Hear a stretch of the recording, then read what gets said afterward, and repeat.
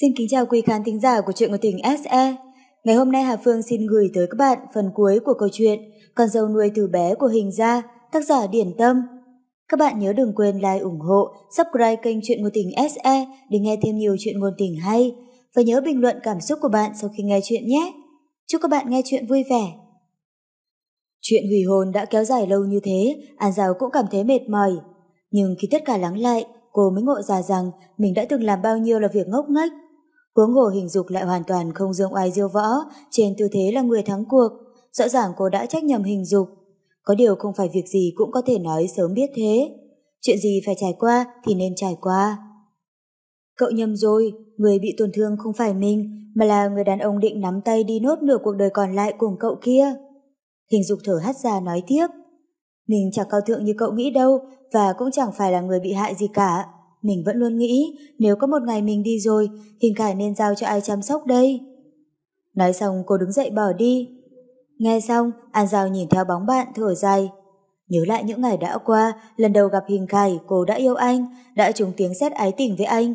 Con đường này là do cô tự chọn, thậm chí cô còn đưa ra cho mình tình huống xấu nhất. Nếu cả đời này Hình Khải không yêu cô, hoặc đối với cô lạnh nhạt, cô cũng can tâm tình nguyện chấp nhận. Xong cô đã đánh giá quá cao tình yêu của mình, Yêu một chút mà lại muốn có được nhiều hơn. Khi không đạt được kết quả như mong muốn, cô bắt đầu coi tất cả những người khác là kẻ thù, vô tình đánh mất con người đáng yêu trước kia của mình. Lúc này An Giao đột nhiên như nghĩ ra điều gì, dững lại một lát rồi gọi. Đợi đã, hình dục. Cô vội vàng chạy đuổi theo hình dục, vừa đuổi vừa hỏi. Cậu nói câu đó là có ý gì? Cậu định đi đâu? Hình Khải có biết không? Hình dục mím môi không để lộ ra nụ cười, trả lời mà như hỏi lại.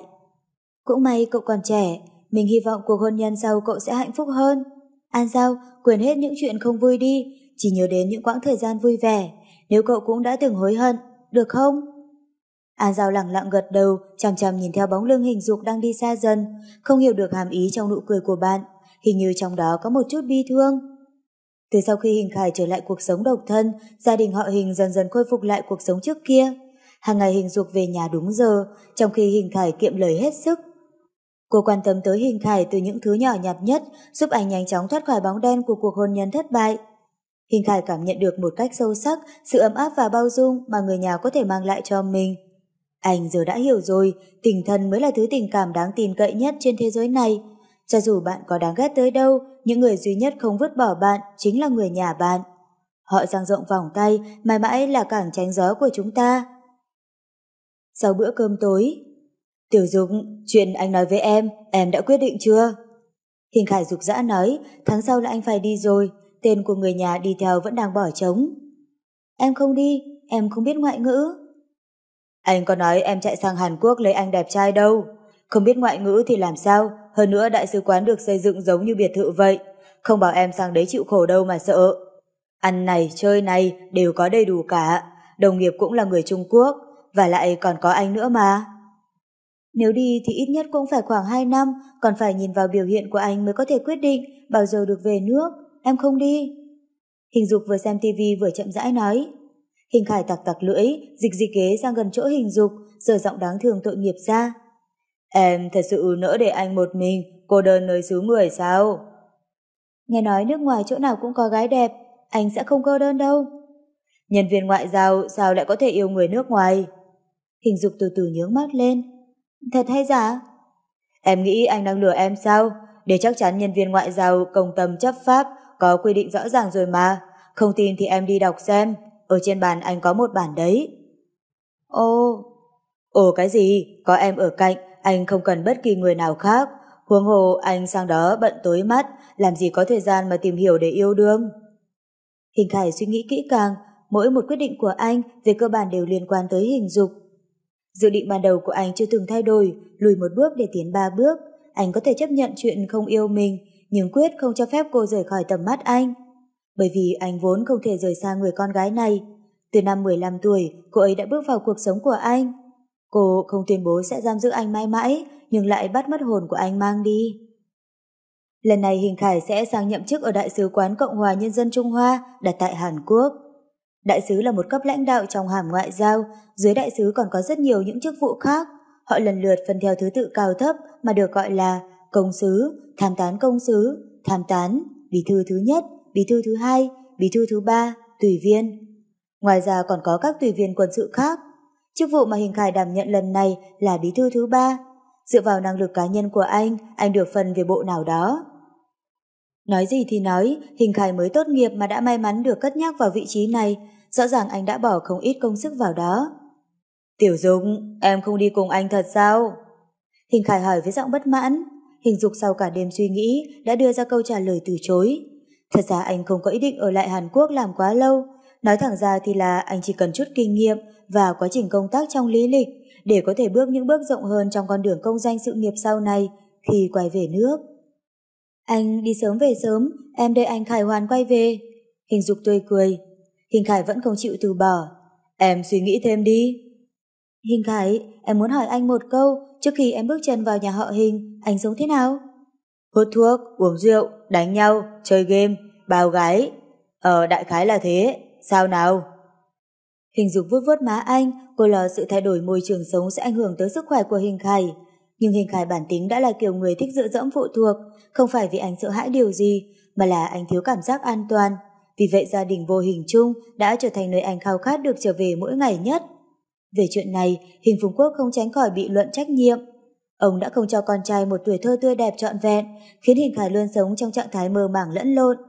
Thời gian đầu, khi Hình Dục thu dọn đống truyện tranh giúp anh đã đọc được một câu anh viết, nhìn nét chữ có lẽ được viết khi đang học cấp 2. Tại sao phải sống? Chết đi liệu có ai biết không? Từ ngày đó trở đi, Hình Dục đã biết Hình Khải thèm một gia đình ấm áp biết bao. Hình Dục quay người, nhìn thẳng vào mắt Hình Khải, chậm chậm nói. Mỗi người sau khi trải qua một vài chuyện sẽ càng hiểu bản thân mình hơn. Đấy là cái giá của sự trưởng thành, không hẳn đã là chuyện xấu. Em tự nhận là em giả dạn sao? Hình Khải hỏi lại. Hình Dục không tiếp lời, ngồi xuống giúp anh gấp quần áo. Người là động vật quần cư, một khi cảm thấy cô đơn buồn bã, tự nhiên sẽ tìm cách để loại trừ sự cô đơn. Đúng rồi, chẳng phải anh nói hàng năm đều có kỳ nghỉ phép về thăm gia đình sao? Em đoán lần này anh đi cũng không quá lâu, quần áo bảo bớt lại được không? Hình Khải lười nhác ngồi xuống chiếc giường mềm mại, hỏi với giọng chất vấn. Em hãy nói thật đi, có phải trong lòng em có người con trai thanh mai trúc mã nào không? Hình dục dững lại. Sao anh lại hỏi thế? Vừa rồi em hỏi về tuổi thơ của anh, chắc chắn là nghĩ tới tuổi thơ của mình. Nói nói với nhau, anh phải đấu với hắn ta một trận. Hình dục phi cười. Hồi nhỏ em toàn chơi một mình, đá cầu, nhảy dây, cắt giấy, toàn chơi một mình thôi. Nhảy dây mà nhảy một mình? Vâng, buộc một đầu vào cây, muốn nhảy bao nhiêu thì nhảy. Không ai chơi với em mà, xem ra nhân duyên của em khi còn nhỏ kém hơn anh nhỉ? Ai nói thế là em không thích chơi với người khác thôi. Hình dục không may mắn như hình khải, cho dù không có người thân bên cạnh, nhưng vẫn có rất nhiều người quan tâm. Bố mẹ cô thường xuyên đi chiến đấu ở những vị trí tiền tuyến, nhất trên khắp mọi miền của đất nước. Còn sự ra đời của cô là một sự cố. Đương nhiên, chuyện này là do cô nghe được từ miệng mẹ sau khi hiểu chuyện. Tình cảm giữa bố mẹ cô không sâu đậm gì, có thể nói cuộc hôn nhân của họ là do bố mẹ hai bên quyết định. Các bậc phụ huynh mặc dù thỉnh thoảng vô tâm để hỏi ra một vài câu, nhưng lại quên rằng có những lời không thể nói bừa sẽ khiến đám trẻ con già trước tuổi bị vỡ mộng tưởng. Hình Khải nhắm mắt lại quan sát hình dục. Mặc dù miệng cô vẫn cười, nhưng Hình Khải cảm thấy chẳng có thú vị gì cả. Ít nhất anh còn có Đặng Dương Minh làm bạn, hình dục thì đúng là quá thảm. Hình Khải nhấc chân lên dùng mũi chân cọ cọ vào sống lưng của cô hỏi. Anh muốn bàn với em một việc, đợi khi nào chúng ta 30 tuổi, nếu em vẫn chưa lấy chồng, anh cũng chưa tái hôn, thì coi như chúng ta gắn ghép với nhau để qua ngày. Lấy anh có được không? 30 tuổi? Còn 5-6 năm nữa, đến khi ấy rồi hãy nói. Thái độ của hình dục rất thản nhiên. Ai chà chà, em đừng thu dọn đồ nữa, nói chuyện đi. Hình Khải chép miệng ngồi thụp xuống cạnh hình dục, đặt mông ngồi luôn lên đống quần áo.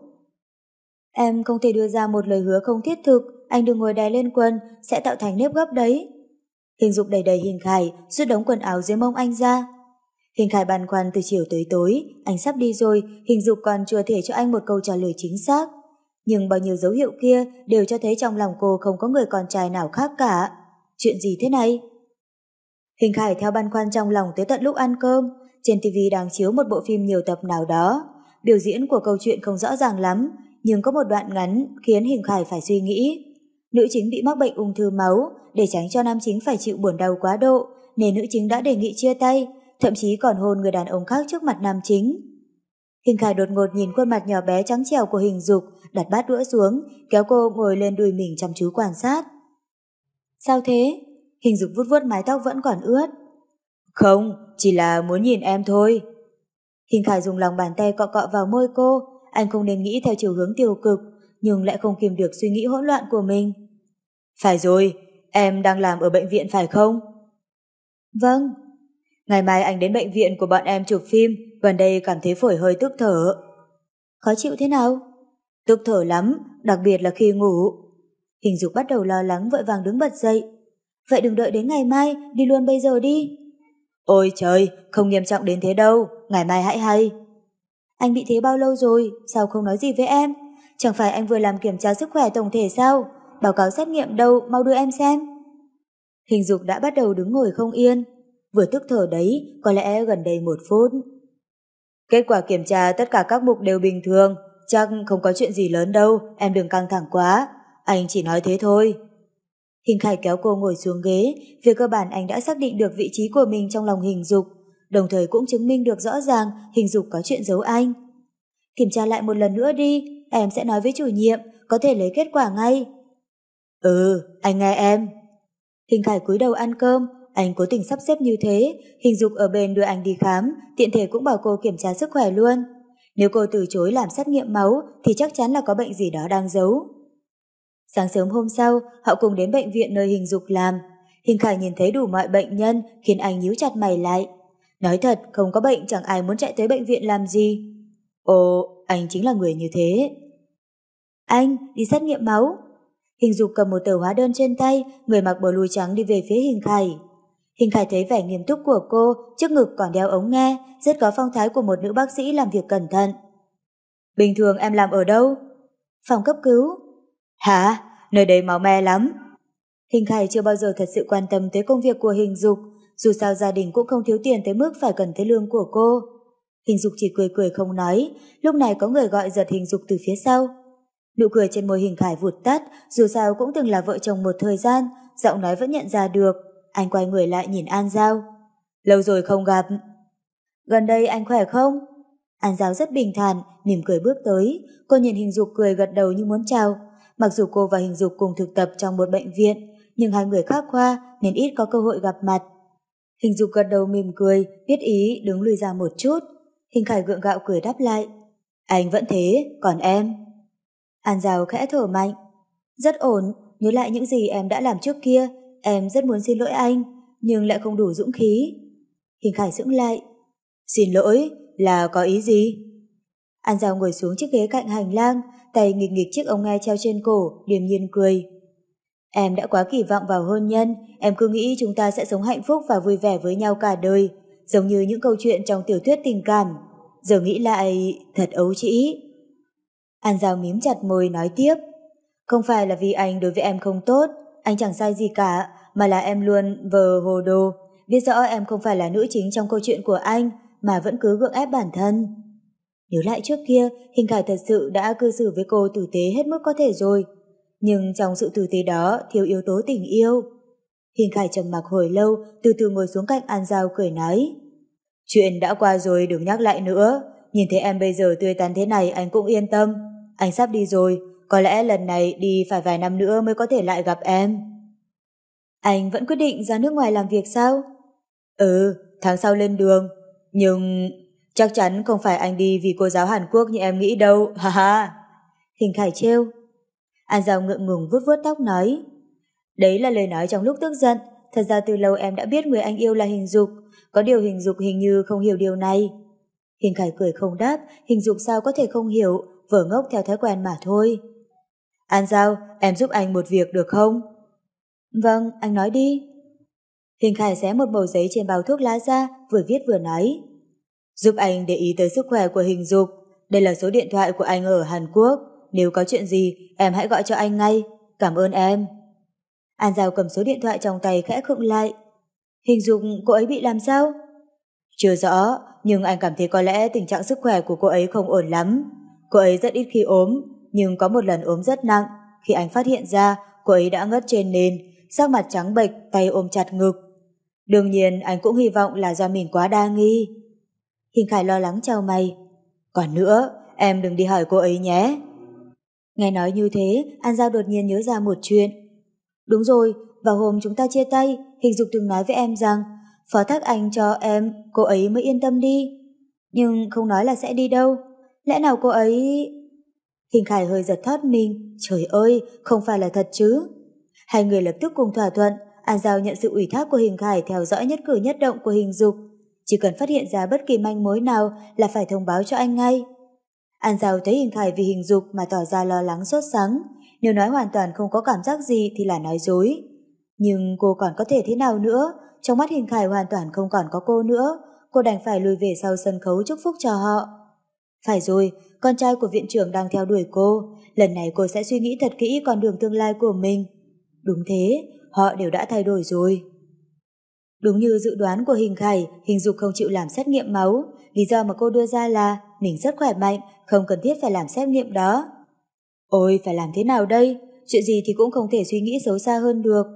Hình Khải buồn bực, từ sáng sớm ngồi tới tận 6 giờ tối, thần chí hoang mang. Chờ tới tận khi Hình Dục kết thúc buổi thực tập của mình, cả hai mới quay về nhà. Chú ý đèn đó Hình Dục kinh ngạc khi thấy bánh xe lao thẳng vào đường dành cho người đi bộ. Cũng may lúc này không có ai sang đường. Hình Khải đạp phanh gấp, đột ngột dừng lại, cả hai lao mạnh về phía trước. Hình Dục lấy tay sờ sờ vào trán Hình Khải, những giọt mồ hôi mát lạnh dính vào lòng bàn tay của cô.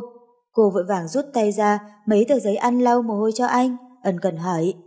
Anh sao thế? Kết quả kiểm tra cho thấy anh không có những bình thường, mà còn hết sức khỏe mạnh nữa mà. Hình Khải không nghe thấy hình dục nói gì cả, chỉ biết lòng anh càng nghĩ càng rối bời hoang mang. Anh đánh xe về lại đường thẳng, dừng lại bên lề đường bước xuống xe. Anh đói rồi, đi ăn cơm với anh. Hình dục nhìn vào tiệm ăn bên đường, vâng lời. Còn nhớ hồi cô mới đến Bắc Kinh, còn không biết thế nào là quán ăn nhanh. Hình Khải chê cười cô là đồ nhà quê. Mặc dù cho tới bây giờ cô đã từng ăn một lần, nhưng vẫn không hiểu tại sao hai miếng bánh mì tròn, tròn, kẹp thêm một miếng thịt ở giữa thì có gì mà đắt tới mười mấy tệ một cái.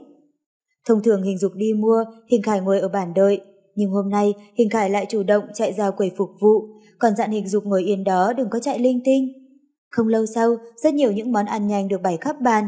Hình Khải đặt một cốc sữa nóng xuống trước mặt Hình dục, nghĩ kỹ lại thấy xấu hổ. Quen nhau 8-9 năm rồi, đây là lần đầu tiên anh phục vụ Hình dục.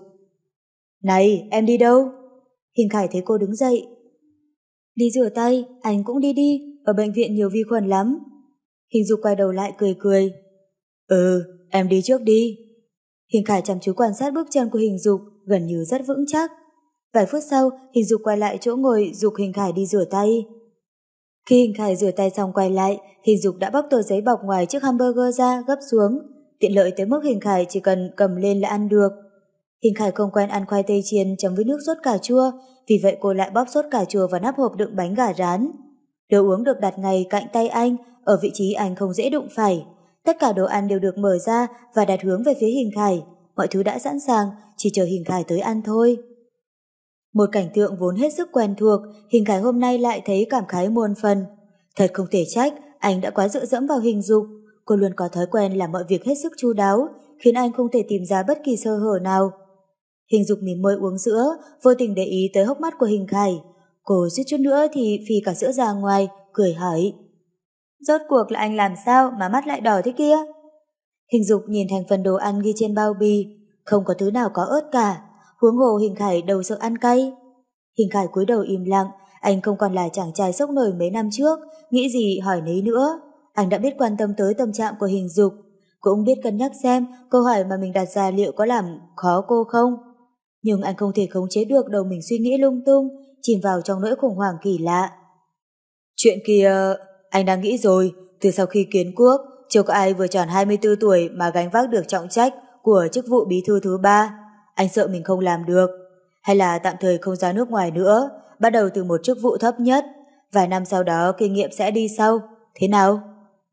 Hình Khải không đùa, mặc dù hủy bỏ kế hoạch sẽ ảnh hưởng tới tiền đồ thành thang của anh, bố cũng sẽ nổi trận lôi đình, nhưng anh không sao có thể thuyết phục bản thân mình cứ thế này mà rời bỏ hình dục.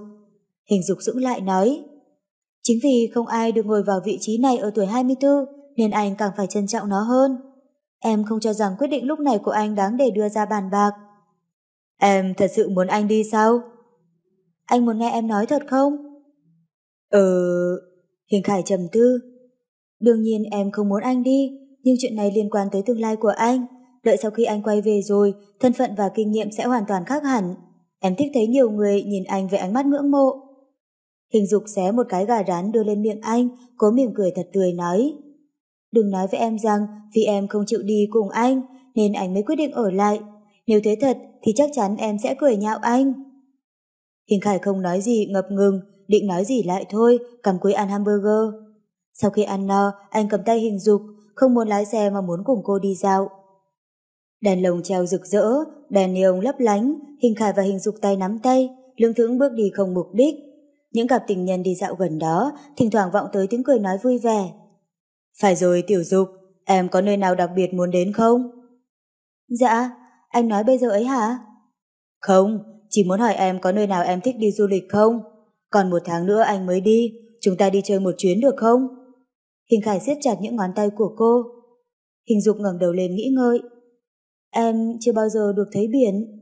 Cô vừa nói xong, Hình Khải đã gọi điện đặt vé, đặt hai tấm vé bay thẳng tới đảo Hải Nam, càng nhanh càng tốt.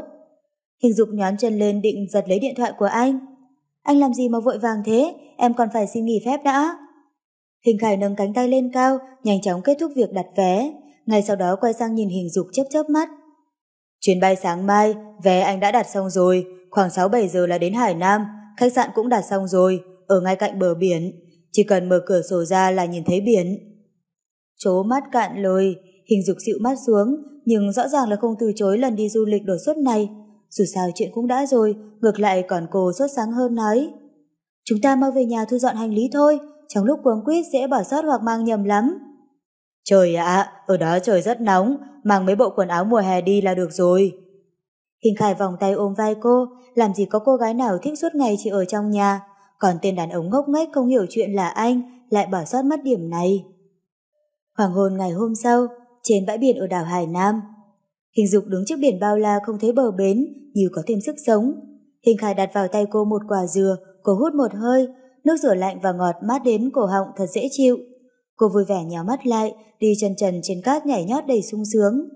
Sầm tối, du khách đốt lửa trại suốt đêm, sóng biển xô vào nhau tạo ra những âm thanh vui tai. Gió biển tấp vào mặt, thật sự là quá thoải mái. Anh nhìn theo bóng dáng vui vẻ nhảy nhót như chú thỏ con của hình dục. Chưa bao giờ thấy cô cười thoải mái như vậy. Thậm chí cuồng chân chạy loạn trên cát, gần như quên hết tất cả mọi thứ. Chuyến đi này quả không uổng phí. Hình Khải đặt loàn đồ uống xuống, lén lút chạy theo bước chân của cô, đột nhiên khẽ bế bổng cô lên. Hình dục kinh hãi hét lớn, nhưng rất nhanh chóng thích ứng ngay với độ cao, khúc khích cười không ngớt. Anh, biển đẹp quá, cảm thấy tất cả mọi phiền não đều biến mất. Hình Khải cười gật đầu, lật tay để cô ra sau lưng mình, hình dục ôm chặt lấy cổ anh, ngắm nhìn biển mênh mông bao la, tâm trạng vô cùng vui vẻ. Hình Khải cõng cô đi ra sát bờ biển, bóng hai người in trên triển cát trắng, ánh trăng bàng bạc chiếu lên bóng hai người, dính vào nhau đổ dài dưới nền, dính chặt không rơi. Hình Khải đi gần tới bờ biển, nước biển mát lạnh ập tới vỗ lên đầu gối anh, khiến một đám bọt tung lên trắng xóa. Hình dục liếm liếm nước biển bắn lên môi. Mặn quá! Nói rồi cô lấy khăn tay ra, lau mặt cho Hình Khải. Độ muối ở trong nước cao cũng khiến làn da bị tổn thương. Tiểu dục, vừa rồi em nói có ưu phiền. Hình Khải nghĩ rất lâu, cuối cùng vẫn không kìm được lên tiếng thăm dò. Ngón tay của hình dục ngừng lại, Em chỉ là nói ra cảm xúc tức thời, không ưu phiền gì cả. Sắc mặt hình khải trầm mặc, sóc sóc cô lên, rồi tiếp tục chậm chậm bước. Gió biển làm rối tung mái tóc dài của hình dục, một tay cô giữ tóc, tì cầm lên vai hình khải, nhắm mắt lại, hưởng thụ cảm giác ngọt ngào và không gian yên tĩnh không dễ dàng có được này. Tiểu Dung, nếu em thích biển đến thế, đợi khi nào chúng ta già, sẽ về sống gần biển được không? Phải già tới thế nào? Cô buồn cười hỏi. Năm 60 tuổi, đến khi ấy chúng ta đều đã nghỉ hưu rồi. Đương nhiên có thể nghỉ hưu sớm, chủ yếu là em muốn thế nào thôi. Chúng ta sẽ mua một chiếc du thuyền nhỏ, có thể vi vô trên biển. Khi nào em muốn ra biển, anh sẽ đưa em ra, ngắm cảnh, câu cá. Nếu em chán du thuyền rồi, chúng ta có thể mua một căn nhà nhỏ gần bờ biển. Cuối cùng ngồi tắm nắng trên bãi cát vàng, uống nước dừa. Anh kể chuyện cho em nghe, dù hay dù không, em cũng nên chiều lòng anh mà cười mấy tiếng. Phải rồi, còn có thể nướng thịt trên bãi biển nữa. anh sẽ nướng tôm nướng cá cho em ăn, em bóc vỏ tôm, thế nào? Hình Khải đợi rất lâu, vẫn không thấy hình dục trả lời. Anh truy hỏi hai ba lần, hình dục mới từ từ gật đầu, cố gắng kiềm chế, nhưng cô họng ngẹn ngào không chịu nghe lời. Vâng. Hình Khải thu lại nụ cười vừa hé trên môi, bởi vì anh cảm thấy cô có một chất dịch ướn ướt rơi xuống vai mình. Nhưng anh vờ như không biết, cười dạng dỡ nói tiếp. Ăn chán hải sản rồi, cũng không sao, chúng ta có thể chuyển vào núi sống. Chỉ cần mở cửa sổ ra là thấy sương mây ẩn ẩn hiện hiện, mơ ảo như sống trong tiên cảnh vậy. Nói gì thì nói, trình độ bắn súng của anh cũng không tồi, anh sẽ săn bắn dã thú cho em ăn. À, còn nữa, mấy năm ở trường quân sự, anh học được chút ít về nghề mộc. Anh có thể đóng một cái hàng rào nho nhỏ xung quanh căn nhà gỗ của chúng ta. Có thể làm giàn nho trong vườn. Em có thể trồng hoa nuôi chim, nuôi gà, nuôi vịt, nuôi thỏ cũng được. Em muốn ăn rau rừng thì chúng ta sẽ trồng rau. Phân gà phân vịt là thứ phân bón thiên nhiên tốt nhất. Trái cây và rau cỏ trồng được đều là những thứ rất sạch không độc hại. Ôi trời ơi, thật tuyệt vời! Hình dục vòng tay quanh người hình khải, ôm anh thật chặt. Cô không nói gì bởi vì nước mắt cô đang rơi lá chã không ngừng. Hình khải ngửa cổ ra sau cọ cọ vào chán cô, trầm giọng nói. Tiểu dục, anh không đùa đâu, chỉ cần em muốn. Đừng nói nữa, anh, anh đừng nói nữa. Hình dục cắn chặt vào tay mình để kiềm lại thứ cảm xúc mà cô đang không cách nào khống chế được.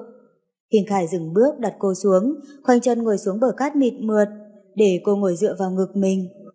Ánh mắt rớt xuống đôi mắt long lanh đầy nước của cô, nhìn cảnh biển này, cô từ từ động đậy lông mi, ánh nhìn bỗng như nhòe đi với đủ loại màu sắc. Anh, cuối cùng anh cũng đã trưởng thành thật rồi. Hình Khải làm như không thèm chấp, khẽ gì một tiếng nói. Này, khẩu khí của em khiến anh nhớ tới người mẹ đã mất nhiều năm của mình đấy. Thật không? Nói thật, em vẫn luôn luôn tìm cách để thay thế vị trí quan trọng ấy. Em muốn anh cảm nhận được sự quan tâm của em gần gũi như chân tay, mà cũng ấm áp như người của mẹ. Hình dục ngẩng đầu lên, nhìn vào đôi mắt to đan lấy của hình khải, dần dần cô như cười như không. Anh thích em làm em gái hay là mẹ anh? Thôn trang mà em từng ở, đa phần là người già, nên bảo em phải đóng vai trưởng bối cũng không vấn đề gì. Hình Khải trợn mắt lườm cô, đột ngột cúi đầu xuống, áp môi mình lên môi cô, khẽ cắn một cái như có ý trừng phạt. Tiểu Dũng, anh muốn em làm vợ anh, ngoài em ra, anh chẳng có cảm xúc đối với bất kỳ cô gái nào. Cho dù con đường phía trước có dài tới đâu, cho dù em còn sống được mấy năm nữa, thì anh cũng chỉ cần tình yêu của em mà thôi. Cho dù xảy ra chuyện gì, hãy nhớ rằng anh yêu em biết bao, xin đừng rời xa anh. Nếu không, hơi thở của anh cũng sẽ vì thế mà ngừng lại.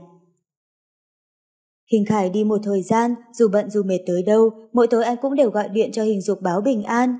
Đương nhiên, đó chỉ là cái mũ, anh dùng để che giấu tâm trạng.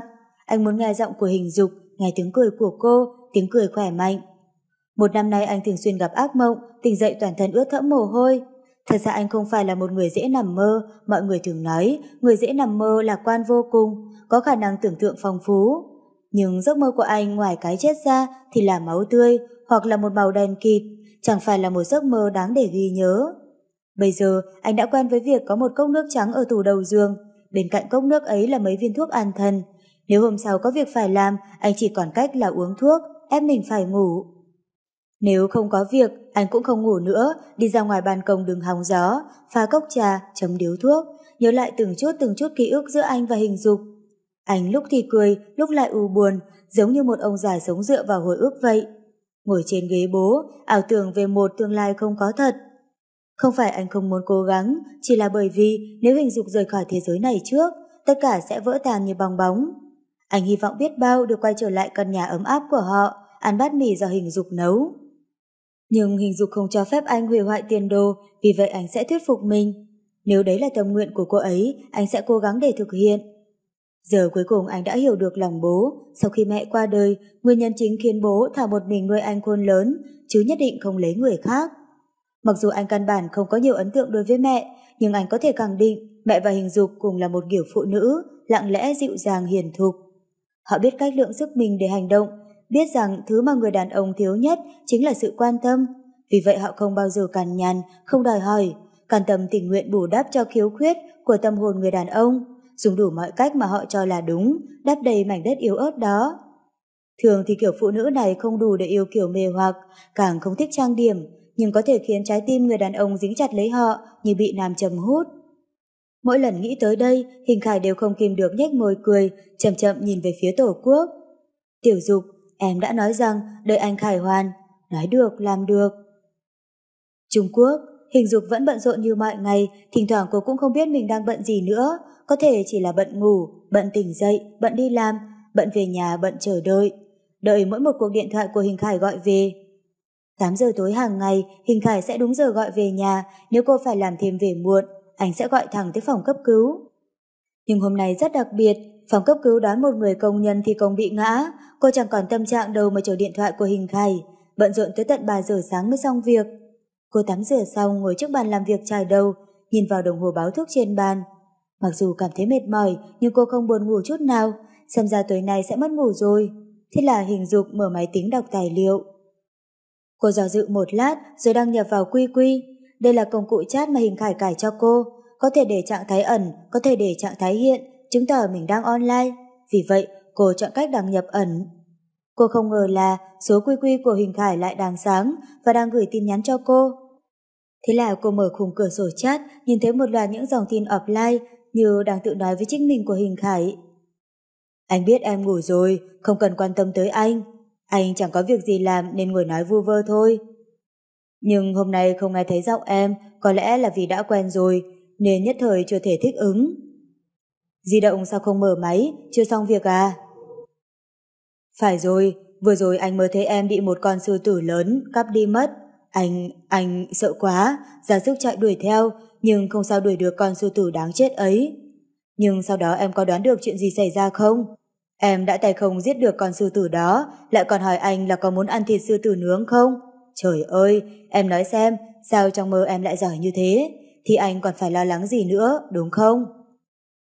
Gì nhỉ? Tối nay anh ăn cơm với rau cải xào này, chắc là cay quá, cho nên nửa đêm dậy tìm nước uống, tiện thể nhắn tin cho em, cũng không có việc gì đặc biệt cả. Tiểu Dục, anh thật sự chẳng có việc gì đâu, em đừng nghĩ lung tung, anh chỉ là nhớ em thôi. Trời ơi, buồn ngủ rồi, anh đi ngủ đây, em cũng ngủ sớm đi. Nếu như em cũng mơ thấy con sư tử, đừng sợ, anh vỗ ngực nói với em rằng em tuyệt đối có thể đánh được nó, ha ha, ngày mai gặp nhé. Hình dục di chuột, lần lượt đọc lại những tin nhắn offline của anh, mỉm cười, mắt ướn ướt. Ngày mai cho dù thế nào cũng sẽ về nhà đúng giờ để nghe điện thoại của Hình Khải. Hả? Không được, ngồi nhớ bận quá không về được thì sao? Thôi, ngày mai nghỉ phép không đi làm nữa. Nghĩ đến đây cô đột nhiên đứng dậy đi thẳng vào bếp, hòa bột, trộn bột, cắt cà, bằm thịt, bật bếp. Mặc dù đã nửa đêm canh ba, nhưng phòng khách nhà họ Hình tràn ngập mùi thơm của món cà tím nấu mì. Cô không đói, không đói chút nào cả, chỉ mong mùi hương quen thuộc này có thể bay thật xa, thật xa. Cô ước gì có thể bay ngày tới bên cạnh Hình Khải, mặc dù cô không thể giúp được gì cho anh trong công việc, nhưng ít nhất cũng có thể nấu cho anh một bữa ăn hợp khẩu vị. Hình Khải, nếu anh bay mệt rồi thì dừng lại nghỉ ngơi đi, không ai ép anh cả, thật đấy. Cho dù có người ép anh, thì có người đó nhất định không phải là em, nguyện vọng duy nhất của em là đợi anh quay về. Cuộc đời một con người không thiếu những cơ hội, nhưng cơ hội luôn dành cho những người đã có sự chuẩn bị. Những thành tựu của hình khải về mặt ngôn ngữ nhận được những lời tán thưởng không ngớt từ đại sứ ngoại giao. Còn về nguyên nhân của việc này, nói trùng hợp thì cũng thật trùng hợp. Đúng vào ngày quốc khánh, nam nữ thanh niên trong cơ quan cùng nhau tổ chức chúc mừng ngày lễ này. Phía Trung Quốc cũng có tổ chức một buổi giao lưu hữu nghị. Nhiệt liệt mời các bạn nước ngoài tới uống trà nói chuyện, nhằm tăng thêm tình đoàn kết giữa Trung Quốc và các quốc gia khác. Hôm ấy, bên phía Trung Quốc phái những cán bộ phiên dịch được đào tạo hết sức bài bản, bố trí ngồi bên cạnh các bạn nước khác. Và trong đó, bên phía Đức giữa đường gặp chút trục trặc nhỏ nên không thể tới buổi giao lưu này đúng giờ. Gọi điện đến cáo lỗi về phía Trung Quốc, đồng thời thông báo họ sẽ tới chậm một giờ. Phiên dịch tiếng Đức được bố trí phục vụ vị đại sứ này sau khi biết tin, được sự cho phép của cấp trên tạm thời có thể rời bàn tiệc vào toilet vài phút. Nhưng đúng lúc này thì phía Đức vừa hay lại đến. Mặc dù không biết phiên dịch đi đâu, nhưng phía Trung Quốc quyết không để tình hình trở nên hỗn loạn. Đầu tiên dẫn chào hỏi người bạn Đức bằng tiếng Anh khá lưu loát. Phía bạn Đức đương nhiên cũng dùng tiếng Anh đáp lại. Nhưng khi giới thiệu tới phu nhân của ông ta, phía Trung Quốc bất giác mồ hôi ròng ròng bởi vì phu nhân của người bạn Đức này lại là một người phụ nữ Pháp nhiệt tình. vừa nhiệt tình bắt tay với đại sứ, vừa dùng tiếng Pháp để chào hỏi. Lúc đầu hình khải đứng ở hàng thứ hai, anh không có thời gian để xin phép cấp trên. Từ tốn bước đến bên cạnh cấp trên, khẽ nói với ông rằng, phu nhân của người bạn Đức muốn nói. Bà ta đã từng tới Trung Quốc du lịch rất nhiều lần, đang khen lụa của Trung Quốc rất đẹp. Nói thông tục một chút thì là nghi lễ ngoại giao chính là bộ mặt của Trung Quốc, đại diện cho hình tượng và thành tựu của người Trung Quốc, không được để xảy ra dù chỉ là một chút sơ suất. Lần này, nhờ có hình khải giúp cấp trên giải vây tại trận, cấp trên không suy nghĩ nhiều, chỉ thị cho hình khải là anh nói với phu nhân người Đức rằng Trung Quốc hoan nghênh bà. Còn hình khải tất nhiên không bỏ lỡ bất kỳ một cơ hội xuất đầu lộ diện nào. Anh không những thể hiện thái độ thân thiện của người Trung Quốc dành cho người dân Pháp, mà còn dùng tiếng Đức để lên tiếng mời người bạn Đức nếu có dịp cùng phu nhân tới Trung Quốc du lịch. Nụ cười tươi giói nhiệt tình của Hình Khải cùng với sự phản ứng nhanh nhẹn lưu loát của anh khiến vợ chồng người bạn Đức buông lời khen ngợi không ngớt.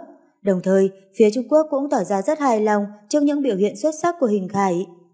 Sau khi buổi liên hoan giao lưu kết thúc, cấp trên gặp nói chuyện riêng với Hình Khải. Trong buổi nói chuyện đại sứ được biết, Hình Khải năm nay mới 26 tuổi, không những tinh thông cả năm ngôn ngữ Hàn, Pháp, Đức, Anh, Nga, mà còn được huấn luyện quân sự chính quy, có đầy đủ yếu tố văn hóa chuyên nghiệp. Sau đó đại sứ tiến hành một loạt những điều tra liên quan tới Hình Khải, cuối cùng quyết định thăng chức cho Hình Khải. Thế là cơ hội gần như dễ nắm bắt này đã được Hình Khải nắm trọn.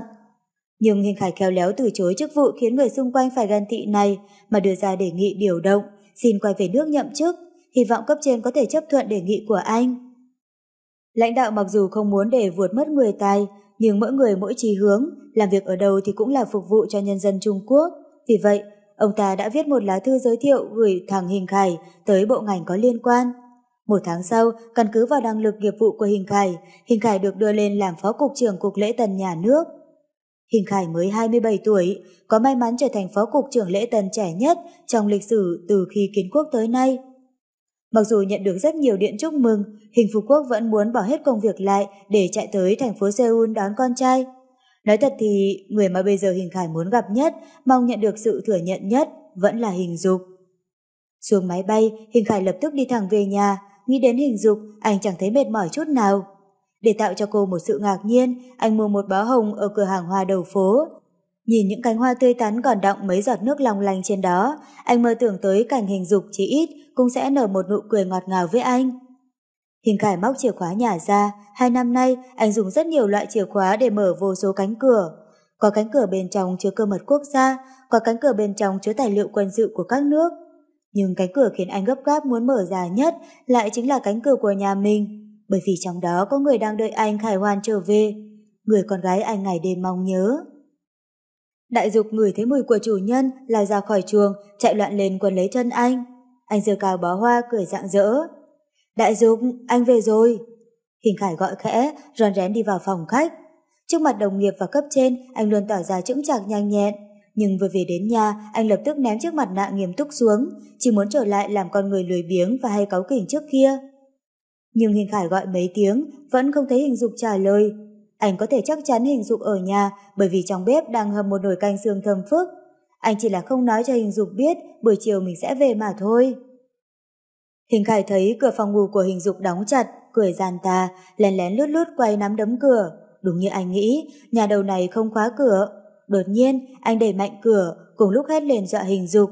a Tiếng hét kinh dị. Vớ vẩn, không có trong phòng. Hình Khải dụ vai xuống, nhìn quanh căn phòng sạch sẽ tinh thương một lượt, hít một hơi thật sâu, cảm giác được về nhà thật tuyệt. Anh tiện tay đặt bó hoa hồng lên bàn, không để ý đến cốc nước trên đó, khiến chiếc cốc bị nghiêng đổ xuống bàn. Hình Khải kinh ngạc nhìn nước trong cốc từ mặt bàn chảy xuống khẽ hở của ngăn kéo. Thế là anh vừa dùng khăn mặt chặn dòng nước lại, vừa luống cuống kéo tay mạnh, nắm ngăn kéo. Có lẽ anh đã dùng sức hơi mạnh, khiến chiếc ngăn kéo ở giữa vốn bị khóa, lại bị anh giật tới mức bật cả khóa tung ra. Sức nặng đột ngột vượt qua cả sức chịu đựng của anh. Rầm một tiếng, cả cái ngăn kéo văng ra đất. Hình Khải nhìn một đống đồ lặt vặt vãi tung dưới nền, vỏ vỏ tóc, làm thế nào bây giờ? À, lau khô bàn, nhanh chóng thu dọn, để ngăn kéo vào, đóng cửa phòng lại, coi như chưa có chuyện gì xảy ra.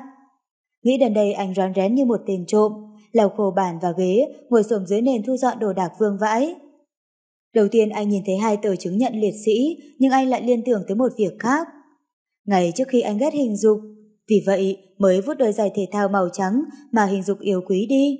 Nhưng sau này, khi anh biết đó là món quà cuối cùng của bố và mẹ hình dục tặng cho cô, anh lại cảm thấy tội lỗi vô cùng. Để chuộc tội, anh đã đi khắp cả Bắc Kinh mới mua được một đôi giày trắng giống như đôi giày ấy. Để khiến nó trông như đôi giày cũ, anh còn cố ý lau đi lau lại cho nó sờn cũ, rồi lẳng lặng đặt lại vào phòng hình dục. Lần đó cũng là lần đầu tiên anh vào phòng ngủ của hình dục. Khi ấy hình dục không có nhà, anh vì tò mò mới lật xem những đồ trong ngăn kéo của cô. Lần đầu tiên biết tên thật của hình dục là An Diêu, được ghép từ họ của bố và mẹ. Sau đó, đúng lúc ấy hình dục về đến nhà nên anh không tìm được tin tức đáng giá nào từ ngăn kéo nữa. Có điều hôm nay, ha ha, dù sao cũng sẽ bị mắng, sao không thử đào bới nó một lần? Hình khải quỳ trước ngăn kéo, kéo mấy quyển sổ phía trên ra, lại một lần nữa nhìn thấy cái hộp gỗ bị khóa.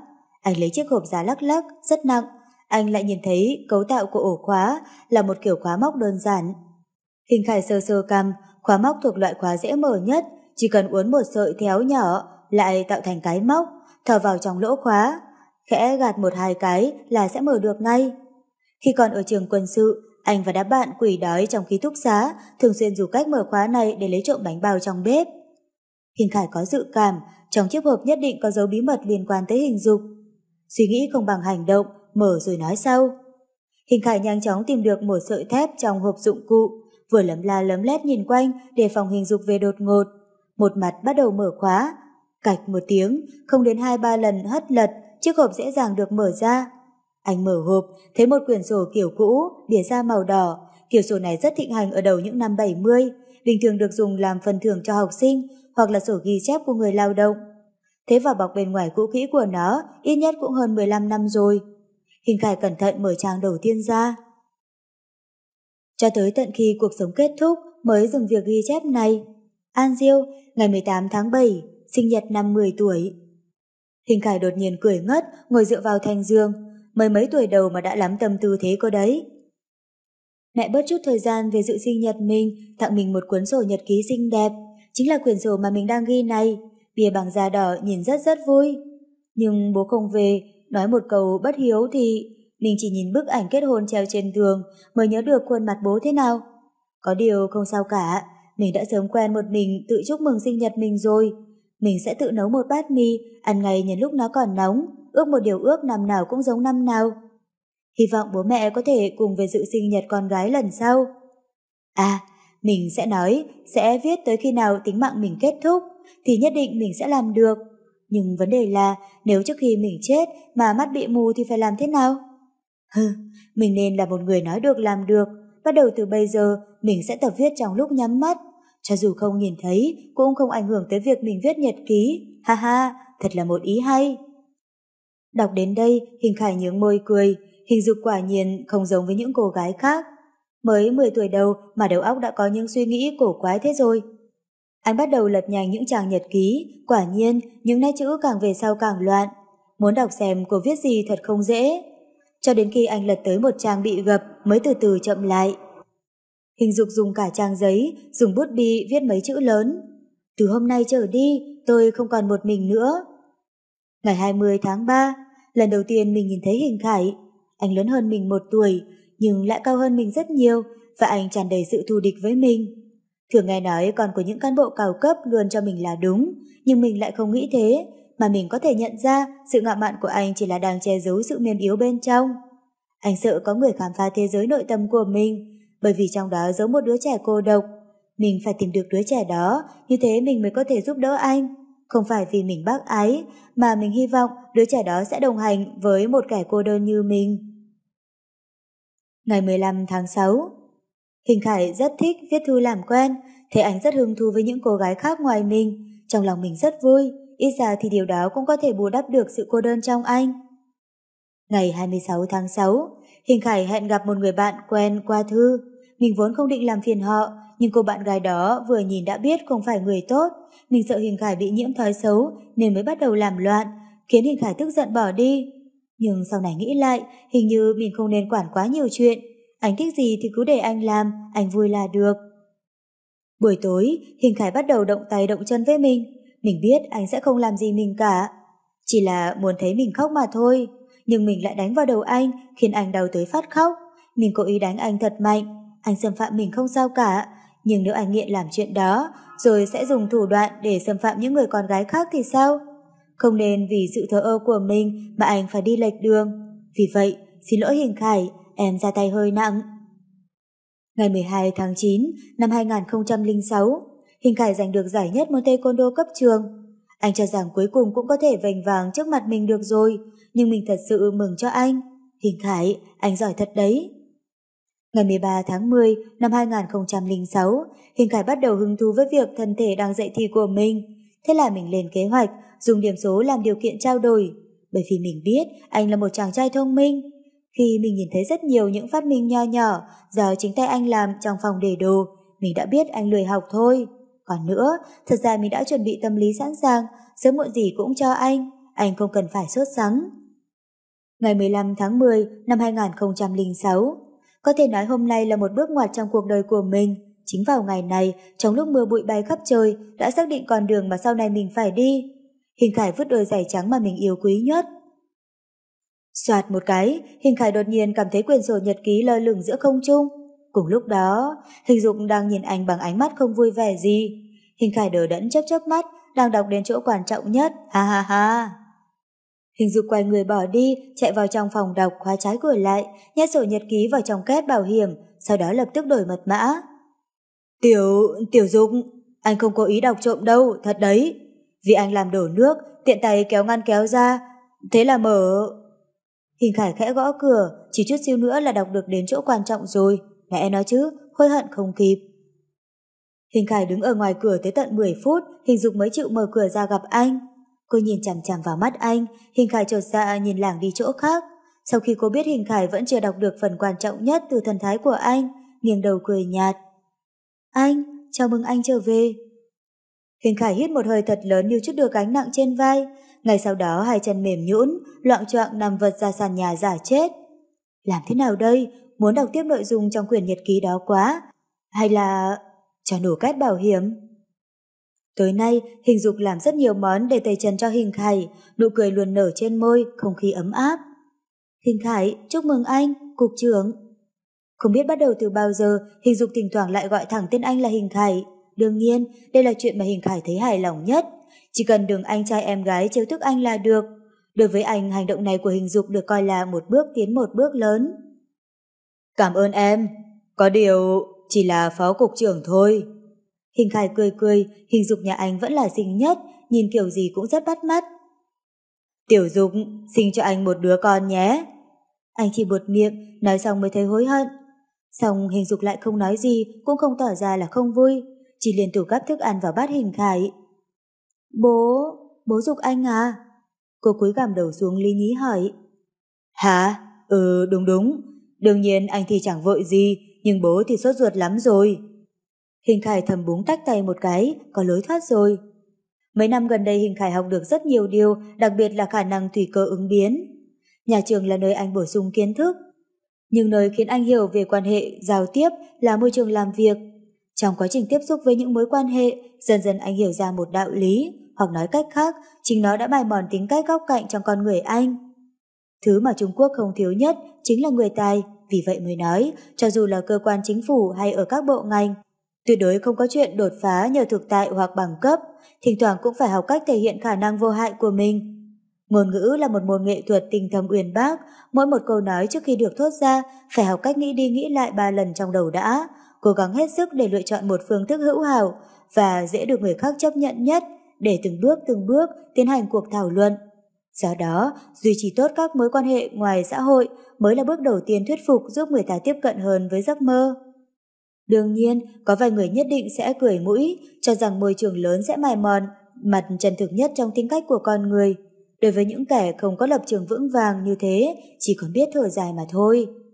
Nhưng Hình Khải lại không nghĩ thế, xã hội dù phức tạp điên hóa tới đâu, thì xã hội cũng có công dạy chúng ta trở thành một người, không khiến người khác phải phản cảm. Ngược lại, anh có thể tùy tâm tùy ý, cào ngạo hênh hoang. Nếu anh có thể đảm bảo không ai coi anh là tiền hề ngoài xã hội. Hình dục ngồi ăn cơm, hình khải càng nhìn cô, cô càng cúi đầu thấp hơn. Rất lâu, cuối cùng hình dục mở miệng. Anh hãy hỏi ý bố trước đi. Gì nhỉ? Chuyện này sao lại phải hỏi ý của bố? Hình Khải thật sự không hiểu. Hôm đó bố về nhà, khi ăn cơm có nhận mấy cuộc điện thoại, hình như họ muốn giới thiệu bạn gái cho anh. Hình Dục mím mím môi, Hình Khải tặc tặc lưỡi, bố chẳng phải vẫn luôn muốn anh lấy cô sao? Thật đúng là còn sợ chưa đủ loạn chắc. Hình Dục thấy anh mặt nhăn mày nhó nói. Thật ra cũng là việc bình thường thôi, mấy vị bác sĩ già ở trong bệnh viện cũng nhiệt tình lắm, hay giới thiệu bạn trai cho em. Cũng may em chỉ là bác sĩ làm ở phòng trị liệu, vì vậy mới không bị áp lực phải trực tiếp từ chối. Hình Khải nghi ngờ nhướng nhướng mày. Em được lắm, anh ngờ là không phải em muốn giúp anh, mà là đang lo lắng cho chính bản thân mình. Hình Dục cười khổ. Đương nhiên không phải. Việc hôm nay chỗ để ngày mai, đây chính là câu nói mà Hình Khải luôn rất sùng bái. Thế là anh gọi vào điện thoại của bố ngay trước mặt Hình Dục, anh oang oang nói.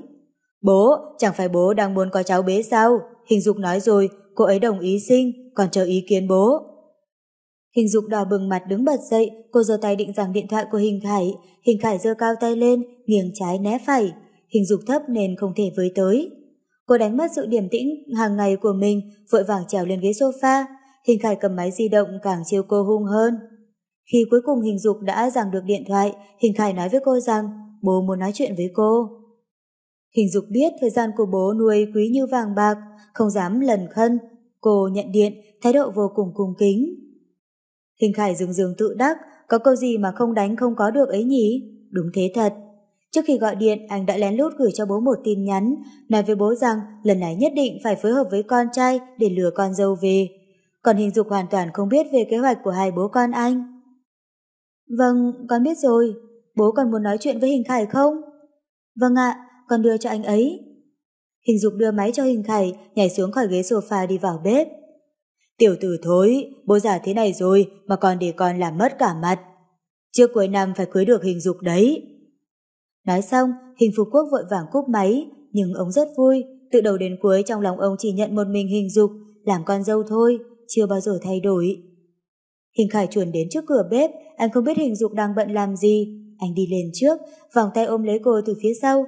Sống lưng hình dục hơi cứng lại, từ từ quay người ngẩng đầu lên, chăm chú nhìn vào đôi mắt đen láy của anh, nhón chân lên, chạm chạm vào môi anh. Hình Khải ngược lại còn căng thẳng hơn, bao năm rồi, anh đã đợi bao năm rồi. Thế mà vào giây phút này, tất cả mọi tưởng tượng dự đoán đều thành đồ bỏ. Một vài chuyện lại trở nên hết sức thuận lợi. Đột nhiên anh nhấc cô lên, ép cô vào tường, nồng nhiệt hôn lên môi cô. Cô khẽ ngửa cổ đón lấy những nụ hôn nóng bỏng, có phần thô bạo của anh, cuốn lấy đầu lưỡi anh không rời. Sự đam mê hỗn độn, giải phóng dục vọng đang bừng bừng trong người cô.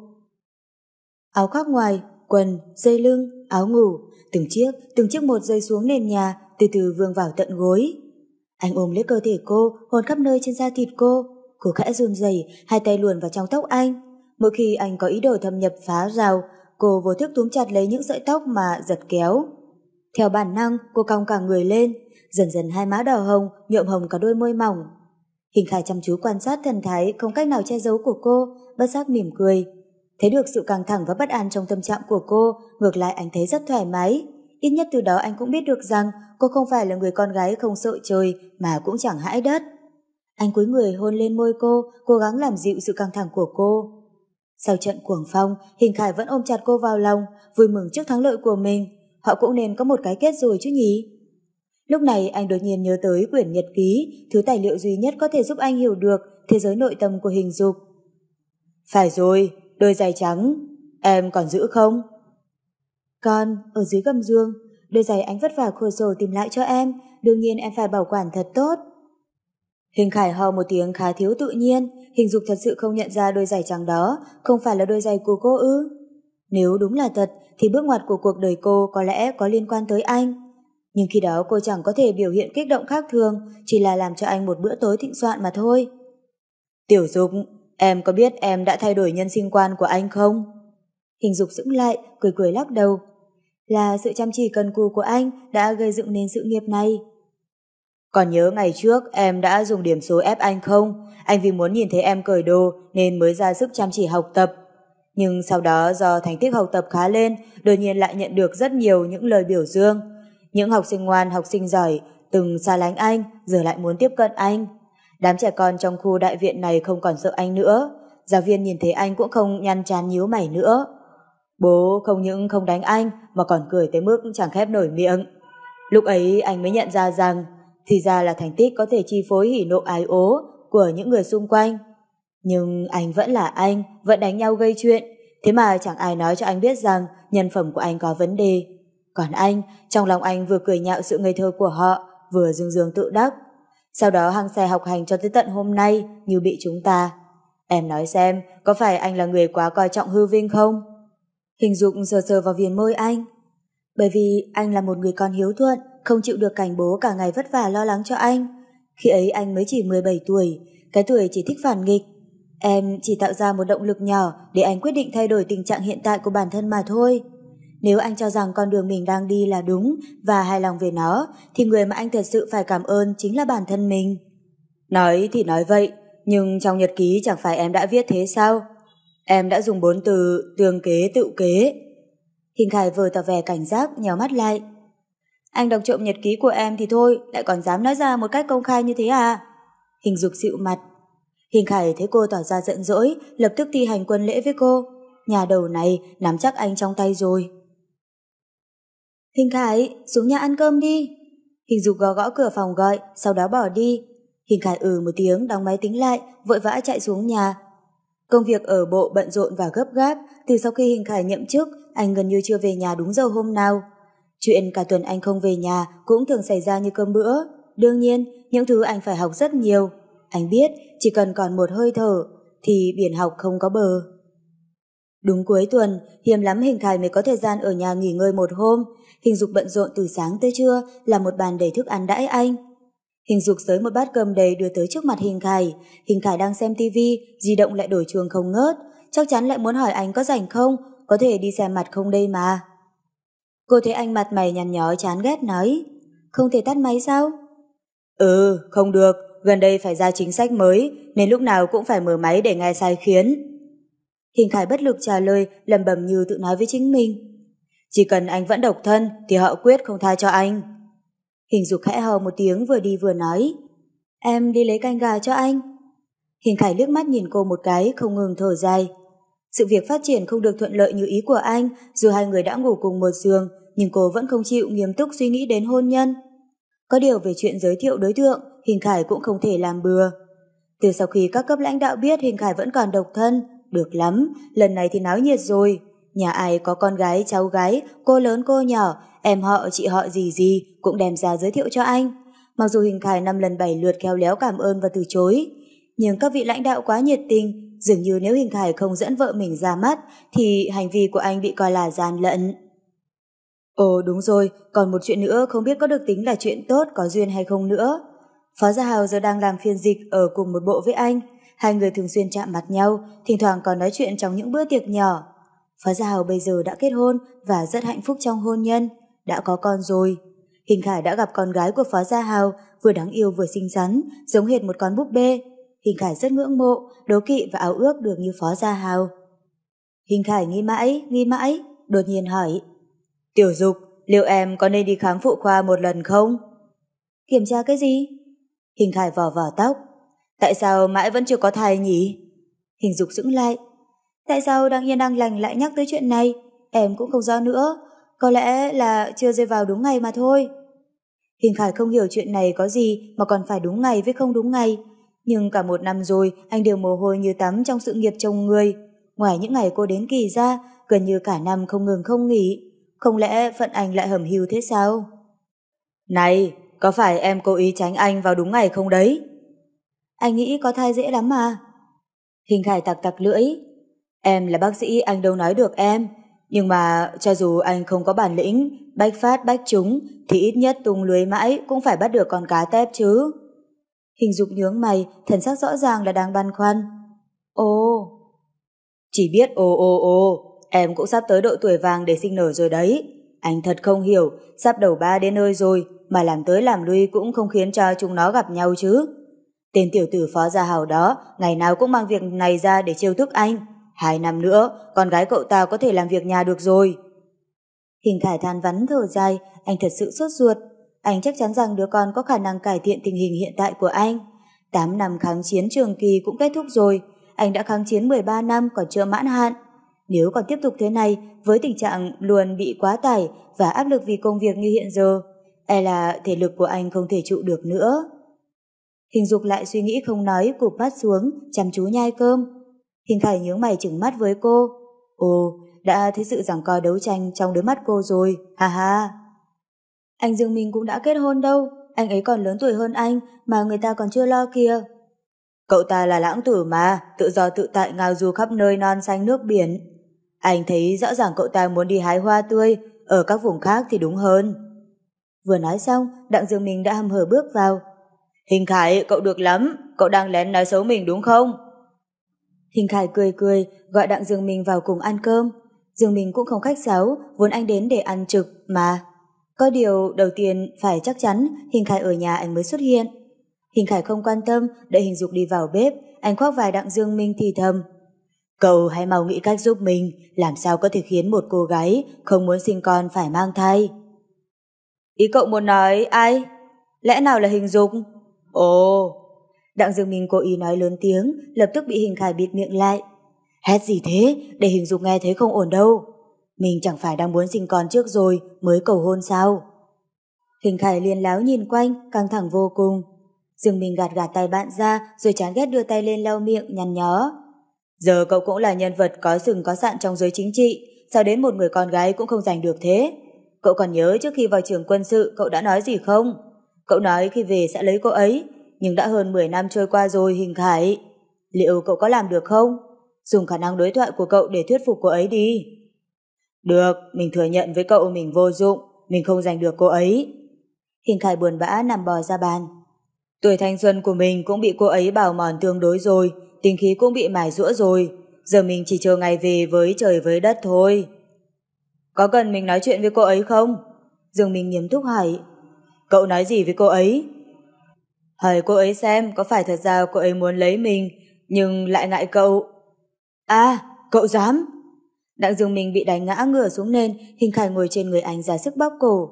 Lúc này hình dục bưng nổi cành tới, thấy hai tiểu tử đang vật nhau lăn lộn dưới nền, cô mím môi cười. Nghỉ ngợm cũng không kém năm xưa là bao nhỉ? Cố lên! Nói xong lại đi vào bếp. Hình Khải lúc này mới nhận thấy hai người đàn ông mặc vest lịch sự lại chơi một trò chơi không phù hợp với độ tuổi chút nào. Còn người đúng là loài động vật đòn sóc hai đầu. Trước mặt người khác thì làm bộ làm tịch, về tới nhà là lập tức hiện nguyên hình ngay. Hình Khải nghiêng người ngã nằm ra nên lẩm bẩm nói. Trong trận chiến này mình đã không ngừng hạ thấp tiêu chuẩn. Yêu hay không yêu mình đã không còn băn khoăn nữa. Chỉ cần khi còn sống, cô ấy thừa nhận đã từng thích mình là được. Hình Khải, mình vẫn luôn biết cậu là người trọng tình cảm, nhưng cậu có thể nghe mình khuyên cậu một câu không? Từ bỏ đi, nếu cô ấy muốn, sớm đã làm rồi. Đặng Dương Minh nằm bò trên ghế sofa, vô vỗ vai Hình Khải. Bộ dạng yếu đuối này của Hình Khải chỉ mình Đặng Dương Minh được chứng kiến. Nhưng nhìn thì nhìn, trong lòng anh thật sự không dễ chịu chút nào. Hình Khải cười chua xót. Chỉ có cậu biết ngày nào mình cũng sống trong chịu đựng. Trước mặt cô ấy, mình không những phải tỏ ra vui vẻ, mà còn phải đóng vai chính trong vở kịch tình yêu. Nhưng mình cũng muốn nói một câu mà nghe xong nhất định cậu sẽ buồn nôn. Tình cảm của mình dành cho hình dục không còn là thứ tình cảm có thể khống chế nữa. Mình không thể từ bỏ cô ấy. Cô ấy muốn bảo mòn mình, hành hạ mình, mình cũng chấp nhận. Cho tới khi giả nua, phải ngồi xe lăn là xong chuyện. Dương mình không chế nhạo tấm tình si của hình khải, nhưng vô tình cũng bị những lời chân thành đó làm cho cảm động. Con người tùy tiện bá đạo trước kia của hình khải đã hoàn toàn biến mất, đứng trước mặt anh bây giờ là một kẻ điên vì tranh giành tình yêu mà không ngừng dè vò bản thân. Thật là tình yêu, mẹ kiếp, không biết nó là cái trò gì chứ. Ha ha, vốn nó không phải là trò chơi rồi. Hình Khải nhếch nhếch mép. Đặng Dương Minh nhảy khỏi ghế sofa, ra sức lắc lắc vài Hình Khải lo lắng hỏi. Hình Khải, cậu hãy trả lời mình một cách nghiêm túc nhất. Cậu chưa bao giờ nghĩ rằng vì không nhận được sự hồi đáp của cô ấy nên mới không chịu buông tay đấy chứ. Hình Khải cười khan, lắc lắc đầu một cách chắc chắn. Trời biết đất biết, anh chưa bao giờ mất hình dục, nhưng dường như cũng chưa từng có được cô. 13 năm rồi, anh vẫn mãi đứng ở trên miệng vực ngăn trở. Bao giờ cô mới chịu được đi đến kéo anh lại đây? Đặng dừng mình thấy nhói lòng khi anh chứng kiến những người đàn ông bên cạnh hình dục bị lần lượt bị đánh bại và phải lựa chọn từ bỏ trước sự lạnh lùng của cô. Chỉ có hình khai là chưa bao giờ thay đổi, nói cách khác, trái tim của hình Khai đã dành cho hình dục từ lâu rồi, anh không dám lấy lại nữa. Hình dục vẫn như mọi ngày đi làm ở phòng cấp cứu, lúc này một tin tức chấn động như cuồng phong khiến cô gần như ngất lịm đi. 28 phút không giây, ngày 14 tháng 5, ở Bắc Xuyên, Vấn Xuyên, thuộc Tứ Xuyên xảy ra một trận động đất mạnh 8 độ Richter. Đây là trận động đất lớn nhất, có phạm vi ảnh hưởng và tàn phá rộng nhất kể từ khi Tân Trung Quốc được thành lập cho tới nay. Lần động đất này đã làm san bằng khoảng 50 vạn mét vuông diện tích, khu vực chiều dương môn của thành phố này chính là vùng đất dưới tòa nhà văn phòng cũng chịu ảnh hưởng của trận động đất. Nhưng những tin tức liên quan chưa chính thức công khai có bị thiệt hại về người hay không vẫn còn là một ẩn số. Thật ra xung quanh bệnh viện cũng cảm nhận được sự rung chuyển, nhưng những nơi đông người là nơi thường tạo ra không khí khủng hoảng nhanh nhất. Trong ngoài bệnh viện hỗn loạn, bệnh nhân và nhân viên y tế xô nhau chạy, ai cũng đang ở trong trạng thái không an toàn, lo âu chờ đợi. Hình Khải, Hình Khải, nghe điện đi. Hình Dục lầm bầm tự nói, ngón tay run lẩy bẩy bấm máy gọi cho Hình Khải.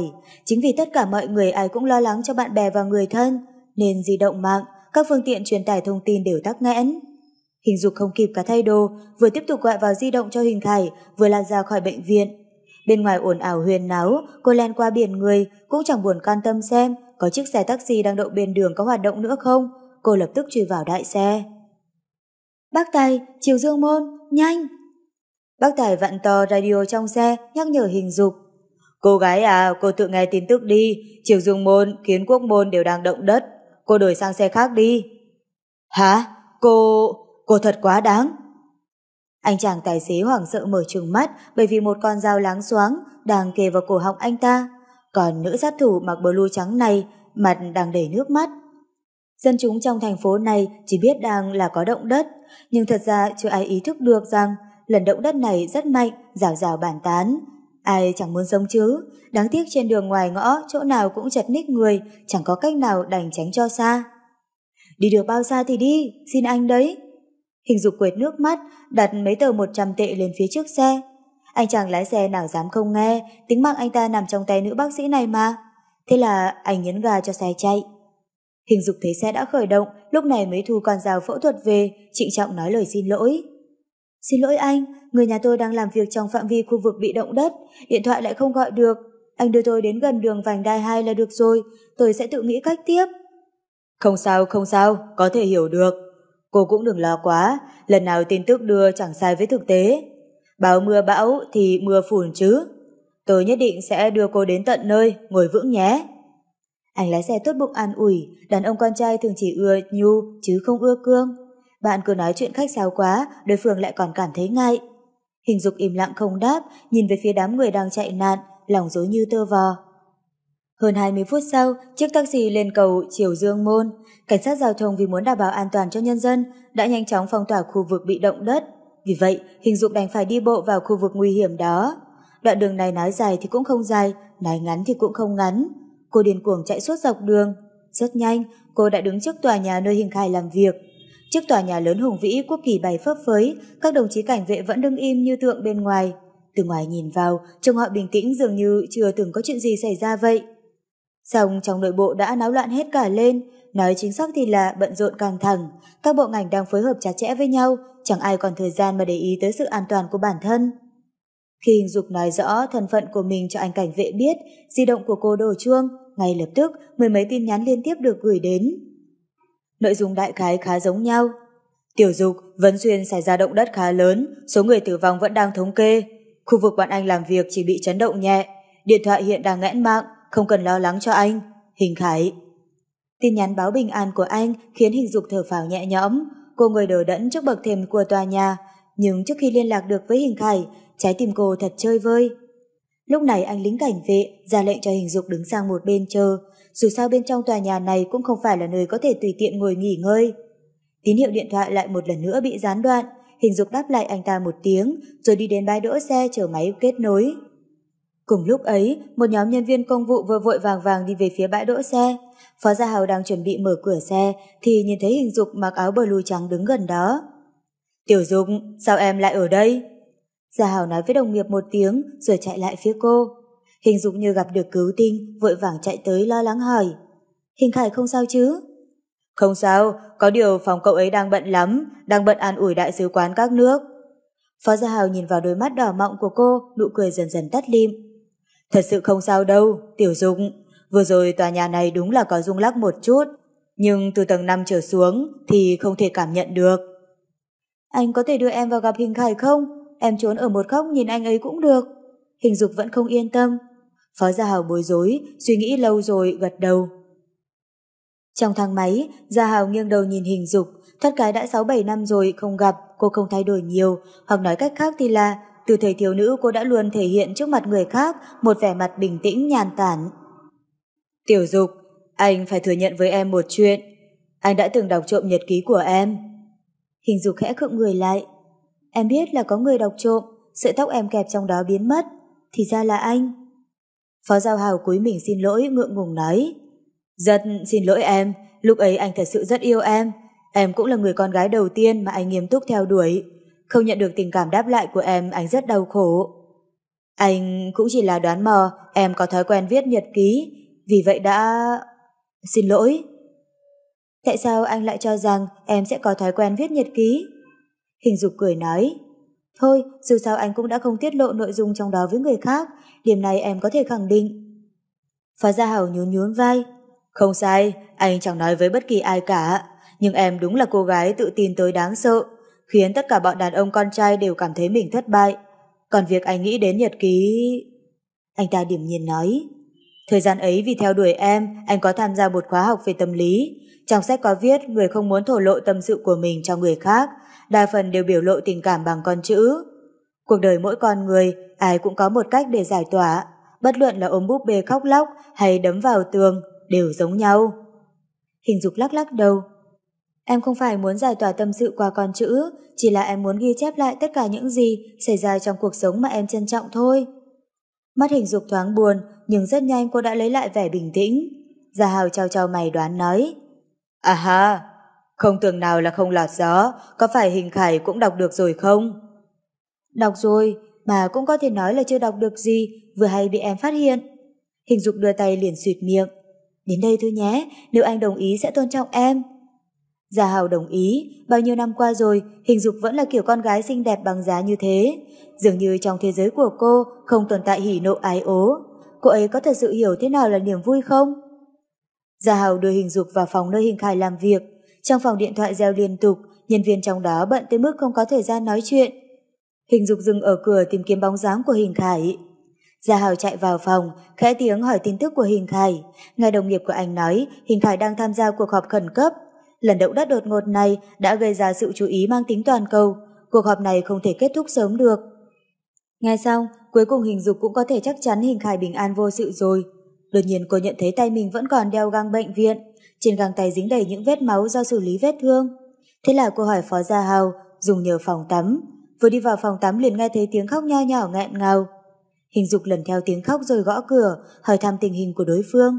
Không lâu sau, một nhân viên nữ mở cửa ra, bàn tay cầm di động của cô ấy toàn nước mắt, trông cô ấy thật bơ vơ, đột nhiên ôm chầm lấy hình dục bật khóc nức nở. Hình dục loạn choạng hai bước rồi đứng vững. Mặc dù không quen, nhưng cô gái xa lạ này đã chuyển sự bi thương vô tận của mình sang tim cô. Hình dục vừa vỗ vai cô gái, nữ nhân viên đó áp chiếc di động vào tay hình dục, trong ấy vang lên những động thái đang xảy ra của trận động đất. Rõ ràng là trận động đất vẫn đang diễn ra, số người tử vong vài trăm lên tới vài nghìn, và con số kinh hoàng ấy vẫn đang không ngừng tăng cao. Còn cô gái này lại đến từ Vấn Xuyên, cô ấy đã mất liên lạc hoàn toàn với người nhà, nên đang rơi vào trạng thái khủng hoảng tột độ. Cũng có thể mới một giây trước, cô ấy vẫn còn cười nói vui vẻ với người thân bạn bè, nhưng chỉ ngay một giây sau, cơn ác mộng đã ập xuống. Hình dục đứng ngẩn ra tại chỗ rất lâu, câu chuyện liên quan tới hạnh phúc, ai cũng có thể kể ra một phiên bản không giống nhau. Nhưng chờ đợi mà không biết đối phương còn sống hay đã chết, cảm giác lo lắng thấp thỏm bất an đó, cô lại cảm thấy đồng cảm. Mỗi buổi tối khi đi ngủ, mỗi buổi sáng khi tỉnh dậy, đều sợ rằng ngay giây sau sẽ đều là sự biệt ly. Cô hít một hơi thật sâu, ngay lập tức đưa ra quyết định, rồi cười nói với cô gái đó. Tôi sẽ tham gia đội tình nguyện, muộn nhất là một tuần sau đó sẽ tới Vấn Xuyên. Cô ghi họ tên và địa chỉ của người nhà cho tôi, Mặc dù khả năng tìm được không cao, nhưng tôi sẽ cố gắng tìm giúp cô. Đừng khóc, trước khi nhận được thông báo tử vong thì tất cả vẫn còn là ẩn số. Còn sống, đương nhiên là tốt. Nhưng nếu không may... Cô phải hiểu rõ một điều rằng khóc lóc chẳng giải quyết được vấn đề gì cả. Cô phải kiên định lên, lạc quan lên một chút được không? Cô gái đó nấc không thành tiếng, lúc này mới nhận ra hình dục đang mặc quần áo của bác sĩ. Cô ta gật gật đầu, nhanh chóng ghi lại tên tuổi và địa chỉ của người nhà đưa cho hình dục. Nhưng cô ta còn chưa kịp cúi người để cảm ơn cô, thì đột nhiên thấy phó cục trưởng hình đi vào phòng tắm nữ. Ai cho phép em tham gia đội tình nguyện viên? Em còn sợ anh chưa đủ mệt, muốn anh lo lắng tới chết đúng không? Ánh mắt hình khải tràn đầy phẫn nộ, anh hoàn toàn quên mất rằng đây là nơi đàn ông không thể vào. Khi anh nghe Phó Gia Hào nói hình dục vì lo lắng cho mình mà tới tận đây để tìm, có trời biết anh đã cảm động thế nào. Nhưng khi anh chạy tới trước cửa phòng tắm đứng đợi chuẩn bị tặng cô một cái ôm siết, thì bị ngay một cú sốc đập thẳng vào đầu như thế. Cô gái đó chưa từng nhìn thấy hình khải nổi giận bao giờ, ngượng ngùng hành lễ, sau đó lách qua người anh chạy mất. Hình dục cụp mắt không nói, hình khải cầm tay kéo cô đi vào văn phòng mình, rầm một tiếng đóng cửa lại. Trong văn phòng, hình khải tức giận tới mức đi tới đi lui, hét lên. Em biết tình hình lúc này là thế nào không? Trận động đất đó sức tàn phá mạnh nhất từ trước tới nay trong lịch sử Trung Quốc, vừa xảy ra một tiếng trước. Em mau ra đây! Hình Khải kéo cô tới trước màn hình máy vi tính, mở báo cáo cơ mật về trận động đất ra cho cô xem, ấn vào gáy cô khiến cô phải quỳ xuống tự mình nhìn xem. Trời đất sụp đổ, tất cả chỉ còn lại một đống đổ nát hoang tàn. Em nghĩ với khả năng trói gà không chặt của em, em sẽ sống sót mà ra khỏi đó sao? Hình dục sững sờ nhìn vào màn hình máy tính, nhà cửa đổ nát, thi thể vãi vương, những cơ thể máu me be bét đang hiện ra trước mắt cô. Cô chậm chậm nhấc tay lên, sờ vào màn hình, một cánh tay bị đè dưới tảng đá máu me bê bét vằn viện, nước mắt nhòe nhòe. Hình Khải, anh còn nhớ bố mẹ đẻ em đã chết thế nào không? Lúc ấy em cũng nghĩ, cũng tức giận. Trung Quốc nhiều người như thế, có bao nhiêu ban ngành có thể lựa chọn, tại sao lại chọn họ làm vật hy sinh? Nhưng bây giờ em đã hiểu rồi, luôn phải có một đôi tay dơ ra níu kéo. Nếu bây giờ em đứng đính cạnh đứa trẻ kia, có thể em đã nâng hòn đá lên và cứu nó ra rồi. Anh cũng nhìn thấy rồi đấy, đứa trẻ đó chết thảm quá. Em muốn cứu nó, chỉ hận là không thể chui vào màn hình mà tới thẳng đấy. Hình dục nước nở khóc, chậm chậm nằm bò ra bàn, khóc một cách rất thương tâm. Nghe xong, Hình Khải lại thấy hoảng sợ thật sự, bởi vì hình dục là mẫu người một khi đã quyết thì sẽ làm bằng được. Nhưng sao anh có thể để người con gái mình yêu dẫn thần vào nơi nguy hiểm? Sao anh có thể cho phép cô rời bỏ mình? Thế là anh kéo vai hình dục thẳng dậy, ôm chặt cô vào lòng. Nhưng anh còn chưa kịp nói, thì cảm giác bất lực đã lan tỏa khắp toàn thân. Tiểu dục, anh xin em, xin em đấy, chúng ta đừng có đi được không? Sau này chuyện gì anh cũng nghe theo em hết được không? Anh xin em đấy Tiểu Dục. Tiểu Dục vòng tay ôm lấy eo hình khải, anh run rẩy gần như không thể khống chế được. Cho dù cách một lớp áo, hình dục vẫn cảm nhận được cơ thể lạnh toát của anh. Em sẽ không có chuyện gì đâu, em sẽ bảo vệ mình. Anh yên tâm đi nhé. Hình Khải chăm chú nhìn đôi mắt bình thản của cô, trong lúc cấp bách, gần xanh nổi hết cả lên. Anh thật sự bị cô bước tới mức muốn phát điên rồi. Anh đang trong trạng thái kinh hãi tột cùng, còn cô lại điểm đạm nhẹ nhàng như không. Không được, không được, tuyệt đối không được. Em bảo anh làm sao mà yên tâm chứ, cuộc đời này chỉ sống có một lần, em lấy gì ra để đảm bảo với anh? Anh đừng giận vội, em đang bàn bạc với anh mà. Hình dục vuốt vuốt ngực anh, vừa lau nước mắt, cô lại rút ra mấy tờ giấy ăn trên bàn, lau mồ hôi trên trán cho hình khải, dịu dàng nói. Mặc dù em cho rằng khả năng nguy hiểm không cao, nhưng cũng không muốn khiến anh lo lắng. Thôi, em không đi nữa. Hình Khải không kịp phản ứng hoặc nói cách khác thì anh không tin trong một thời gian ngắn như thế Hình Dục sẽ thay đổi quyết định của mình. Anh giơ ngón tay chỉ về phía cô cảnh cáo nói Em đừng có lừa anh đấy, đừng tưởng bây giờ anh không thể về nhà tìm cơ hội trốn đi. Trước khi anh có thể về nhà, cấm em không được đi làm. Anh sẽ điều mấy cảnh vệ tới nhà giám sát em 24 trên 24. Hình Dục cười dịu dàng, gật đầu phục tùng. Hình Khải còn chưa yên tâm, kéo cô ngồi lên đùi mình, vòng tay ôm lấy cô nói. Anh nhất định sẽ đến Vấn Xuyên một chuyến, nếu em muốn đi, đợi anh có thời gian đi cùng em được không? Hình Khải, anh nói thật đi, khi anh nhìn thấy cảnh tượng ấy anh có buồn không? Hình dục chỉ vào màn hình máy tính. Em nói lằng nhằng gì thế? Em nghĩ anh không muốn đi cứu người bị nạn sao? Nhưng anh có trách nhiệm của mình, cho dù trong lòng có buồn bã cũng không được thể hiện ra mặt. Hình Khải dài dày huyệt thái dương, khi tai họa ập đến, tâm trạng ai cũng rất nặng nề. Hình dục vuốt vuốt mái tóc ngắn của anh, người khác nghĩ thế nào cô không biết, Nhưng cô biết Hình Khải muốn đi cứu người bởi vì trong người anh cũng chảy một dòng máu đầy tinh thần hiệp nghĩa như thế, một tinh thần xả thân vì người khác. Hình Khải vùi đầu vào người cô, bất lực nói. Tiểu Dục, hãy hứa với anh là đừng đi nhé. Hãy nói với anh em sẽ không bỏ anh lại. Hình Dục dùng tay ôm lấy cổ anh, dùng chán cọ cọ vào đầu anh. Anh càng ngày càng nhát gan rồi đấy. Khi còn nhỏ anh đâu có thế. Đúng vậy, anh già rồi. Già tới mức không còn sức lực để chịu đựng sự dài vò của lo lắng nữa. Nếu em định cho anh sống thêm vài năm nữa thì đừng khiêu khích anh. Hình Khải mệt mỏi thở dài, sớm biết yêu khổ thế này thì thả chết ngay vào đợt SAAS năm đó cho xong. Hình dục cầm tay anh lên nắm chặt trong lòng bàn tay mình xoa xoa, cô mong tay anh sẽ nhanh chóng ấm lên. Hình dục viết trong nhật ký 9 giờ tối ngày 12 tháng 5 Nói thực, trước khi quyết định học y tôi chỉ muốn mình có thể chăm sóc Hình Khải được tốt hơn. Nhưng sau khi tôi nhìn thấy những hình ảnh liên quan tới trận động đất kinh khủng đó, không chỉ ảnh hưởng của nó khiến tôi đau lòng, bây giờ tôi mới vỡ ra rằng thì ra dòng máu trong người tôi có cả tâm nguyện của bố mẹ. Tôi là một nhân viên y tế được huấn luyện bài bản chuyên nghiệp, trách nhiệm nặng nề. Dạ vậy, xin lỗi anh Hình Khải. Trên đường về nhà, em đã quay lại bệnh viện xin tham gia vào đội cứu hộ. Nhưng sau khi em tới đó, việc đầu tiên em làm sẽ là liên lạc với anh. Chỉ cần di động có tín hiệu, em sẽ liên tục gọi điện thoại báo bình an với anh. Đừng lo lắng, em sẽ tự biết bảo vệ mình. Nhưng lần này không biết là sẽ đi bao lâu, vì vậy em sẽ mang theo hai thứ quan trọng nhất trong cuộc đời mình, đôi giày trắng và cuốn sổ nhật ký.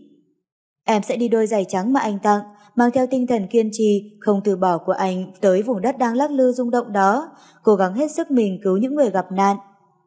Hình Khải, Em muốn nói với anh rằng chỉ cần em hít một hơi thở là em cảm thấy sự tồn tại của anh. Cho dù phải nhảy vào nước sôi lửa bỏng, em cũng không run sợ. Em thề, đây là lần cuối cùng em rời xa anh, đợi em trở về, nhé. Tiểu Dục, anh đến đón em về. Từ sau ngày 12 tháng 5, dư chấn xảy ra liên tục, bầu không khí nặng nề tăng thương đẻ nặng khắp bầu trời Trung Quốc. Nhưng điều đáng để chúc mừng là trong lúc sinh tử quan trọng này, người dân Trung Quốc lại hết sức đoàn kết, một người gặp nạn ngàn người chi viện, đồng tâm hiệp lực để chống lại thiên tai. Từ khi trận động đất xảy ra cho tới nay đã hai tháng trôi qua, ngoài khu vực bị ảnh hưởng nặng nề ra, cuộc sống ở những khu vực khác dần dần ổn định lại. Nhưng trái tim Hình Khải vẫn luôn trong trạng thái thấp thỏm. Mặc dù anh không ở trong khu vực địa chấn, mặc dù anh vẫn đang ngồi ở một tòa nhà văn phòng sáng rực rộng rãi, nhưng mỗi ngày anh đều bị dày vò như đang sống trong địa ngục. Sự sụp đổ từng giây từng phút đó gần như rút hết mọi suy nghĩ trong đầu anh. Anh gọi vào di động của hình dục hết lần này tới lần khác, từng giây từng phút kiểm tra danh sách người gặp nạn được cập nhật bằng hình ảnh, là sợ thi thể người con gái anh yêu thương nhất đời sẽ nằm trong đống đổ nát kia. Nỗi lo lắng lan tỏa khắp người, anh cảm thấy mình sắp phát điên rồi. Đúng lúc này di động đổ chuông, Hình Khải vui mừng bắt máy, người gọi đến là bố. Bố, còn mà kệ bố định làm gì, còn muốn đến khu vực bị địa chấn. Tiểu Khải, đừng vì tình cảm nữ nhi thường tình mà quên đi trách nhiệm của mình. Giờ quốc gia đang cần con. Con mặc kệ ai cần con, con chỉ biết con không thể mất cô ấy. Bố hãy xin bộ trưởng cho con đi, con phải đi tìm hình dục. Hình Khải tức giận đấm mạnh xuống bàn. Anh đã rất nhiều lần xin đi tới vùng bị nạn, nhưng cấp trên không chịu phê chuẩn. Hình Phùng Quốc thở dài bình tĩnh nói. Tiểu Khải, con nghĩ bố không lo sao?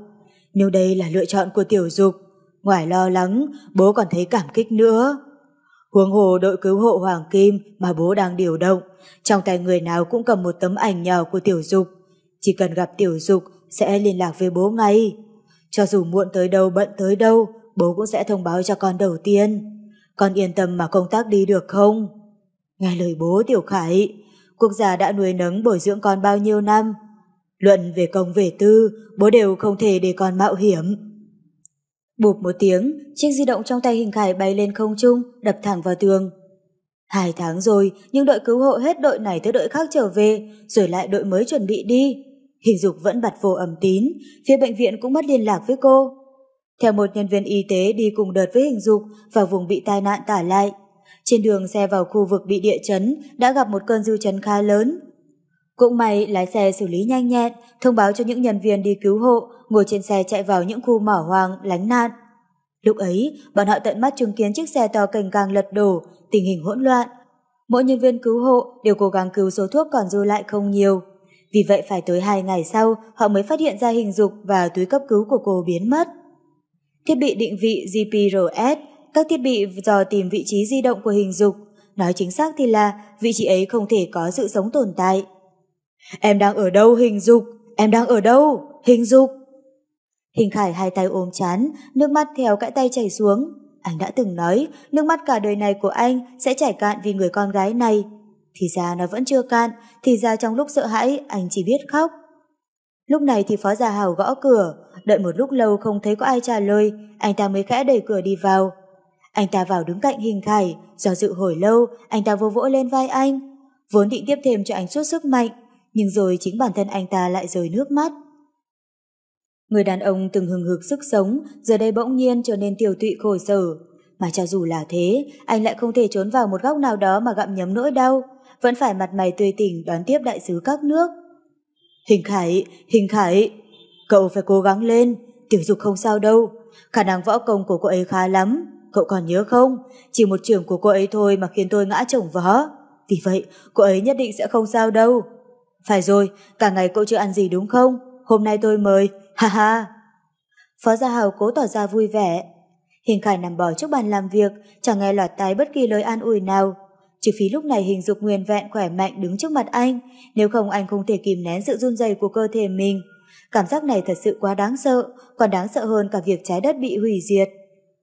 Gia Hào thầm thở dài, vuốt vuốt lưng anh, nhận ra cơ thể anh đang run lên bần bật. Một người luôn điểm tĩnh đối mặt với mọi thách thức như hình khải, thì ra người đàn ông kiên định vững vàng này cũng có lúc suy sụp tới cùng cực. Đột nhiên hình khải đứng bật dậy, vòng tay ôm chặt lấy phó gia hào. Anh cần phải chứng minh rằng mình vẫn còn sống. Anh cần nhiều hơn, nhiều hơn nữa những lời an ủi, mặc dù những lời chúc phúc đó đều thật vô nghĩa. Gia hào lặng trọng mấy cái rồi mới đứng vững. Hình khải ghét nhất đàn ông con trai với nhau mà cứ ôm ôm ấp ấp. Còn càng không bao giờ để lộ sự buồn đau ra ngoài mặt nhưng giờ anh đã hoàn toàn vô vọng. Gia Hào ôm chặt anh, nói chắc chắn. Cậu yêu cô ấy, chính vì cô ấy có những tố chất không giống những người khác, đúng không? Hãy cho bản thân và cả cô ấy, nữa thêm chút thời gian chờ đợi. Mình nghĩ, vì cậu, cô ấy cũng sẽ không để để bản thân xảy ra chuyện gì đâu. Mình sợ, mình rất sợ cứ thế này mà mất đi cô ấy. Mình thật hối hận vì đã tin cô ấy, nói rằng em sẽ không đi. Cô ấy biết rõ rằng mình sẽ lo lắng tới chết mà vẫn đi. Cậu cho rằng cô ấy sẽ vì mình mà bảo vệ bản thân ư? Không đâu, cô ấy chỉ muốn dùng cách mà cô ấy cho là xứng đáng để hy sinh bản thân mình, trở thành tờ giấy chứng nhận liệt sĩ thứ ba của nhà họ An. Người con gái ích kỷ đó đáng ghét vô cùng. Cuối cùng thì Khải cũng đã hiểu anh không phải là thứ quan trọng nhất trong đời cô. Cô thích mạo hiểm hơn anh, hoặc có thể trước khi bước chân vào nhà họ Hình, cô đã đợi để đi theo bố mẹ mình vì vậy cô mới chấp nhận chuyện tình cảm của họ. Thôi được, cho dù là không phải, anh hoàn toàn có thể chấp nhận chuyện của cô không yêu anh. Nhưng bây giờ tại sao còn khiến anh phải sống những ngày lo âu thấp thỏm? Cậu ưu tú như thế, hình dục có phải kẻ ngốc đâu. Sao cô ấy nữa rời xa cậu chứ? Đừng nghĩ ngợi linh tinh. Giả Hào không biết phải nói thế nào, thật ra cũng chẳng cần nói nhiều. Hình Khải giờ chỉ cần một người chịu lắng nghe anh mà thôi. Hình Khải cười tự chào. Giờ anh chỉ còn cách nói liên tục mới không khiến đầu óc mình suy nghĩ linh tinh. Khi cậu quen mình thì đã trở thành một kẻ tương đối chấp nhận được, nhưng mình của ngày xưa là một đứa trẻ hư, đi đâu cũng gây chuyện thị phi. Cậy bố là cán bộ cao cấp mà gặp ai cũng bắt nạt, bỏ học, chơi gái, đánh nhau. Tóm lại, hình dục đã nhìn thấy con người xấu xa nhất của mình, nhưng cô ấy chưa từng nói một câu nào. Ngày đó mình thường xuyên mắng mỏ cô ấy, nói những lời rất khó nghe, Động tí là đòi đuổi cô ấy ra khỏi nhà họ hình, nhưng cô ấy chẳng nói gì cả, vẫn giúp mình giặt quần áo nấu cơm. Giống như một A hoan để mặc mình giải vỏ chút giận. Lâu dần mắng mãi cũng mệt, từ từ mình chấp nhận sự tồn tại của cô ấy, thích những món ăn cô ấy làm. Vì một bữa cơm, mình có thể vứt lại đám bạn hung hăng tàn học mà về thẳng nhà. Cô ấy sẽ ngồi ở trên ghế sofa chờ đợi mình, dù nhăn nhó hay tỏ ra mệt mỏi. Cô ấy cũng luôn tươi cười chạy đến, đưa cho mình một đôi dép lê, còn nói một câu là Em nấu cho anh món mà anh thích ăn, mau vào rửa tay đi. Cảm giác ấy thật ấm áp. Vì vậy, vì cô ấy, mình nguyện trở thành người mà cô ấy muốn. Còn cô ấy lại chưa bao giờ thừa nhận, chính cô ấy đã đưa mình về con đường đúng đắn. Nghĩ đến hình dục, hình khải lại bắt đầu lo lắng. Anh siết chặt vòng tay, vùi mặt, giấu đi bộ dạng đáng thương để Phó Gia Hào không thể nhìn thấy. Bộ dạng kém cỏi nhất của anh đã bị hình dục nhìn thấy hết. Anh chỉ có thể để lộ nhược điểm của mình tới trước mặt cô mà thôi. Cũng chỉ người con gái ấy mới biết tính cách ngoan cố ngang ngược của anh thật khó coi tới mức nào. Gia Hào cảm thấy vạt áo mình bị thấm ướt, anh buồn bã thở dài, không ai có thể cứu vớt trái tim đang tan nát của Hình Khải, bởi vì anh biết Hình Khải yêu Hình Dục biết bao. 13 năm rồi, anh dùng thời gian 13 năm để có thể yêu một người con gái. Không gì có thể thay thế được, không gì có thể lay chuyển được. Lúc này, điện thoại đổ chuông, thư ký của Bộ trưởng mời Hình Khải sang gặp ông. Hình Khải nhanh chóng chỉnh đốn lại hình thức, sau đó ra khỏi văn phòng. Phó Gia Hảo ngồi xuống trước bàn làm việc của Hình Khải, trên bàn đặt một bức ảnh của Hình Dục. Trong ảnh, Hình Dục nhón chân đứng giữa vườn hoa, cười rạng rỡ. Gia Hảo bất giác nhếch miệng lên, rút một tờ giấy ăn, nhẹ nhàng lau mặt kính của khung ảnh. Trong lòng dấy lên một cảm giác chua xót. Rõ ràng nước mắt của Hình Khải đã làm ướt cả khung ảnh. Hết lần này tới lần khác, anh dùng nước mắt để tưới lên khuôn mặt thanh tú và u buồn khiến người khác rung động này. Hình dục, em có thể phớt lờ cả thế giới nhưng không thể phụ bạc Hình Khải. Cậu ta yêu em như sinh mạng của mình. Nửa tiếng sau, Hình Khải vui sướng đẩy cửa bước vào, nụ cười tươi tắn trên môi. Bộ trưởng điều anh đi vào vùng địa chấn để thăm hỏi đại sứ các nước. Mặc dù thời gian chỉ có một tuần, nhưng anh đã mãn nguyện lắm rồi. Đương nhiên, Hình Khải hoàn toàn không biết rằng Hình Phú Quốc đã đích thân xin với Bộ trưởng nhất định cho phép con trai ông đi vào vùng nguy hiểm. Đưa ra quyết định khó khăn này là người cha cần phải có dũng khí hơn người. Ngay chiều ngày hôm ấy, Hình Khải lên trực thăng chuyên dụng bay tới nơi giáp danh với huyện tự trị dân tộc, Khương Bắc Xuyên. Trong tình hình dư chấn có thể lên tới cấp 6, cấp 7, anh lại chỉ ước mình có thể mọc cánh bay tới nơi mà hình dục gặp nạn. Trong tay Hình Khải cầm một tấm ảnh của hình dục, nhìn rồi lại nhìn, sờ rồi lại sờ. Trên khuôn mặt tiểu tụy của anh cuối cùng cũng có thể nở một nụ cười. Anh đến đây hình dục, đến đón em về nhà. Cùng lúc này, hình dục và 6 người bị nạn khác đang bị giam ở trong một hang núi sụp. Trong đó có 5 người lớn và một em bé. Người bị thương nằm ngổn ngang trên nền đất dì, không khí trong hang rất loãng, nhưng cũng may còn có nguồn nước. Dòng nước róc rách chảy vào khe đá, vì vậy cho đến hiện tại chưa có ai tử vong. Hình dục vừa bận rộn làm sạch vết thương, cho những người bị thương, vừa chỉ huy những nông dân khác đào đất mở đường. Khoảng 3 ngày trước, họ còn có thể nghe thấy tiếng trực thăng, nhưng bây giờ thì tất cả đã chìm vào trong sự im lặng chết chóc. Theo hình dục phân tích, vị trí mà họ đang ở rất hẻo lánh, xung quanh đất đá phủ lên, từ trên cao nhìn xuống, có lẽ chỉ nhìn thấy một đống đất đá lộn xộn, bị vùi lấp mà thôi. Xem ra những người cứu hộ đã không tin khu vực này còn có người có thể sống sót. Bác sĩ Hình, sao vẫn chưa có ai tới cứu chúng ta? Những người gặp nạn mặt nhăn mày nhó hỏi. Đừng lo, có thể chúng ta cứ đào ra ngoài rồi sẽ gặp được đội cứu hộ đấy, cố lên. Qua ánh sáng yếu ớt, hình dục nhìn những người bị nạn đang mất dần niềm tin cười. Cô tin rằng lòng ham sống có thể tạo ra kỳ tích và sức mạnh vô hạn. Quay ngược trở lại hai tháng trước, chính vào cái ngày xe chở đội cứu hộ bị lật, cô thấp thoáng nghe thấy tiếng trẻ con khóc lóc vọng lại từ trong núi. Vì vậy trong lúc khẩn cấp, cô cầm theo túi thuốc của mình chạy vào trong núi. Ai ngờ cô vừa đặt chân lên núi thì lại một trận rung lắc dữ dội nữa xảy ra. Khi ấy cả quả núi lắc lư, chặn đứng đường về của cô. Nhưng cô chẳng nghĩ ngợi nhiều bởi vì tiếng khóc xé tan xé phổi kia đang vang vẳng ngay bên tai. Cô tiến lên phía trước để tìm kiếm và vô tình phát hiện ra một ngôi làng nhỏ đến cái tên cũng không có ngay dưới chân núi. Dân số chưa đến ba mươi mấy người, bình thường sống nhờ nghề săn bắn. Trận động đất xảy ra đột ngột, mấy người đàn ông trong làng đều bị mắc kẹt trong núi. Hình dục cùng với những người già và phụ nữ trong làng hợp lực đốt lên một đống lửa, hy vọng sẽ gây được sự chú ý với đội cứu hộ. Cô vác rảnh lên đào, tự mình tìm những người gặp nạn. Xong, cô không ngờ rằng dư chấn liên miên không ngớt. Trên đường đi cô gặp không ít người bị thương. Trong tình hình chẳng có công cụ gì thay thế, cô đành phải cứu từng người từng người một. Cõng từng người quay lại ngôi làng nhỏ kia để cứu chữa. Trong lúc đi đi lại lại, cô đã dẫm lên con đường bị phong kín một nửa này hàng nghìn lần. Năm ngày trước, trong một lần đi cứu hộ, cô gặp phải động đất. Động đất lần này rất mạnh, khiến cô bị kẹt giữa đường. Ánh sáng yếu ớt xuyên qua những kẽ đá, đột nhiên dọi thẳng lên tấm thân đang bận rộn của hình dục. Hình dục sắn tay áo lên, lau bùn đất trên mặt. Trước mặt hiện ra cảnh hình khải đang hoảng loạn, cô không cầm được lòng để nước mắt rơi. Cô ơi, đừng khóc, chúng ta nhất định có thể thoát ra được, cô yên tâm, cháu là đàn ông, cháu sẽ bảo vệ cô. Một đôi tay nhỏ mũm mĩm sờ lên má hình dục, giúp cô lau đi vệt nước mắt trên đó. Hình dục nghiêng đầu cười, ôm đứa bé trai lên nựng nịu. Ừ, có con bảo vệ cô rồi, cô chẳng sợ gì hết. Người ta xem nhẹ tính mạng của mình bởi vì có người coi trọng sự tồn tại của bạn. Do đó, có thể cô sẽ thất hứa, không bảo vệ được bản thân. Người duy nhất cô thấy có lỗi là Hình Khải. Hình Khải, nhất định anh phải tha thứ cho em. Phó cục trưởng Hình, khu vực này đã được đào sới tìm kiếm nhiều lần, không còn ai sống sót đâu. Người nào có thể cứu đều đã cứu cả rồi. Đội trưởng đội cứu hộ có thể hiểu được tâm trạng lo lắng cho người thân của Hình Khải. Nhưng năm ngày trước họ đã thuận lợi cứu ra một đám thôn dân bị thương. Cho tới ngày hôm nay, thôn trang đó đã hoàn toàn biến mất, tàng thương phủ khắp nơi. Hình Khải mặc quần phục rằn ri, nhảy lên đỉnh một đống đổ nát quan sát xung quanh. Suốt dọc đường đi anh trầm mặc không nói, trong mắt vẫn lấp lánh niềm vui, bởi vì qua lời của một người được cứu, anh biết rằng nơi cuối cùng hình dục xuất hiện là ở gần đây.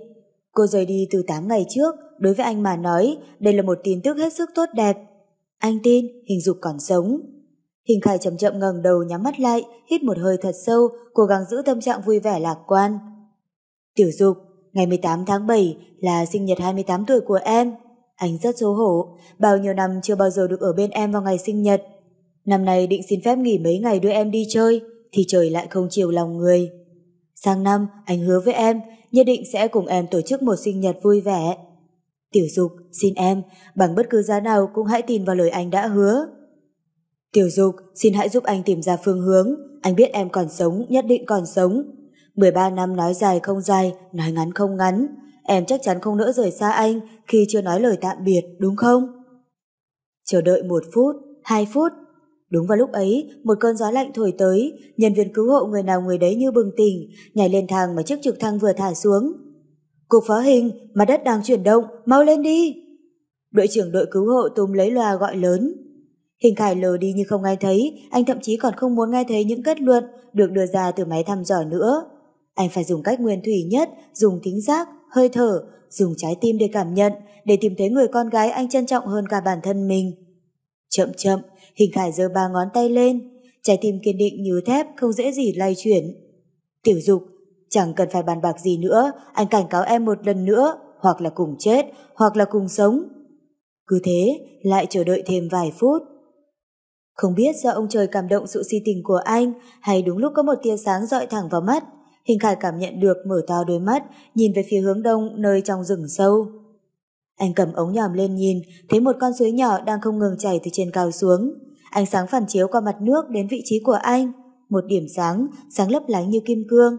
Rất dễ thấy rằng những nơi có nước mới có đủ điều kiện cơ bản để sự sống sinh tồn.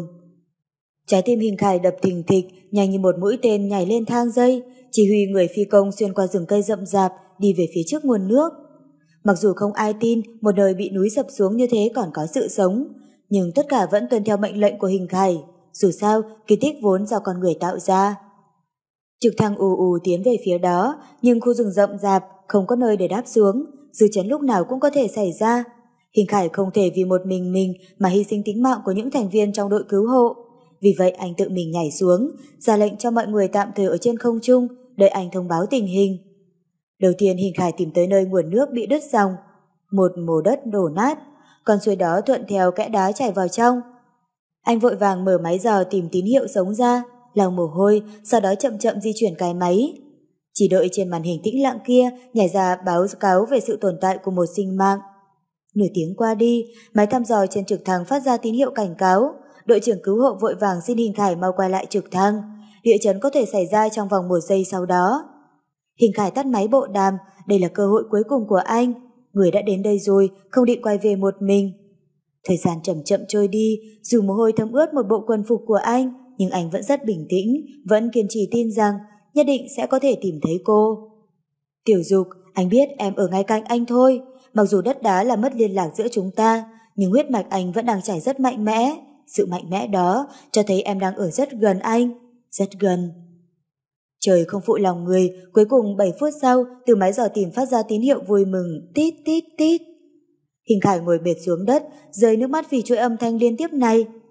Tất cả mọi người mau tới đây, tìm thấy rồi, tìm thấy rồi. Nhận được mệnh lệnh, trực thăng quay vòng vòng trên trời, khi tới độ cao cho phép, nhân viên cứu hộ nhảy xuống. Không có máy xúc máy khoan, họ phải dùng mìn để phá đá mở đường. Tiếng nổ vàng trời thách thức thính giác của một người gặp nạn đang mắc kẹt. Anh ta từ từ mở mắt sau khi bị hôn mê. Vốn đang có 7 người gặp nạn trong hang này, nhưng qua từng đợt dư chấn, giờ chỉ còn lại một người là chưa mất hoàn toàn chi giác. Mặc dù người bị nạn này không nhìn thấy gì, nhưng từ ngày hôm qua, trong hang động tối âm, giờ nằm bàn tay ra trước mặt cũng chẳng nhìn thấy gì, đã không còn ai nói với anh ta câu nào nữa, còn anh ta chỉ có thể nghe thấy hơi thở yếu ớt của chính mình. Đồng thời, chân trái của anh ta bị đá đè nên anh không thể nhúc nhích. Càng chẳng có hơi sức mà kêu cứu, trong bóng tối anh ta hoảng loạn lần sờ với ý đồ tìm được vật gì đó có thể tạo ra âm thanh. Nhưng chỉ có mấy tiếng giấy vụn rách nát, anh ta cố gắng lết về phía trước, thò một ngón tay thô gầy của mình ra ngoài khe sáng. Rất nhanh, đội cứu hộ phát hiện ra người bị kẹt đầu tiên. Tất cả mọi người đều nở nụ cười sung sướng. Nhưng bất hạnh là phải tiến hành phẫu thuật cắt chân cho người này gấp. Thế là được sự đồng ý của người bị nạn, đội cứu hộ bắt đầu chuẩn bị phẫu thuật. Hình Khải lại chú ý tới mẩu giấy nát mà người được cứu đang cầm trong lòng bàn tay đầy máu của anh ta. Anh vội vàng bóc tờ giấy ra, cố gắng nhìn những nét chữ trên đó và lờ mờ đọc được chữ Hình Khải. Nước mắt của anh lại một lần nữa trào ra. Hình dục ở trong đó, tôi chắc chắn cô ấy ở trong đó. Đưa sẻng cho tôi, đưa cho tôi tất cả mọi dụng cụ có thể đào được. Hình Khải đã không còn nói được theo thứ tự gì nữa, tâm trạng đó không thể diễn tả bằng lời. Mặc dù không thừa nhận bằng lời, nhưng trong lòng đã khẳng định chắc chắn. Bây giờ, hình dục của anh đang ở một nơi rất gần chờ anh tới cứu. Tìm lại được rồi, tìm lại được rồi. Nhưng khi một hòn đá được lật ra, khi nhân viên cứu hộ phát hiện ra hình dục, trong lòng cô đang ôm một cậu bé trai, cả tảng đá lớn đè lên lưng cô. Nếu họ không nhìn nhầm thì xương sống lưng của cô đã bị gãy dập biến dạng. Từng đám máu đen xì động lại xung quanh, đến đôi giày trắng đang đi ở chân cũng bị nhuộm đỏ. Bộ dạng đó của cô giống như là đã chết rồi, hoàn toàn không còn sự sống. Lúc này, ánh mắt của những đội viên cứu hộ đang chăm chú quan sát nét mặt của hình khải, còn hình khải thẫn thờ mở mắt nhìn chừng chừng vào cơ thể, gần như bị đẻ nát của hình dục. Anh rất muốn ôm lấy cô, nhưng hai chân anh không thể nhúc nhích nổi, thậm chí còn hoảng sợ giật lùi về phía sau, chỉ lắp bắp nói. Không, không. Rầm một tiếng, hình khải ngất xỉu. Ngay sau đó, ngón tay đứa bé cử động, rồi một tiếng khóc ré lên, xuyên thẳng lên tận trời cao. Ngón tay bị thương của hình dục nhét trong miệng đứa trẻ, máu tươi nhỏ ròng ròng. Đây chính là kỳ tích giúp duy trì sự sống cho nó. Không chỉ đứa trẻ, trong trận chiến với trời này, qua sự cố gắng không ngừng nghỉ của cô đã cứu sống được hơn 10 mạng người. Mặc dù không ai biết tên họ của cô, nhưng nụ cười không tỏa hiệp của cô mãi mãi khắc sâu trong lòng những người được cứu sống. Tối đó, khi hình thải tỉnh dậy, đã thấy mình đang nằm trên giường bệnh. Đột nhiên, anh giật phát ống truyền trên tay ra, loạn choạng chạy ra khỏi phòng bệnh. Nhưng anh vừa ra khỏi cửa, hai nhân viên cứu hộ đã đứng chặn đường anh. Cục phá hình, xin anh hết sức bình tĩnh. Các bác sĩ đang gắng hết sức để cứu hình dục. Cô ấy chưa chết. Phải, phải không? Còn sống, còn sống phải không? Hình Khải chưa bao giờ nghĩ mình còn dễ khóc hơn cả con gái thế này. Nước mắt anh túa ra như chiếc vải hoa sen, chảy mãi không dứt. Sắc mặt đội trưởng đội cứu hộ u buồn, nặng nề gật đầu, rồi lại báo cáo tình hình. Lần này đội cứu hộ tìm được tất cả 7 người, 6 người lớn và một trẻ con, trong đó 4 người đã chết, một người gãy chân, đứa bé bình an vô sự. Còn hình dục... Trước khi hôn mê có lẽ đã tự tiêm cho mình một loại thuốc cấp cứu nào đó, vì vậy may mắn vẫn còn chống đỡ được. Nhưng phần đầu của cô ấy bị thương rất nặng, toàn thân bị gãy bảy chiếc xương, đâm vào nội tạng khiến chảy máu trong. Tạm thời không thể biết tỷ lệ sống sót là bao nhiêu. Báo cáo xong, đội trưởng đội cứu hộ lại lấy ra một cuốn sổ ghi chép, vằn vện vết máu, vết đất, trên đó đưa cho Hình Khải nói. Quyển sổ này ở dưới tay hình dục, có một phần nội dung bị ai đó xé mất. Chúng tôi đã cố gắng tìm kiếm, giao cho anh giữ. Nghe xong, Hình Khải phải giơ tay lên tới ba lần mới cầm được quyển sổ. Đấy là quyển nhật ký của hình dục, tất cả mọi bí mật của cô đều được cất giấu trong đó. Nhưng không có cô ấy, anh chẳng còn hứng thú tò mò với bất kỳ chuyện gì.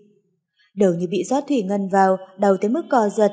Anh đã không còn dám nghĩ nữa, không dám đến gần phòng phẫu thuật, không dám nghe bất kỳ tin tức nào liên quan đến hình dục. Tất cả những âm thanh xung quanh đều khiến anh hoảng sợ. Anh quay về phòng bệnh khóa cửa lại, ngồi thu lưu ở góc tường, ngón tay bám chặt vào cuốn sổ nhật ký dính máu, gục đầu vào giữa hai đầu gối. Bóng tối cô đơn sao mà lạnh lẽo, còn anh dường như quay lại buổi tối nào đó của 13 năm trước. Những ngày tháng không có hình dục, không có cô, anh chỉ là một đứa trẻ mất phương hướng. Nhìn xem, đừng bỏ anh lại, đừng nhẫn tâm như thế, xin em đấy được không? Hình Phú Quốc mặc dù không thể tới hiện trường nhưng đã tìm được bác sĩ ngoại khoa giỏi nhất trong thành phố về phối hợp với bệnh viện để bàn bạc phương án chữa cho hình dục. Đích thần gọi điện thăm hỏi tình hình của cô. Khi từng tin tức không thấy khả quan lọt vào tai ông, đôi mắt khô khốc của ông lại trào dâng cảm xúc. Hình dục đã nằm trong phòng phẫu thuật 18 tiếng đồng hồ rồi. Bác sĩ các khoa đã lần lượt vào phòng phẫu thuật, nhưng vẫn chẳng có tin tức vui vẻ nào lọt tay. Hình dục nằm trên bàn phẫu thuật chịu đựng sự dày vò, còn hình khải cũng không ăn không uống ở lì trong phòng bệnh. Về mặt tâm hồn, anh cũng chịu sự dày vò như thế. Anh có cảm giác trong nháy mắt mình già đi 10 tuổi, chỉ hít thở một hơi thôi cũng mệt nhọc vô cùng. Trong bệnh viện, thường xuyên có những tiếng rên rết đau đớn, nhưng không ai la hét thất thanh đầy kinh hoàng cả. Khi ông trời cho bạn một hoàn cảnh sống khác nhau, chúng ta gần như chỉ có thể khuất phục, chỉ có thể cố gắng để thích ứng, chỉ có thể bình thản chờ đợi nó hết giận. Còn nữa, đợi cứu hộ ai tìm được trong đống đổ nát chiếc di động của hình dục. Trong thẻ nhớ máy di động chỉ lưu ba số điện thoại. Số thứ nhất là số máy hình khải dùng để làm việc. Số thứ hai là số máy văn bàn ở phòng của hình khải. Số thứ ba là số máy cá nhân của hình khải. Không muốn khóc lóc than vãn, không muốn tỏ ra yếu ớt như con gái, nhưng anh còn có thể làm gì? Cầu nguyện ư, đừng nói linh tinh nữa. tình khí ông trời rất khó chịu, nhân dân Trung Quốc, thậm chí nhân dân trên toàn thế giới cũng đã từng lĩnh giáo rồi. Hình Khải nắm chặt chiếc di động, ngồi bên cửa sổ, nhìn vầng trăng treo lơ lửng trên không trung. Lầm nhầm hát, lời bài hát anh muốn hát nhưng lại không nhớ rõ. Đều là tài họa do ánh trăng mang tới, ánh trăng thế này thật quá đẹp, quá dịu dàng. Trong giây phút ấy, nảy ra ước muốn được sống cùng em tới khi đầu bạc. Và giây phút ấy trở thành sự vĩnh hằng trong anh. Hình dục, dù lần này có ly biệt thật sự hay không, anh cũng phải khiến em hiểu rõ rằng anh yêu em, em là hạnh phúc duy nhất của hình khải này. Đợi khi nào chúng ta đều nghỉ hưu rồi, sẽ thực hiện kế hoạch dưỡng lão hoàn mỹ đó. Chúng ta sống ở bên bờ biển, anh kể chuyện cười cho em nghe, không buồn cười em cũng phải cười, giữ thể diện cho anh. Em nướng cá biển cho anh ăn, cá em nướng chắc chắn là rất ngon, vì vậy anh không cần phải tỏ ra phối hợp, cũng sẽ giơ ngón cái lên tán thưởng em. Em là người phụ nữ như thế, ngoài việc không chịu lấy anh ra, em là người phụ nữ không có tật xấu dù rất nhỏ. À, phải rồi, còn có một việc nữa quên không nói với em. Nếu em không chịu cùng anh thực hiện kế hoạch đó, thì anh cũng chẳng có hứng, đành cùng em đi đến nơi em muốn đến. Vỏ não của hình dục bị tổn thương nghiêm trọng, hiện giờ cô đang ở trong trạng thái hôn mê sâu, hoàn toàn mất ý thức, nhưng vẫn duy trì được sự vận động của hơi thở và nhịp tim. Không biết bao giờ hình dục mới tỉnh lại, có thể mãi mãi không bao giờ tỉnh lại. Xong đấy không phải là tin xấu nhất bởi vì hình dục còn chưa qua được thời kỳ nguy hiểm. Có thể qua được cửa ải này hay không hoàn toàn phụ thuộc vào cô. Hình Khải ngồi trước giường bệnh nhìn khuôn mặt nhỏ nhắn trắng bệch với chẳng chỉ các vết thương trên đó. Mái tóc dài không còn nữa, ống thở được cắm vào hai bên mũi, mu bàn tay cắm kim chuyên, hai chân và tay trái đang bó bột, các loại máy móc kêu tít tít liên tục bên cạnh. Có lẽ cô khó chịu lắm. Anh nhẹ nhàng áp tay mình vào tay hình dục, vẫn nóng, những thứ khác không nói nữa, còn sống là tốt rồi. Chẳng phải em không cho anh đọc nhật ký của em sao? Hình Khải dơ cao quyển nhật ký, tâm trạng bình tĩnh lại, cố làm ra vẻ đắc ý phá lên cười. Đến nằm mơ em cũng không nghĩ là cuốn sổ này lại tự động chạy vào tay anh phải không? Không muốn anh đọc thì tỉnh dậy mà cướp lại. Ha ha, có điều em vì chậm chạp nên anh cho em 10 phút suy nghĩ. Nghe thấy không hả? Bắt đầu đếm ngược.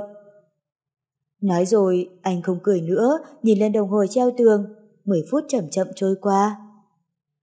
Hình Khải buồn bã thở dài, lật cuốn nhật ký rách nát tàn tạ không nguyên vẹn ra. Lúc này phải cảm thấy nên mừng vì sự cố chấp của cô. Lại có lúc tưởng tượng mình sẽ mù, nên viết nhật ký theo cách viết của người mù. Chữ rất to, những nội dung bị mất không nhiều. Quang Minh chính đại đọc lén nhật ký của em. Ồ, không phục thì dậy mà giành lấy. Hình Khải kịt kịt mũi, lật tới trang anh đang tò mò nhất mà chưa đọc hết. Ngày 15 tháng 10 năm 2006 Có thể nói hôm nay là một bước ngoặt trong cuộc đời tôi. Chính vào ngày này, trong lúc mưa bụi bay khắp trời, đã xác định con đường mà sau này tôi phải đi. Hình Khải vứt đôi giày trắng mà tôi yêu quý nhất. Tôi buồn tới muốn chết. Nhưng sau đó, chuyển thẳng tới ngày 20 tháng 11, Hình Khải đã làm một việc mà tôi không ngờ tới. Từ sau hôm anh ấy đội mưa, ngồi lật tìm đôi giày trắng ở bãi rác mà không có kết quả, chuyện này đã trôi qua hơn một tháng. Hôm nay anh ấy lại mua một đôi giày màu trắng giống hệt, đôi đã mất để an ủi tôi. Thậm chí còn có ý biện ra một câu chuyện chẳng logic chút nào để làm tôi vui lòng. Từ nhỏ tới giờ tôi chẳng nhận được bất kỳ sự quan tâm nào của ai, cho dù là từ bố mẹ.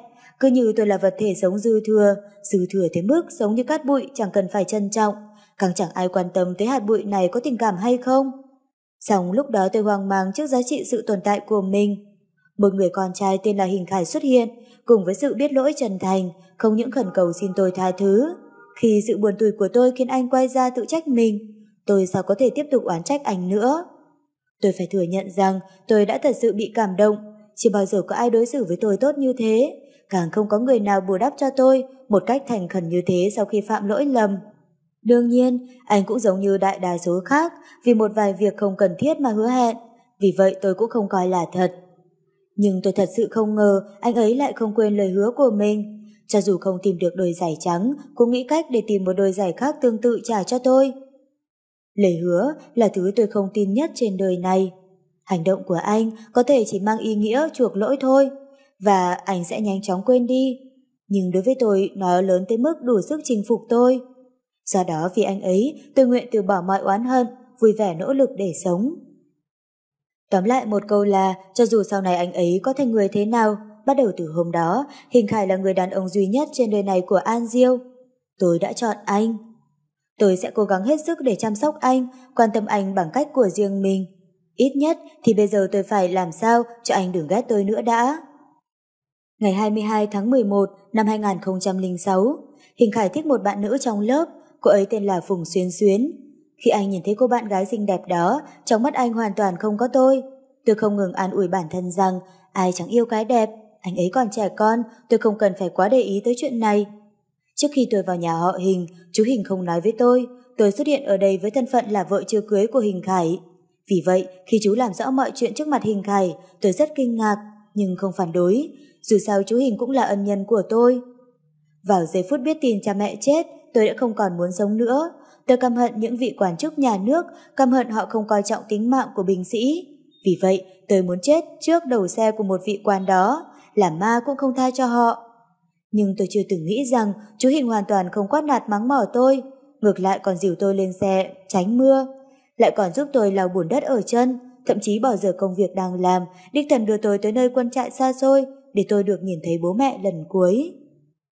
Tôi chỉ là một đứa trẻ quê mùa, ốm không ai lo, chết không ai thương. Ông hoàn toàn có thể mặc kệ tôi, nhưng ông không làm thế. Chú Hình muốn tôi theo chú về nhà, sống cùng đứa con trai mà chú thương yêu nhất đời. Tôi đã đồng ý. Ngày 29 tháng 11 năm 2006, Hình Khải hẹn Phùng Xuyên Xuyến, anh Dương Minh và tôi cùng đi xem phim. Tôi mãi mãi không quên được ngày hôm đó. Trong dạp chiếu phim tối mò, Hình Khải đã cầm tay tôi. Mặc dù ngồi ngay bên cạnh anh ấy là người bạn gái hiện tại, nhưng tim tôi đập rất mạnh, suýt nữa thì bị anh nhìn thấu. Thật ra tôi muốn dùng hành động thực tế để nói với anh rằng tôi đang cố gắng, cố gắng tạo ra cho anh một chỗ dựa. Khi anh mệt mỏi, có một người con gái. Chỉ cần người con gái ấy còn sống thì sẽ nguyện vì anh gọi mà tới, vì anh đuổi mà đi. Ngày 24 tháng 12 năm 2006 Hình Khải đưa ra đề nghị chia tay với xuyên Xuyến, yêu nhau tới một tháng. Phùng xuyên Xuyến lại tỏ ra rất buồn. Hình Khải thản nhiên. Nhưng trước đó thì sao? Hình Khải đã thích thú yêu quý xuyên Xuyến biết bao, chỉ ước một ngày cả 24 tiếng được ở bên cạnh cô ấy. Đúng như tôi nghĩ, trong điều kiện thông thường, tình yêu không thể chiến thắng được thử thách. Có mới nới cũ là bản tính của đàn ông, Hình Khải lại chẳng phải người khác thường, bởi vì anh ấy đã quá cô đơn rồi. Tôi nghĩ cả đời này anh ấy có lẽ cũng không thể sống ổn định. Mặc dù luôn miệng nói tôi không cần tình yêu, nhưng khi tôi nhìn thấy anh ấy đi giữ vườn hoa đầy màu sắc, lòng vẫn rất khó chịu, thậm chí còn oán giận. Ngày 25 tháng 1 năm 2007, Hình Khải có kết quả thi cuối kỳ, điểm số trung bình là 84,5. Lòng tự trọng của Hình Khải bị tổn thương, tôi không biết làm thế nào để khiến anh ấy nghĩ thoáng hơn, vì vậy mới cởi hết quần áo để thay đổi tâm trạng cho anh. Điều này rất hiệu quả, nhưng khi anh nằm đè lên người tôi, đột nhiên tôi lại thấy hơi sợ, bởi vì tôi vẫn chưa biết làm thế nào để tránh thai. Vì vậy tạm thời tôi từ chối anh.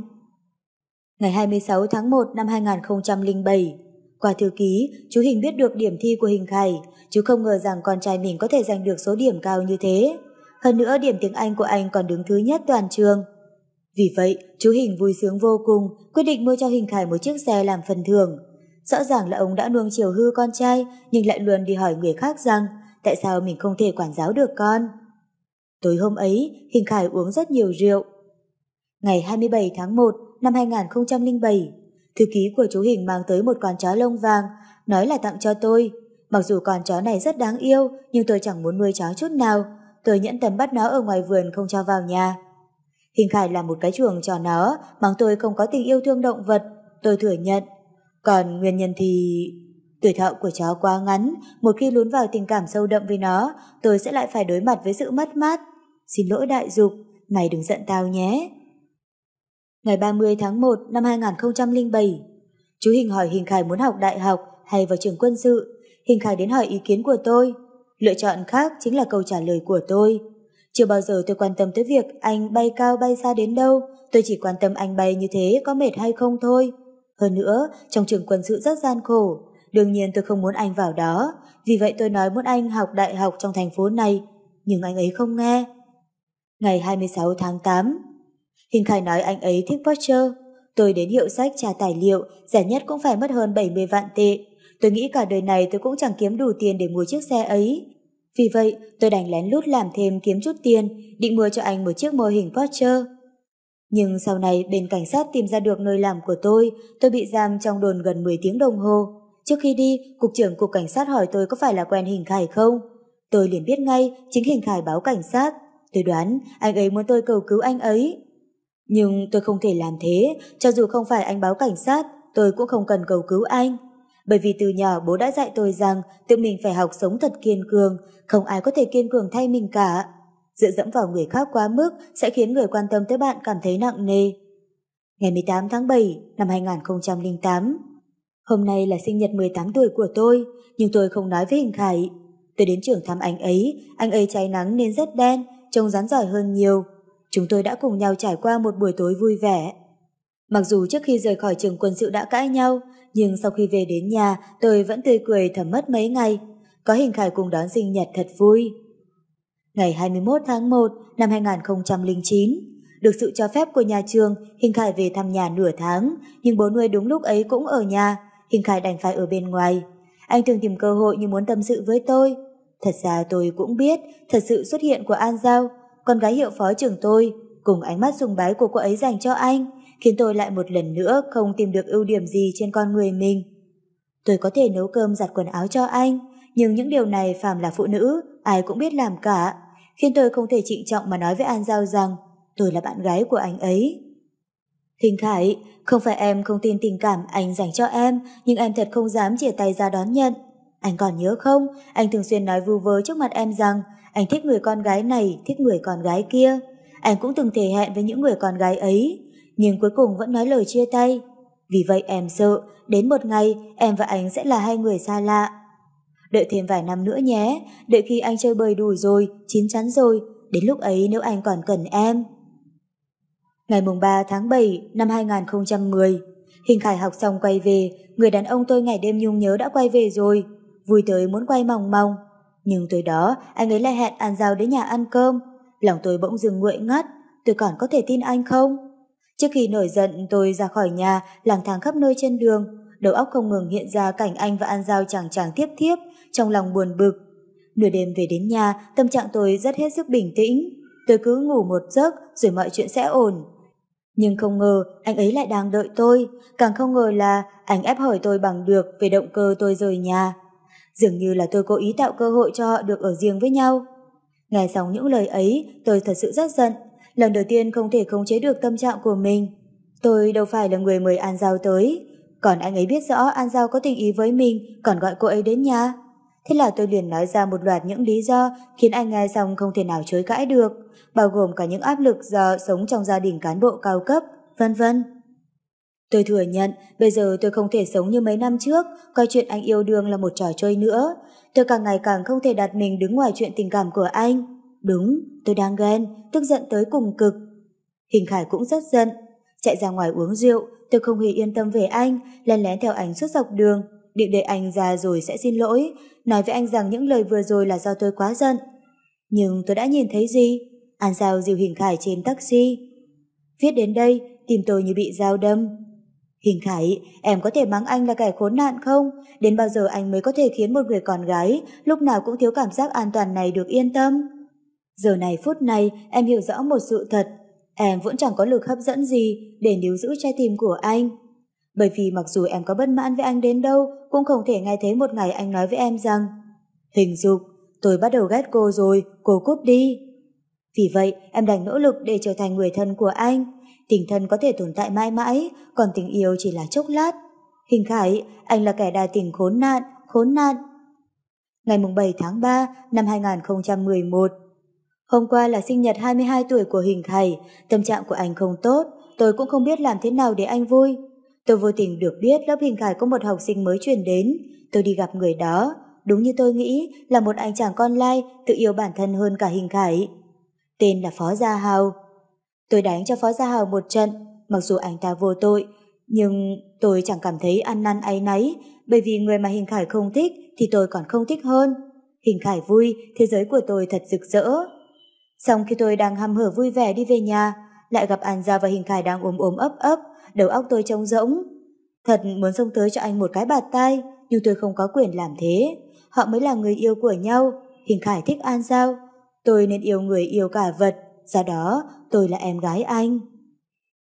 Ngày 18 tháng 7 năm 2011, Hình Khải đột nhiên quyết định sẽ lấy An Giao, tôi cũng lý chúc mừng anh, anh lại không khống chế được nổi trận lôi đình.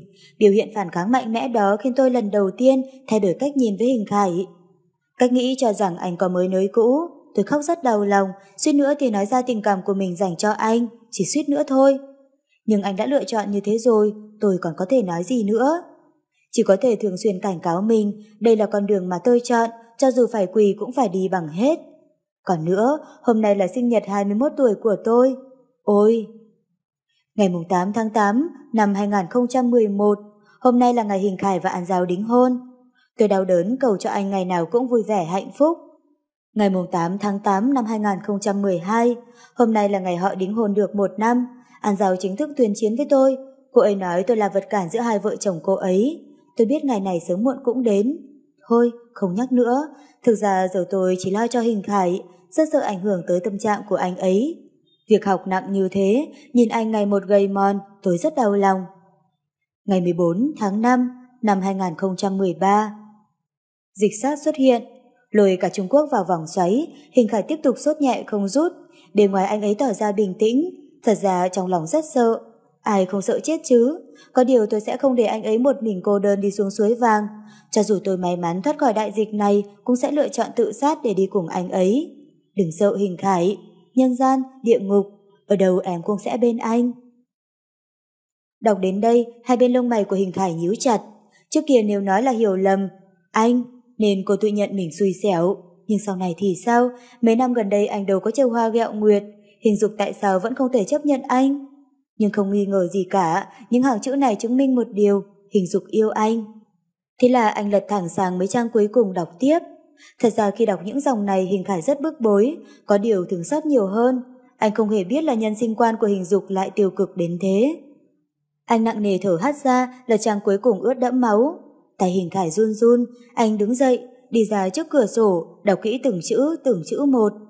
Bởi vì toàn bộ tâm sự của cô đều tập trung ở đây. Ngày 26 tháng 7 năm 2017, tôi bị kẹt trong một hang núi ở vùng xảy ra động đất. Cơ thể tôi bị một phiến đá đè vào, nhưng còn một tay có thể hoạt động. Vì vậy, có lẽ đây là những dòng nhật ký cuối cùng mà tôi viết. Trong thời khắc phải đối mặt với cái chết, đầu tiên tôi cảm thấy mình thật may mắn khi vẫn có thể viết nhật ký trong đêm tối. Thứ nữa, tôi cảm thấy vô cùng may mắn vì những hành động tuyệt tình mà trước đó mình đã làm. Hình Khải, em vẫn luôn muốn nói với anh rằng con người thật nhỏ bé, không ai biết ngày mai sẽ ra sao. Em sợ em sẽ giống bố mẹ mình, vinh viễn lìa khỏi cõi đời này. Càng sợ hơn, anh sẽ giống em, phải sống trong quá nhiều núi tiếc, quá nhiều nước mắt, muốn khóc cũng không biết ôm ai để khóc. Càng sợ hơn cả là anh vì em hy sinh tính mạng quý báu của mình. Trước khi chết, em phải thẳng thắn một lần. Hình Khải, em yêu anh, em yêu anh. Thật ra chỉ một từ yêu không đủ để thể hiện tình cảm mà em dành cho anh em có thể khẳng định với anh rằng anh chính là sinh mạng của em, mỗi phút mỗi giây, em đều sống vì anh. Mặc dù bây giờ mọi thứ đã được định đoạt, em cũng không từ bỏ. Vì một tia hy vọng, em vẫn cố gắng thở, cố gắng giành giật lại sự sống cho mình, uống máu tươi của chính mình để duy trì sự sống. Nhưng anh xem, không vì em yêu anh mà cái chết không tìm đến em nữa, không vì em yêu anh mà tảng đá trên người em sẽ mọc cánh bay đi, càng không phải vì em yêu anh mà anh sẽ xuất hiện trước mặt em. Rõ ràng, tình yêu chẳng hề ngăn cản được bất cứ việc gì, tình yêu càng không phải kỳ tích. Trải qua những thăng trầm của mấy năm nay, thời gian thẳng đến khiến em kiên cường hơn, ngược lại khiến em càng ngày càng sợ hãi cái chết. Đời người có họa có phúc, nếu em chết rồi, anh làm thế nào? Nói thật là càng yêu anh, càng không có dũng khí để bỏ đi thế này. Hình Khải, em sắp 30 tuổi rồi, đã qua cái tuổi đẹp nhất của đời người con gái. Em cũng lo đến ngày mắt mờ chân chậm. Còn anh đang ở trong giai đoạn huy hoàng nhất, cả trong độ tuổi lẫn sự nghiệp. Em luôn nghĩ hôm nay anh nói yêu em, nhưng ngày mai anh sẽ yêu ai? Thôi được, em thừa nhận mình vừa tự ti lại thiếu lòng tin, lúc nào cũng dò đò sự chân thành của anh. Em xin lỗi, trần trừ mãi bao nhiêu năm, phụ sự kỳ vọng anh dành cho em. Em xin lỗi. Nhưng chỉ cần em còn sống, em mãi mãi vẫn đứng ở một góc nào đó trong cuộc đời anh. Cho dù anh gặp phải bất kỳ sự tổn thương nào, bất kỳ tai họa nào, chỉ cần quay người, ít nhất vẫn còn có em mỉm cười với anh. Em có thể dành cho anh cái ôm yêu thương của người thân hoặc nụ hôn của người tình. Ít nhất, trong cuộc đời này của anh có một người con gái như em, lặng lẽ yêu anh. Anh không cần phải có trách nhiệm với người con gái này. Nhưng người con gái này nguyện mãi mãi ở bên anh. Người con gái này có thể lắng nghe tâm sự của lòng anh, giải tỏa tâm tư cho anh, quan tâm đến anh. Còn anh, anh không cần lo lắng cân nhắc cái gì nên nói, cái gì không nên, đúng không? Thậm chí người con gái này vì anh có thể làm tổn thương bất kỳ ai, đương nhiên bao gồm cả bản thân cô ấy. Đọc đến đây xuất hiện vài trang giấy trắng, nói chính xác là trạng thái khi đó của hình dục gần như không còn sức để lật trang tiếp theo. Vết máu dày trên mặt giấy, vì đau khổ nên đã để lại những vết cào. Hình Khải giữ chặt ngực, một tay tì vào bệ cửa, cố gắng chống đỡ cơ thể sắp khuỵu xuống của mình. Anh run run lật đọc tiếp, cho tới cuối cùng, chỉ còn vài hàng chữ. Em không biết mình đã hôn mê bao lâu, cũng không biết bây giờ là ban ngày hay đã tối. Thần trí dần dần hỗn loạn, hít thở ngày một khó khăn hơn. Hình Khải, em rất nhớ anh. Nhớ đến anh có thể làm giảm sự đau đớn. Nhớ đến anh, em có thể cười và ngừng thở. Em xin lỗi, Hình Khải, trước khi em chết em đã làm một việc thật nhẫn tâm. Vinh Viễn không để anh đọc được nội dung trong cuốn nhật ký này, bởi vì em đang dùng chút sức lực càn kiệt của mình để tiêu hủy nó.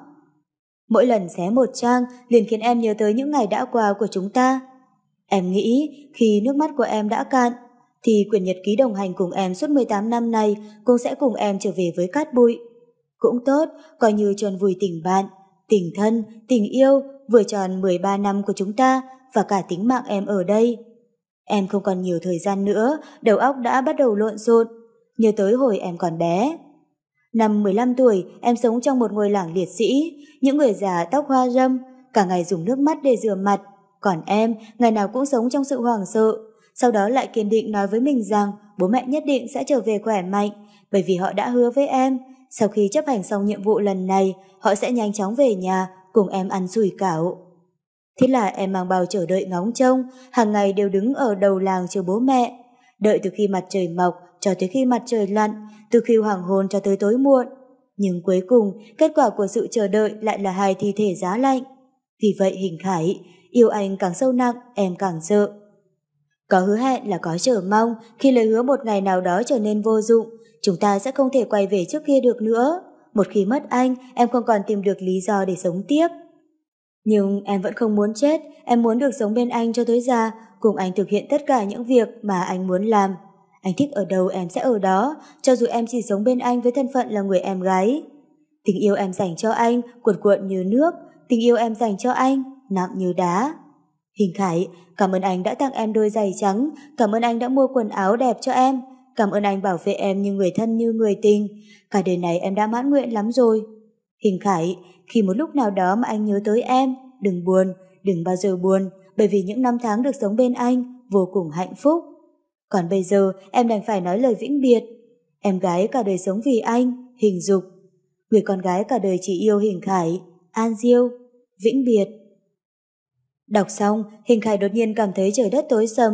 Rầm một tiếng, anh đập quyển nhật ký vào tường. Sao em có thể ngu ngốc như thế? Em mau ngồi dậy cho anh. Ngồi dậy nói với anh, sao em lại ngu ngốc như thế? Hình Khải điên cuồng đấm tay vào cửa sổ, ngay sau đó nước mắt làm mờ tầm nhìn của anh. Anh mở chừng đôi mắt đỏ mọng chỉ thẳng vào hình dục lúc này đang nằm trên giường bệnh, tức tới mức nghiến răng trèo treo. Em đã lãng phí 13 năm của anh, em có biết không? Khiến anh phải dày vò, tự vấn bản thân mình, xem mình đã làm sai chỗ nào. Tại sao mãi không nhận được sự tha thứ của em? Có điểm nào khiến em không chịu lấy anh? Mẹ e kiếp, anh còn nghĩ em đã mắc bệnh nan y gì cơ?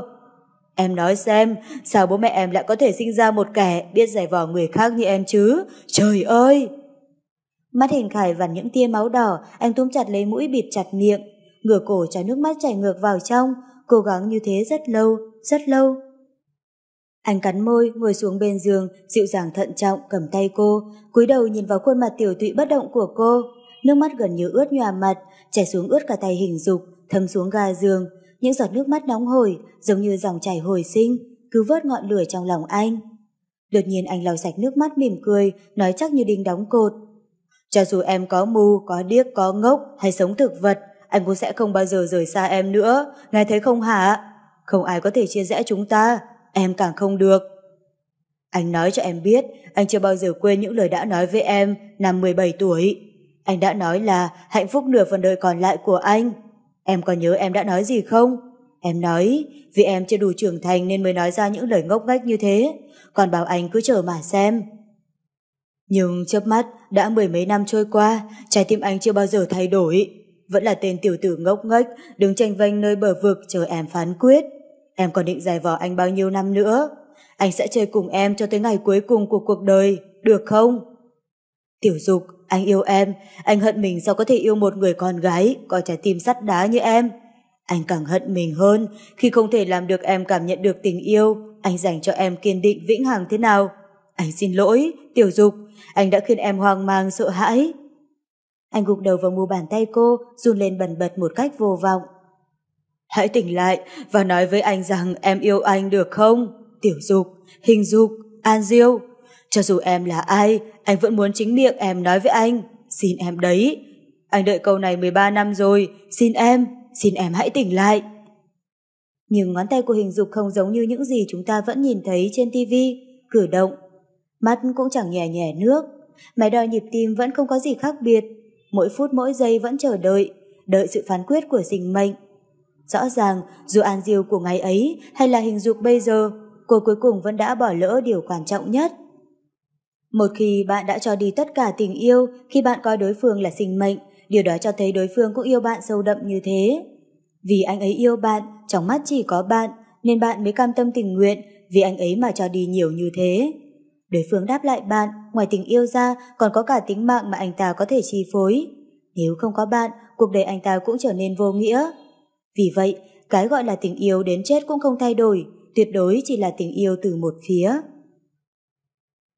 Thành phố này lại một lần nữa tiến hành cải cách cơ cấu, giống như mọi lần, mỗi lần cải cách đều là một cuộc cách mạng, và việc phân bổ nhân sự cũng như thay đổi về chức năng trong cơ cấu là mấu chốt quan trọng quyết định thành bại của cuộc cách mạng này.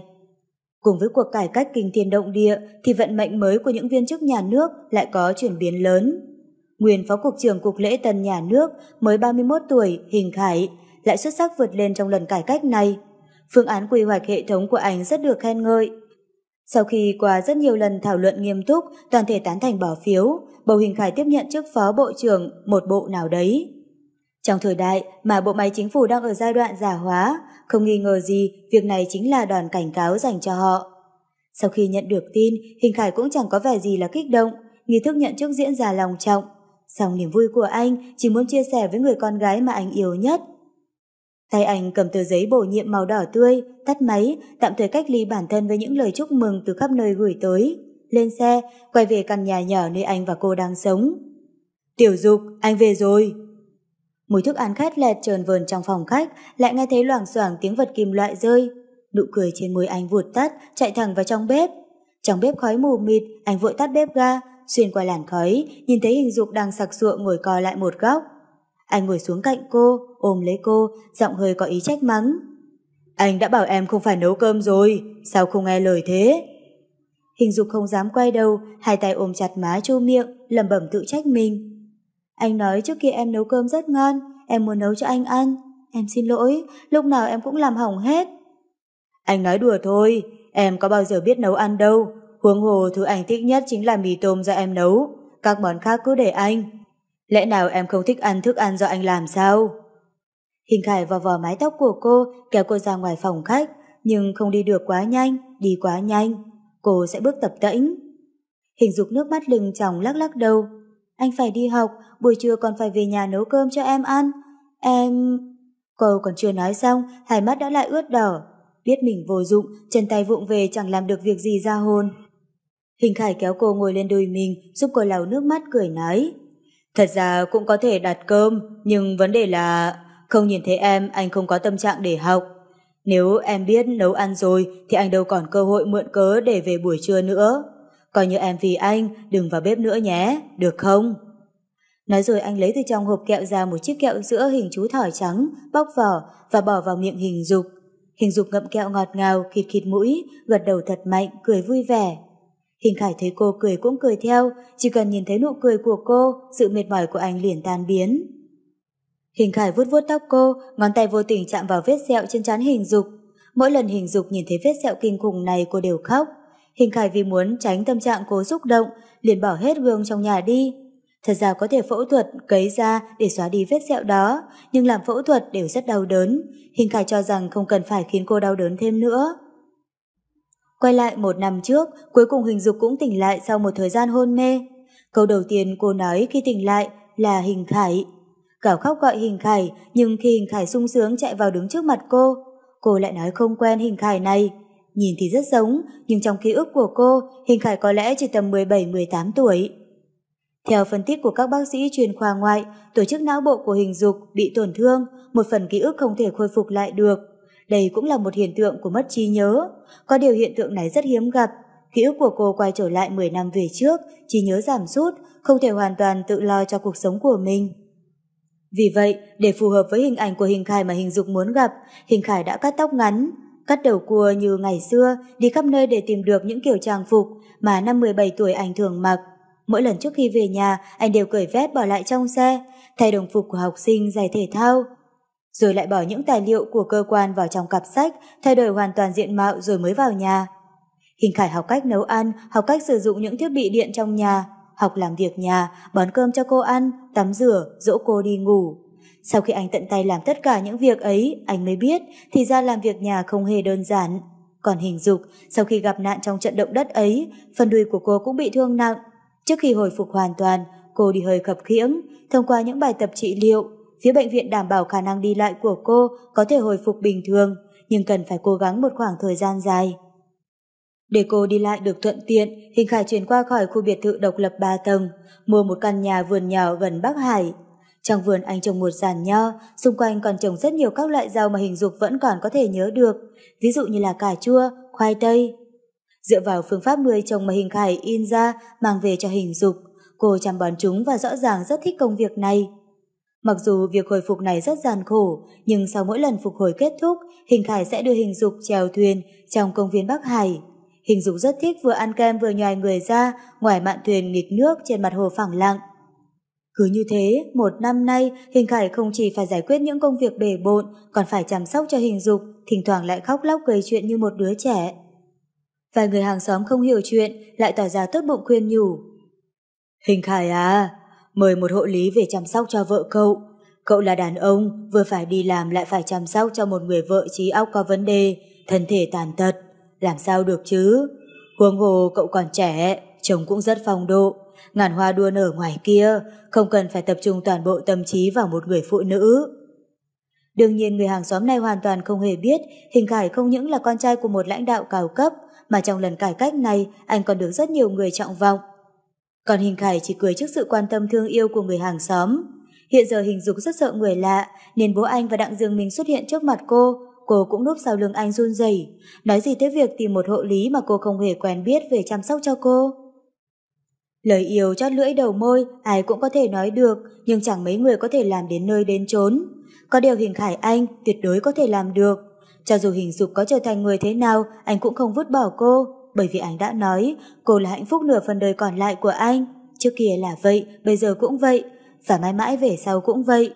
Trở thành người duy nhất cô có thể dựa dẫm là vinh hạnh của anh. Mùa hè, sau buổi trưa oi ả nóng bức, họ ngồi dưới giàn nhà hóng mát, hình dục dựa vào lòng hình khải ngủ trưa. Gió mát thổi tới, khiến những tàn lá nhò rung rinh hoan hỉ. Hình khải ngồi trên chiếc ghế nhựa thoải mái, một tay ôm hình dục, một tay cầm chiếc quạt giấy quạt cho cô, chăm chú ngắm nhìn khuôn mặt say sưa của cô. Miệng anh nở một nụ cười vui sướng. Vào giây phút anh sung sướng biết tiền hình dục đã tỉnh lại sau cơn hôn mê, anh đã không muốn gì thêm nữa, chỉ cần cô còn không nằm im bất động trên giường như một cái xác, đối với anh đã là quá mãn nguyện rồi. Từ đó về sau, anh tin với sự nỗ lực không ngừng của mình, cuối cùng sẽ có ngày cô nói với anh rằng Hình Khải, việc đúng đắn nhất trong đời mà hình dục em làm là yêu anh. Hình Khải cúi đầu, khẽ khẽ hôn lên trán cô, hình dục của anh vẫn xinh đẹp như thế, chính vì cô quá xinh đẹp quá thông minh, khiến ông trời phải đố kỵ, vì vậy mới vô tình vạch đau trên trán cô. Nhưng trong mắt anh cô vẫn xinh đẹp như vậy, xinh đẹp khiến trái tim anh rung động. Trong giấc mơ, hình dục thấy mình đang lắc lắc chân, chân cô đi một đôi giày màu trắng sạch sẽ.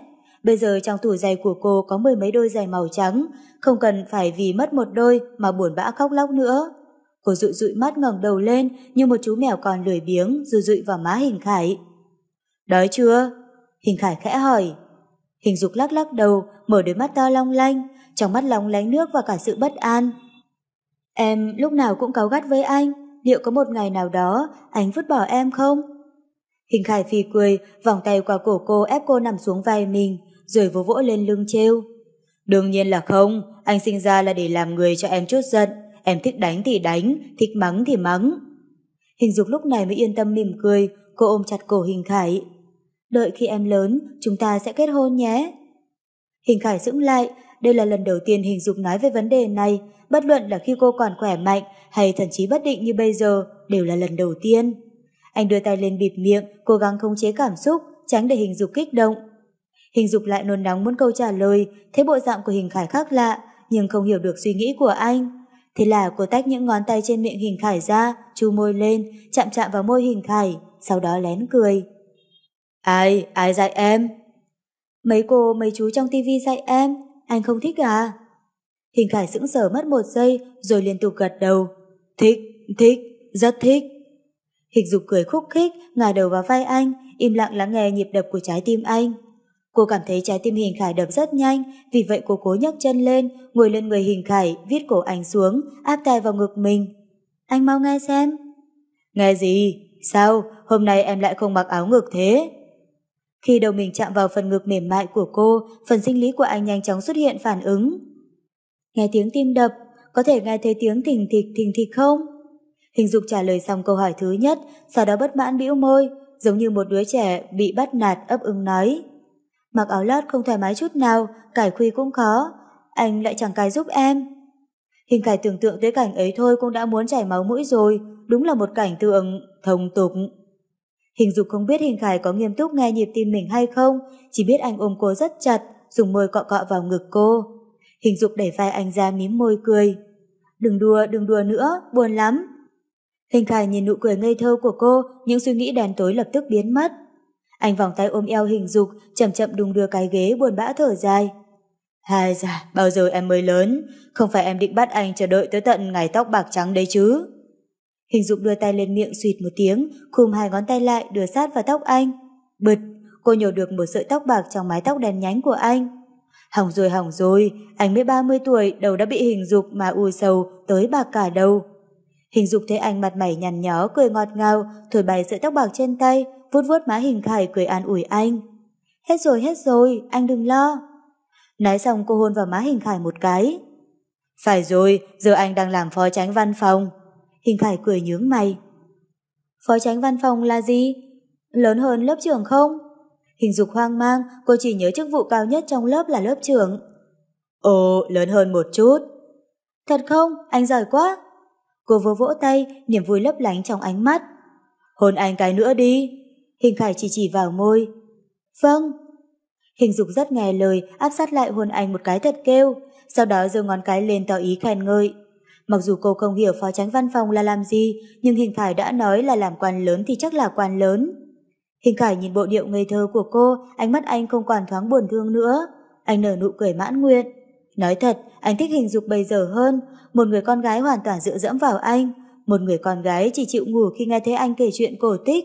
Cho dù cả đời này cô như vậy, anh cũng không oan thán. Vì anh yêu cô, mỗi lần cô nở nụ cười chỉ khiến anh càng thêm yêu cô hơn. Chờ đợi 15 năm, anh mãi mãi vẫn chưa đợi được cô nói một câu, em yêu anh. Nhưng ít nhất anh còn có hai lần 15 năm nữa để đợi. Quá tạm bà bận, cứ quyết định thế đi. Ngoại chuyện Hôm nay là sinh nhật 29 tuổi của Hình Dục, song Hình Dục vẫn lặng lẽ nằm trên giường bệnh. Cô gầy yếu như một tờ giấy, trên mu bàn tay có vô số vết kim châm. Có điều may mắn là nhịp tim trên máy vẫn đập ổn định. Hình Khải vẫn bận rộn trong phòng bệnh như mọi ngày, mang vào một chậu nước để lau người cho cô. Anh không thích người khác chạm vào cơ thể hình dục, bởi vì cơ thể hình dục đã quá mong manh gầy yếu rồi. Ngộ nhỡ họ mạnh tay làm cô đau thì sao? Vì vậy anh tình nguyện tự mình làm, làm tất cả những việc anh có thể. Sau khi lau người cho hình dục xong, hình khải khẽ càng mặc quần áo lại cho cô, sau đó ngồi bên giường massage cho cô. Tiểu dục, hôm nay là sinh nhật của em, đã nói là sẽ đưa em đi du lịch, nhưng em vẫn lười chưa chịu dậy, thật là heo lười mà. Hình khải nghiêng đầu hôn vào bàn tay cô một cái, nhìn thấy móng tay cô lại dài rồi. Thế là tạm thời bỏ công việc massage để ở đấy đã. Lấy cái cắt móng tay ở trước tủ đầu giường ra, nhấc tay cô lên, cẩn thận giúp cô cắt móng tay. Trước kia em luôn là người dậy sớm nhất nhà, khi trong nhà chỉ có hai chúng ta. Sau khi em dậy, bao giờ cũng nấu đồ ăn sáng, sau đó mới gọi anh dậy.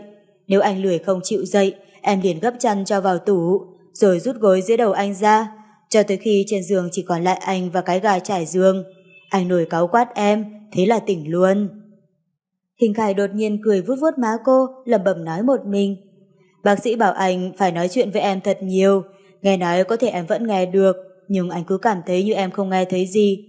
Nếu em có nghe được, sao em nỡ để anh phải buồn thế này, đúng không? Gần đây công việc của anh bận rộn, họp hành suốt ngày, nếu em thật sự thương anh, chỉ chớp chớp mì mắt cũng được. Cùng lúc ấy hình khải cầm những ngón tay của cô trả sát lên môi mình. Phải rồi, tiểu tử đặng dương mình sắp kết hôn, em còn nhớ không? Hôm qua còn mang vợ chưa cưới vào thăm em, mua cả hoa cho em nữa. Mà sao em chẳng lễ phép gì cả, cũng không thèm ngồi dậy chào người ta một tiếng.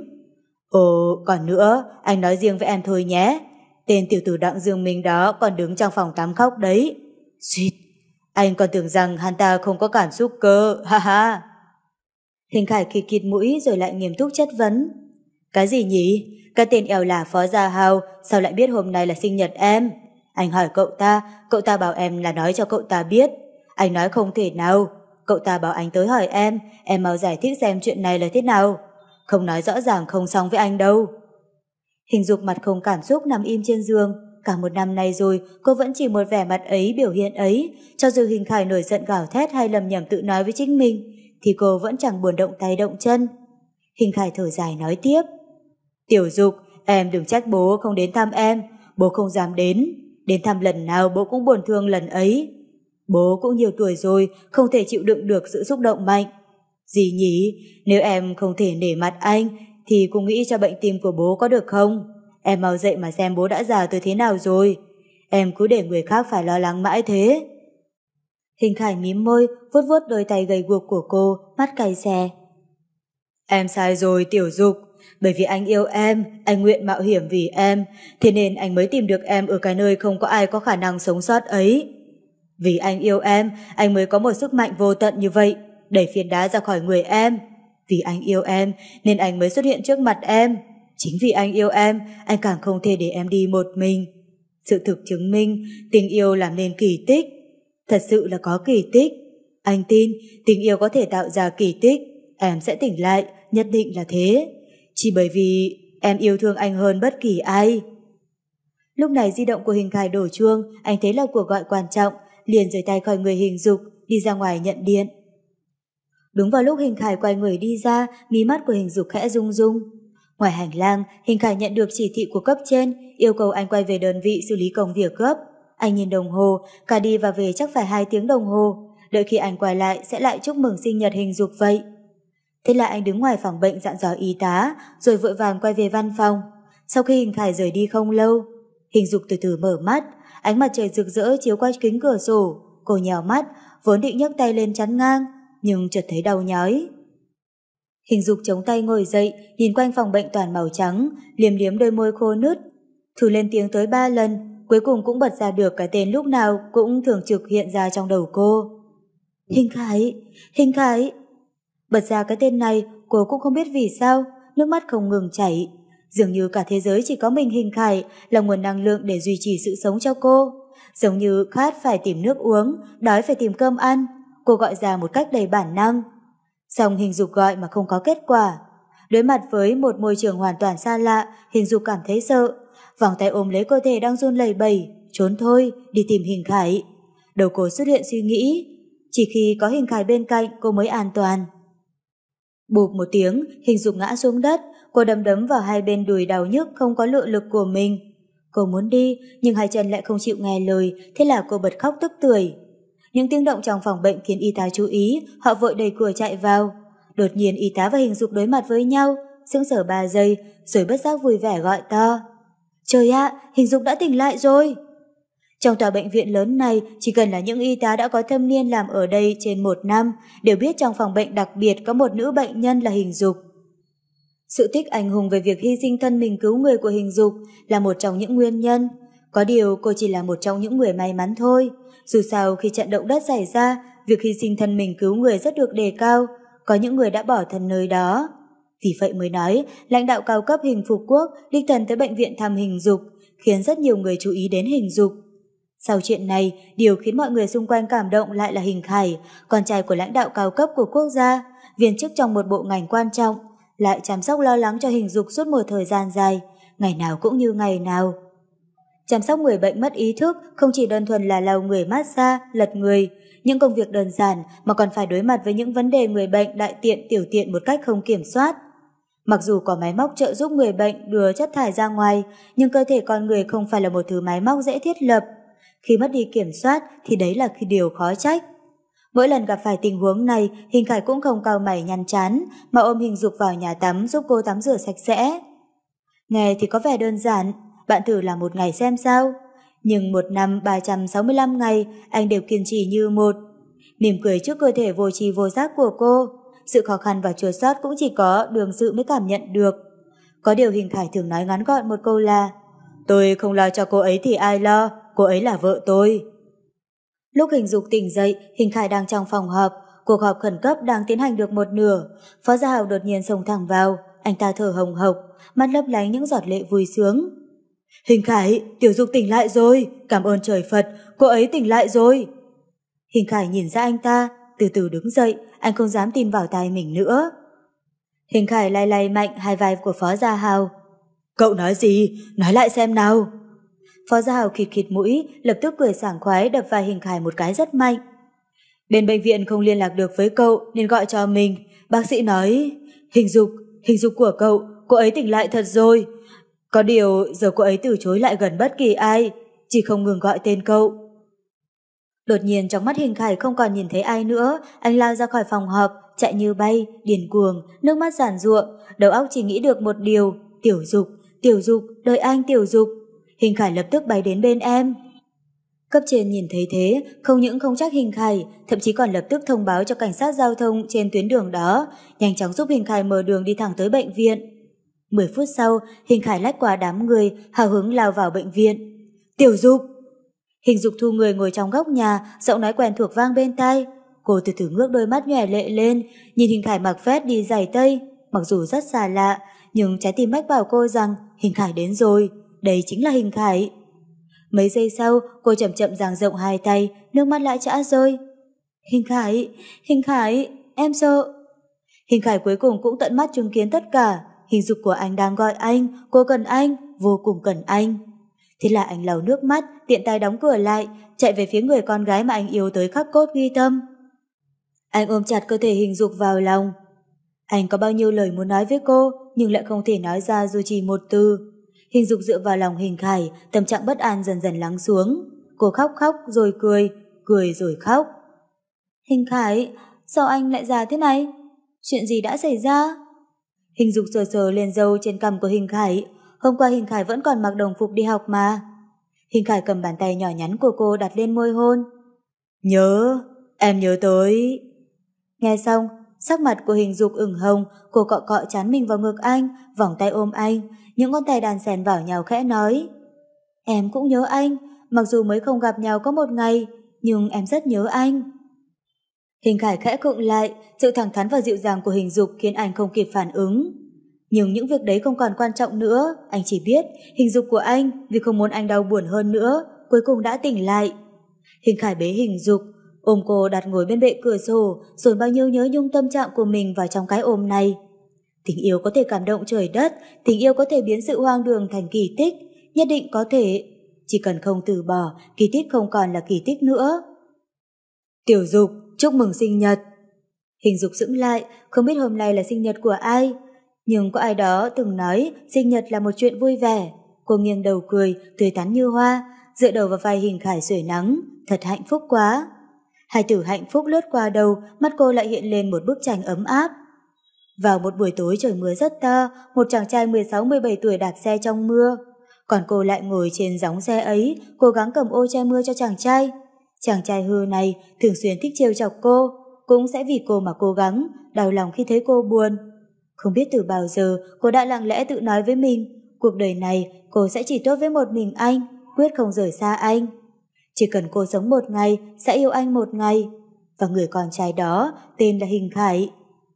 Thế là trong tim cô thầm ước, mong rằng sinh nhật mỗi năm đều có Hình Khải ở bên, không cần bất kỳ món quà nào, chỉ cần Hình Khải tươi cười và nói với cô rằng chúc mừng sinh nhật. Nghĩ đến đây, ký ức của cô bị đứt đoạn, chỉ là theo bản năng giơ cao tay lên, vui vẻ. Hình Khải, sinh nhật vui vẻ. Tiểu Dục, sinh nhật vui vẻ. Hình Khải vuốt vuốt tóc cô, hôn lên trán cô. Hạnh phúc chính là được dựa vào cùng nhau sưởi nắng. Hạnh phúc chính là khi em cười anh cũng cười. Hạnh phúc chỉ đơn giản như vậy nhưng lại khó đến vậy. Tiểu Dục, anh yêu em. Dù em có nhớ anh hay không, anh vẫn mãi mãi là Hình Khải yêu em sâu đậm, không hối hận, không bao giờ hối hận. Công việc của Hình Khải ngày càng bận rộn, thoáng cái anh đã nhậm chức, phó tránh văn phòng được một năm, biểu hiện xuất sắc của Hình Khải khiến cấp trên không ngừng tán thưởng, còn cấp dưới thì vô cùng kính phục. Nhưng chỉ có một điều kém vui đó là Hình Khải không chấp nhận bất kỳ một công việc khảo sát nào ở nước ngoài. Về điểm này, những người biết chuyện đương nhiên hiểu anh vì hình dục. Anh có thể thức cả đêm làm việc, chứ không thể một ngày không gặp cô. Vì vậy lâu dần, tất nhiên ít nhiều sẽ xuất hiện những lời bản tán, những nhân viên công vụ mới vào không hiểu đầu đuôi câu chuyện, mặc dù không nói ra miệng, nhưng thầm đưa ra những lời xì xầm, chính vì Hình Khải là con trai độc nhất của một vị lãnh đạo cao cấp nào đó, nên bộ trưởng mới nhẹ tay với anh như thế. Mặc dù Hình Khải có thể hiện xuất sắc tới đâu, cũng khó trách được những lời già tán vào, dù ít dù nhiều. Không phải Hình Khải không nghe thấy những lời xì xầm ấy, mà trong lòng anh cũng chẳng dễ chịu gì. Nhưng dù sao có thể để Hình Dục ở nhà một mình chứ. Mặc dù lại thêm một năm nữa trưởng thành hơn, Hình Dục có thể tự chăm sóc cho việc ăn uống ngủ nghỉ của mình. Anh một ngày không được gặp Hình Dục là không yên lòng.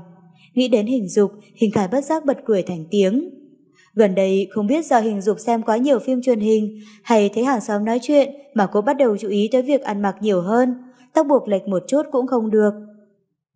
Tối qua, Hình Khải hết giờ làm về nhà, Hình Dục đòi ăn kẹo bông. Hình Khải vốn định đi mua cho cô, nhưng cô lại không giống như mọi ngày, ngoan ngoãn gật đầu ở nhà đợi, mà tự ý thay quần áo, kéo tay Hình Khải, muốn đi cùng anh. Người đi chợ đêm đông đúc, Hình Khải nắm chặt tay Hình Dục, chỉ sợ cô bị lạc. Hình Dục lại tỏ ra rất bình tĩnh, cầm cao cây kẹo bông vừa đi vừa ăn. Những cảnh vật lọt vào mắt cô đều thấy rất mới mẻ. Khi đi ngang qua một gian hàng bán dây và cặp tóc, bước chân cô chậm lại, kéo kéo ngón tay của Hình Khải, ánh mắt thèm muốn nhìn anh. Hình Khải chỉ cười không nói, vuốt vuốt tóc cô, bước sang ngang một bên, lấy thân người chắn cho cô để cô được thoải mái lựa chọn. Cứ thế, hình dục vốn là một người chẳng mấy mặn mà thiết tha với những đồ nhỏ nhỏ xinh xinh, lại ngồi sụp xuống trước quầy hàng, chọn một ôm những đồ vật nhỏ xinh đó. Trả tiền xong, hình khải định cầm hộ cô, nhưng cô không chịu, nhất định tự mình ôm cái túi đó trong lòng, vẻ mặt vui sướng khó tả. Hình khải thấy cô vui, ánh mắt anh cùng cười theo. Thích vòng vèo hoa tay chẳng phải rất dễ sao, chỉ cần cô vui, anh thậm chí còn tìm cho cô được nhiều thứ đẹp đẽ hơn thế, tinh tế hơn thế. Trong văn phòng của phó tránh văn phòng, tiếng gõ cửa khiến Hình Khải bừng tỉnh. Phó tránh văn phòng, bưu phòng của anh. Thư ký cười vui vẻ mang đổ lên. Cảm ơn. Hình Khải đoàn lấy cái túi, đợi thư ký ra khỏi phòng, Hình Khải mới gác công việc sang một bên. Anh mở phòng bì ra, cẩn thận mở hộp trang sức, lấy từ trong hộp ra một chiếc vòng cổ bằng thủy tinh lóng lánh bắt mắt. Đây là chuỗi vòng cổ được coi là chiếc vòng bị thất lạc của nữ thần Hy Lạp. Hình Khải móc nó trên tay, hình dục đèo chắc chắn sẽ rất đẹp. Nhưng trước khi Hình Khải chuẩn bị về, Phó Bộ trưởng tìm anh để nói chuyện. Lúc đầu hai người nói chuyện phiếm, sau đó Phó Bộ trưởng lại hỏi một lần nữa, nhắc đến chuyện Hình Khải không chịu đi công tác. Hình Khải cũng hiểu công việc là công việc, lãnh đạo không có nghĩa vụ chăm sóc đến cuộc sống riêng tư của anh. Nhưng anh đã tận tâm tận lực với công việc rồi, anh không cần tăng lương thăng chức, chỉ để đổi lấy chút quyền lợi này mà cũng không được sao. Hình Khải, tạm không nói đến khả năng thiên tài về ngoại ngữ của cậu, mà chỉ nói đến trách nhiệm cậu đang mang trên vai. Cậu thân là phó tránh văn phòng, không ai thích hợp hơn cậu trong việc tiếp đãi Tổng thống, nước mơ đến thăm Trung Quốc lần này. Tháp tùng họ xuất chuyến công du cũng chỉ cần một tuần. Hãy đặt quốc gia lên trên lấy đại cục làm trọng. Dù cậu có bất kỳ khó khăn nào thì cũng vẫn phải nhận nhiệm vụ quan trọng lần này. Phó Bộ trưởng thấy Hình Khải trần trừ không có tỏ thái độ nên thẳng thắn đưa ra mệnh lệnh. Cái gọi là tháp tùng xuất chuyến công du chính là phải theo sát họ một bước cũng không được rồi. Một mặt có thể đưa ra những giảng giải chính xác và đúng lúc, mặt khác là giám sát hành vi của đối phương. Không có tâm hại người nhưng nên có tâm phòng người. Đây chính là tính cảnh giác mà bất kỳ nhân viên chính phủ nào cũng phải có. Hình Khải đồng ý một cách khó khăn. Anh có thể gọi điện cho bố bởi vì phó bộ trưởng là cấp dưới của bố. Không nhìn mặt tăng, phải nể mặt Phật. Anh cũng có thể từ chối tiếp đón Tổng thống nước mơ tới thăm Trung Quốc lần này, nhưng sẽ chỉ tự bạch thêm một vết đen nữa lên cái lý do cũ khó hiểu của mình. Ôi, làm người thật khó. Trên đường lái xe về nhà, tâm trạng của Hình Khải có phần nặng nề, một tuần không được gặp Hình Dục, một tuần là 7 ngày. Hình Dục chính là thuốc kích thích giúp anh vượt qua mọi thử thách. Không có hình dục, anh chẳng còn tâm trạng tập trung toàn tâm toàn ý vào công việc. Anh đi ngang qua một quán bà lộ thiên, cũng không nghĩ nhiều, dừng xe gọi một chai bia, mượn rượu giải sâu. Giáo xuân mắt lạnh thổi loạn tâm tư của hình khải, anh biết làm thế nào để giải thích với hình dục về sự thật tàn khốc anh phải xa nhà một tuần đây. Bởi vì sự dựa dẫm của hình dục vào anh thật sự không có thuốc chữa nữa. Mỗi ngày khi hoàng hôn xuống, hình dục cầm một chiếc ghế ra vườn. Hai tay khoanh trước ngực, vừa chăm sóc cây cỏ vừa đợi hình khải.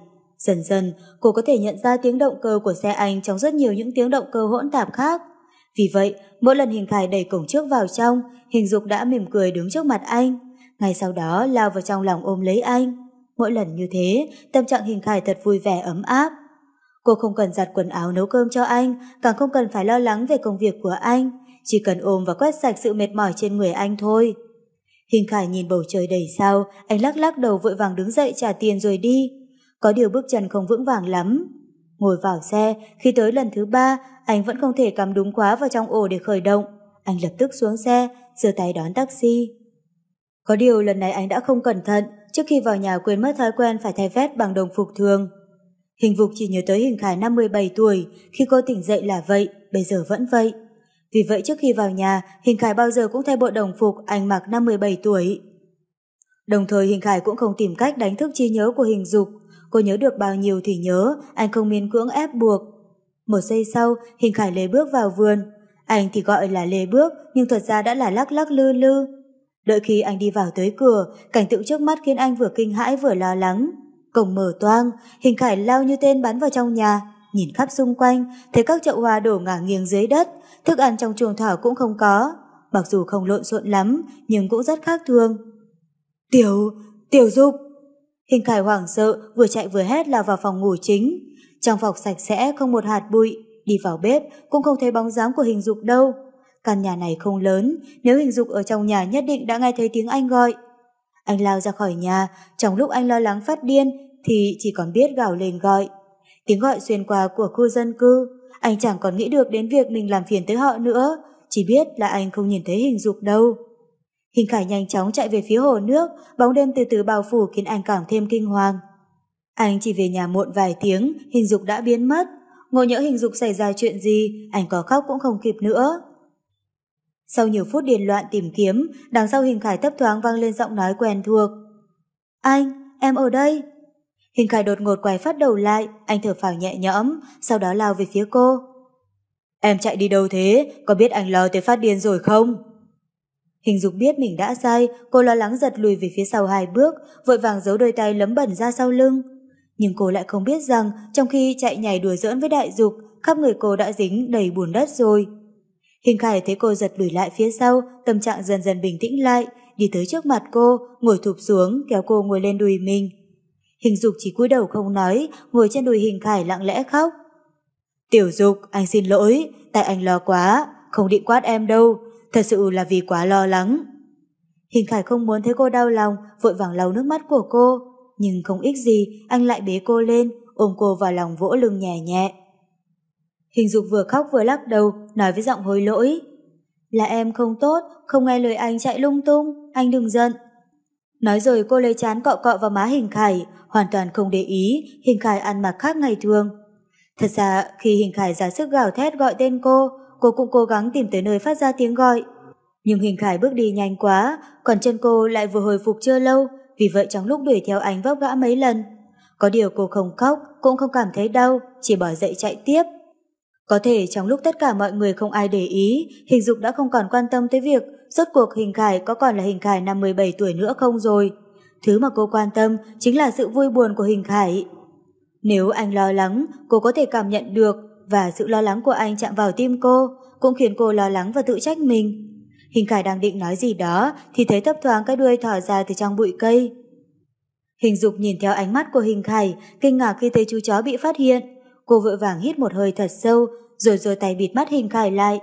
Hình Khải gỡ tay cô ra, rồi nắm luôn lấy tay cô trong tay mình. Hình Dục bĩu bĩu môi, cúi đầu nhận lỗi. Hình Khải nhìn chăm chăm về phía con chó. Trời ơi, sao càng nhìn càng quen. Đại Dục, mau cút ra đây cho tao. Gâu gâu gâu. Đại Dục sò vai rụt cổ lại, chạy ra từ bụi cây, hai mắt chớp chớp tội nghiệp. Đúng là Đại Dục, sao nó có thể chạy từ quần khu đại viện tới đây? Mặc dù nơi anh ở cách Bắc Hải không xa, nhưng cũng 7-8 cây số chứ có gần đâu. Nhớ lại một năm trước, khi Hình Khải xây dựng xong căn nhà này, anh chưa vội mang đại dục sang đây, bởi vì sau khi tỉnh lại, tâm trạng của Hình Dục không ổn định, vì vậy tạm thời anh giao đại dục cho Đặng Dương Minh nuôi. Hình Khải thỉnh thoảng rẽ qua nhà Đặng Dương Minh để thăm đại dục, cũng kể qua về tình hình của Hình Dục cho đại dục nghe. Mỗi lần Hình Khải nhắc tới hai từ hình dục, thì cái tài lười biếng của đại dục cũng khe khẽ động đậy, nó chăm chú nghe như là nó hiểu. Cũng có thể là nó vẫn nhớ người con gái đã từng cứu mạng nó một lần, tên là Hình Dục. Nhưng nghĩ gì thì nghĩ thế, còn tại sao một con chó như nó có thể tìm tới tận đây chứ? Hình Khải chẳng quan tâm tới đại dục, ôm Hình Dục về nhà. Đại dục thấy Hình Khải quay người bỏ đi, nghệt mặt đứng đó. Hình Khải đột nhiên đứng lại, bất giác lộ ra. Chính vì đại dục tìm được tới căn nhà này nên mới gọi Hình Dục ra ngoài lại nhìn cả chó cả người đều lấm lét, sao không thể phân biệt được lông chó trên người ai nhiều hơn nữa rồi. Nghĩ tới đây, hình khải đá đá nhẹ vào mông đại dục, có điều vẫn khiến đại dục loạn trọng vài bước. Đừng có đi theo tao, cút sang một bên. Hình khải trừng mắt nhìn đại dục, đại dục khịt khịt nằm mọp xuống đất. Đợi hình khải đi, nó lại nguẩy mông đi theo. Hình dục nhìn thấy vậy đau lòng, vòng tay ôm cổ ánh lắc lắc. Đại hoàng rất ngoan, đừng thấy nó to mà sợ, thật ra nó rất dịu dàng, anh đừng bắt nạt nó. Trời ơi trời, giờ có đại dục rồi, hát hủi anh phải không? Hình khải nhướng mày trêu, hình dục vội vàng xua tay giải thích.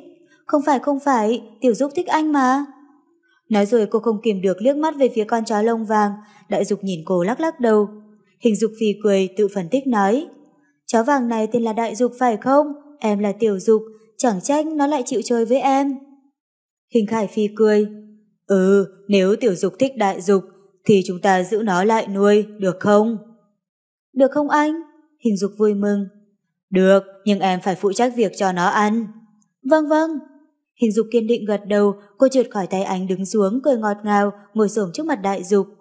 Đại dục lần đầu tiên thấy hình dục giang tay ra với mình, rõ ràng nó ngớ ra mất một giây, sau đó lao vào lòng hình dục, đồng thời cọ cọ cái đầu to trong lòng cô một cách rất biết điều chứ không dùng cái thân hình khổng lồ của mình để đè ngã hình dục. Hình dục ôm đại dục thuần thục đáng yêu, cọ cọ vào người nó, vui sướng vô cùng. Nhưng đúng lúc này, mắt cô hiện lên một cảnh. Vào một buổi chiều ngày nào đó, Hình Khải chạy đuổi theo một con chó vừa tắm xong khắp vườn. Vì giúp nó lau nước trên người, Hình Khải đã gọi Hình Dục, gọi cô mau mang khăn bông ra, vội vàng giúp lau khô nước trên lông con chó. Đúng lúc Hình Dục cầm khăn ra, cả con chó và Hình Khải đều hất cô ngã, Hai người một chó cười vui vẻ. Sau đó... Soạt một tiếng, hình dục đỏ mặt bởi vì cảnh tượng tiếp theo hiện ra trong đầu. Hình Khải và cô dính chặt lấy nhau trong nhà tắm. Hình Khải vuốt về và hồn khắp người cô. Tiểu dục, em làm sao thế? Hình Khải kinh ngạc khi thấy hình dục đột nhiên ôm mặt rồi lại đẩy đại dục ra. Anh cứ nghĩ tại đại dục liếm vào mắt cô. Không, đại dục rất ngoan, không cắn em. Em chỉ là... Hình dục định nói lại thôi, kéo cái vòng trên cổ đại dục, đi thẳng về, không cả ngoảnh đầu lại. Hình Khải vò vỏ tóc, chuyện gì thế này?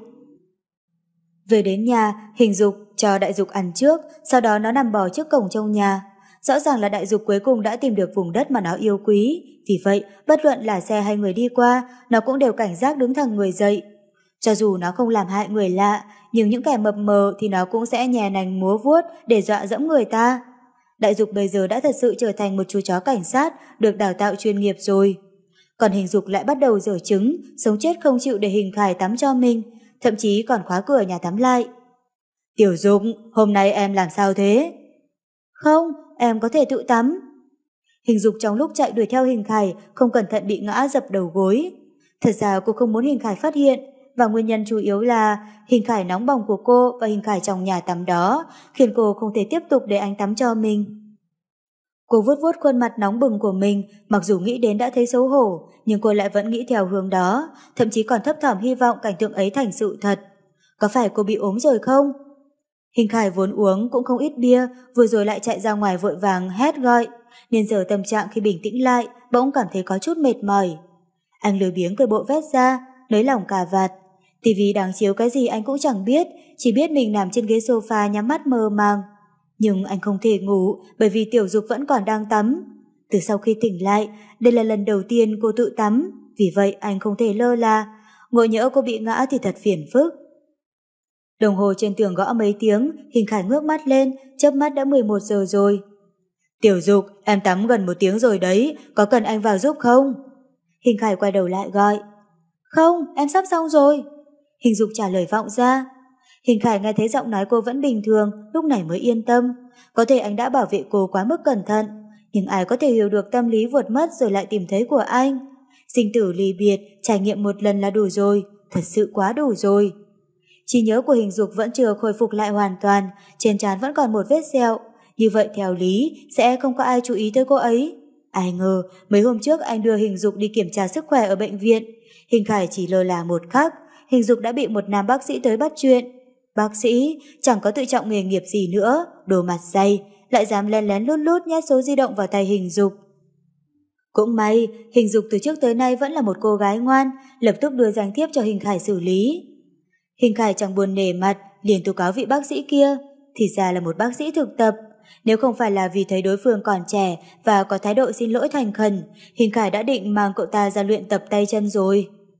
Anh khẽ thở hắt ra, cô cũng gần 30 tuổi rồi, nhưng đôi mắt to long lanh kia, khuôn mặt trái xoan xinh xắn thanh tú thật linh lợi. Một vết sẹo căn bản không thể che giấu được vẻ đẹp trời ban của cô. Trời ơi, khiến người ta yêu muốn chết. Nghi mãi nghi mãi, hình khải ngáp dài, ngả người trên ghế sofa, chớp chớp đôi mắt nặng trịch, sắp ngủ mất rồi. Không biết bao lâu, những giọt nước lách tách rơi xuống ngực hình khải, anh mơ màng mở mắt ra, bật giác sững lại. Lúc này, hình dục đang ngồi trên người anh, mái tóc ướt đẫm đang nhỏ nước. Người cô chỉ quấn lấy một chiếc khăn, đôi tay trắng nõn và cặp chân dài xinh đẹp, lổ lộ trước mắt anh. Hình khải vô thức nuốt nuốt nước miếng, mặc dù ngày nào anh cũng được chiêm ngưỡng cơ thể của hình dục, nhưng hôm nay có lẽ do anh uống nhiều quá, hay ánh đèn mờ ảo dọi trên người hình dục khiến cô trở nên hấp dẫn đầy ma mị, bất giác anh nảy sinh tả ý. Tiểu, tiểu dục, anh giúp em sấy tóc trước nhé. Hình Khải lắc mạnh đầu, bản tính lô mãng suýt nữa thì lộ ra. Xong anh định ngồi dậy, hình dục lại ép vai anh nằm xuống, nhìn anh chăm chăm không rồi. Hình Khải chậm chậm chớp chớp mắt, không ngừng nhắc nhở bản thân. Hình dục tới bây giờ vẫn chỉ coi quen anh là một đứa trẻ. Tâm lý và trí nhớ của hình dục lúc này chỉ như đứa bé 12 tuổi. Đồng thời, ký ức của cô gần như là trắng. Ngoài việc nhận ra hình khải thì đến bố anh cô cũng không nhớ. Có điều chuyên gia tâm lý chẩn đoán tâm trí cô không theo kịp với độ tuổi, nhưng không có nghĩa cô có kém thông minh, chỉ là cô sẽ quên mất tất cả những ký ức khác trong cuộc sống. Ví dụ không biết sử dụng các thiết bị điện trong nhà, xào rau cho dầu trước hay bật lửa trước, Đại loại là những kiến thức thông thường của cuộc sống, không phải là đần độn mà là bị quên. Đồng thời chuyên gia ngoại khoa cũng cảm thấy rất kinh ngạc về các ghi nhớ đặc biệt của hình dục. Phải là một tình cảm khắc cốt ghi tâm nên trong khi cô hoàn toàn không nhớ gì về những chuyện khác lại vẫn không thể quên hình khải. Anh, có phải em đã quên mất người nào không? Hình dục nghi ngờ hỏi. Gần đây hình dục thường rất buồn bực, trước mắt luôn hiện ra những hình ảnh kỳ lạ. Trong hình ảnh đó có cô, còn có cả những người lạ cô chưa gặp bao giờ. Những người đó dường như rất biết cô, già có, trẻ có, còn có cả làng quê, dê bò. Nhưng mỗi lần như thế cô lại rất đau đầu, không muốn nghĩ tiếp nữa. Hình Khải thấy cô như sắp khóc, anh cảm nhận được. Cô đang giằng co trong đau khổ. Thế là anh kéo kéo hình dục vào lòng. Hình dục ôm chặt lấy anh, cô chẳng cần gì cả, thậm chí chẳng cần ký ức, cô chỉ muốn ở bên anh mãi mãi. Đừng nghĩ nữa, chỉ cần em nhớ anh là được, nghe lời anh. Hình Khải hôn nhẹ lên đầu cô, cơ thể hình dục khẽ run lên. Hình Khải hận mình không thể chia sẻ bớt đau khổ với cô. Hình dục lẳng lặng gật đầu rồi lại siết chặt vòng tay nói. Em sợ mơ thấy ác mộng, tối nay ngủ cùng em được không? Hình Khải cười cười đồng ý ôm cô về giường, nhẹ nhàng đặt cô xuống. Lấy máy sấy tối để cô ngồi dựa vào vai mình, bắt đầu sấy tóc cho cô. Tâm trạng hình dục đến đi như gió, cô ngồi khoanh chân trên giường, lòng ôm con thú bằng bông, thỉnh thoảng lại ngửa cổ cười đùa với hình Khải. Hình Khải cúi đầu xuống làm mặt quỷ với cô, dùng cằm tì vào vai cô cù cù, khiến hình dục thỉnh thoảng lại cười phá lên vui vẻ. Xấy cô tóc xong, hình dục chui vào chăn trước. Đầu xuân nên thời tiết vẫn xe lạnh, rõ ràng cô đã dùng mình, nhưng rút cái khăn cuốn quanh người rồi vứt ra ngoài chăn, bởi vì chỉ như thế khi cuốn chăn vào mới ấm hơn. Đến khi hình khải chui vào sẽ không lạnh. Hình khải ngồi bên giường cởi quần áo, lúc này mới nhận ra hình dục đã không còn để ý việc anh mặc áo vest đi giải ra nữa. Anh quay đầu lại hỏi, Tiểu dục, em không cảm thấy hôm nay anh ăn mặc rất lạ sao? Hình dục dụi dụi mắt mơ màng hỏi, là ở chỗ nào? Ờ, không có gì, mau ngủ đi. Hình khải chậm chậm quay đầu, vẻ mặt hình dục bình thản, ngược lại chính anh lại thấy mình không bình thường, thế là thế nào? Hình khải đang suy nghĩ về sự thay đổi của hình dục, vì vậy không để ý cô hoàn toàn không mảnh vải che thân, đang nằm trong chăn. Trước khi lên giường, anh tiện tay với tắt luôn ngọn đèn trong phòng. Trong bóng tối, một tay hình khải đặt dưới đầu làm gối, tay kia vòng qua ôm lấy hình dục. Nhưng thứ mà tay anh chạm vào không phải là áo ngủ, mà là làn da của hình dục. Trời ơi, anh quên lấy áo ngủ cho em, đợi anh một lát. Nói rồi hình khải lần mò để bật đèn, hình dục kéo tay anh lại, ôm trong lòng, đồng thời gối đầu lên ngực anh, giống như chú mèo nhỏ đang tìm hơi ấm. Phần ngực mềm mại của hình dục áp sát vào sườn ngực anh, hương thơm nhẹ nhẹ lan tỏa trong không khí, hấp dẫn biết nhường nào. Cơ thể hình khải bắt đầu căng thẳng, anh là một người đàn ông khỏe mạnh về tâm sinh lý, đừng có làm thế này để thử thách sự kiên định của anh. Tiểu dục, tiểu dục, thế này không được, không được. Anh khẽ rút tay ra, anh không muốn làm hình dục bị tổn thương, nhưng cơ thể anh lại không bị tổn thương sao? Nhà đầu này rõ ràng muốn sống để giải vòi cho anh biết đây mà. Hình Khải đột nhiên nhắm chặt mắt hít thở thật sâu, hít hết hơi này tới nơi khác, ra sức giữ sự điềm tĩnh cho mình. Không phải anh không muốn có phản ứng, thật sự không phải. Rõ ràng là hơi rượu đang hoành hành, đúng thế.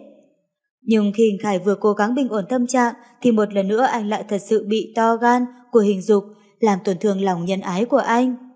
Hình Khải ngửa cổ thở dốc, huyết mạch vẫn nóng bỏng, chảy rần rật, thật sự muốn khóc chẳng xong. Hình dục vốn đã lơ mơ ngủ, nhưng cô lại cảm giác như mình đang ngủ trong một lò lửa nóng bức. Hơi thở nặng nhọc và nóng bỏng của anh phả vào tay cô, cơ thể cô càng lúc càng nóng lên, gần như đưa cô rơi vào một trạng thái mà cô chưa từng được biết đến. Anh có thể ôm em ngủ không? Cho dù nóng vậy, nhưng hình dục vẫn muốn được hình khải ôm trong lòng, rất muốn. Không, không được. Hình khải quả quyết từ chối. Hình dục dững lại, bất mãn bĩu môi. Đột ngột ngồi dậy, lật người ngồi lên đùi hình khải. Ánh trăng mờ ảo chiếu qua cửa sổ vào phòng, thứ ánh sáng màu bạc đó bao trùm lên cơ thể trắng nõn của hình dục, tỏa ra một sức hấp dẫn mê mị. Tối nay, ánh mắt của cô đã mất đi vài phần ngây thơ, lại như thêm vài phần mơ hồ. Hình Khải vội quay đầu đi, không thể nhìn tiếp được nữa, nhìn tiếp không chừng anh sẽ gây ra một chuyện xấu mà trời đất không dung mất. Mau xuống đi tiểu dục, nghe lời anh, nghe lời, em ngoan. Giọng Hình Khải bắt đầu khan khan, anh không dám động vào người hình dục, ít ra là bây giờ không được. Anh không tốt với em nữa. Mắt hình dục ấm ấm nước, thái độ của hình khải hôm nay rất đáng ghét. Đầu tiên là không chịu ôm cô ngủ, rồi lại muốn vứt cô sang một bên, có phải bắt đầu ghét cô rồi không? Nước mắt bắt đầu rơi lã chã, rơi xuống chiếc áo phông của hình khải. Anh cuống quýt, nhưng không dám mở mắt nhìn thẳng vào mắt cô. Anh sao có thể giải thích với hình dục ngây thơ về hành động bất thường của mình chứ? Anh không trả lời là thừa nhận rồi, anh không còn cần em nữa. Hình dục nước nở đau lòng không thôi. Đương nhiên là không phải, cho dù anh không cần mình thì cũng vẫn cần em. Hình Khải lắp bắp trả lời, hình dục khóc thì khóc, nhưng xin em đừng dùng cơ thể, không mảnh vải chai thân của mình đi qua đi lại, nửa thân dưới của anh nữa. Những mạch máu của anh sắp nổ tung rồi. Anh quát em! Hình dục ngửa cổ khóc lớn, hình Khải chán ghét bản thân. Tiếng khóc của hình dục khiến anh đau lòng, thế là anh lau sạch nước mắt cho cô, lại một lần nữa hít sâu, rồi bật người ngồi dậy, kéo hình dục ôm vào lòng, khe vô vỗ trên lưng cô an ủi. Đừng khóc, đừng khóc, kiếp này, cả kiếp sau nữa, hình khải cũng không thể rời xa hình dục. Em chính là tính mạng của anh. Thật không? Thật. Hình khải cười cười, hôn lên má của cô. Có thể em không hiểu anh đang nói gì, nhưng em chỉ cần nhớ một điều thôi là được. Anh yêu em. Dần dần tâm trạng của hình dục bình ổn trở lại, cô ngừng khóc, nâng mặt hình khải lên, cứ thế lặng lặng nhìn anh, rất lâu, rồi đôi mắt bắt đầu hé cười. Hình khải thấy cuối cùng cô cũng đã cười, thầm thở phào nhẹ nhõm. Hình dục cũng thích nhìn nụ cười rạng rỡ của hình khải, cô nghiêng đầu nhìn anh lầm bầm. Anh, anh rất đẹp trai. Hình khải mím môi, bất giác đưa tay lên vò vò tóc. Già đầu rồi mà còn xấu hổ nữa. Đúng vào lúc Hình Khải đang đắc ý thì đôi môi mềm mềm chạm vào khóe môi của anh. Hình Khải khẽ khựng người lại, hình dục đã đẩy lưỡi của mình vào trong miệng anh, tự nhiên như cô đã từng hôn anh rất nhiều, rất nhiều lần rồi vậy.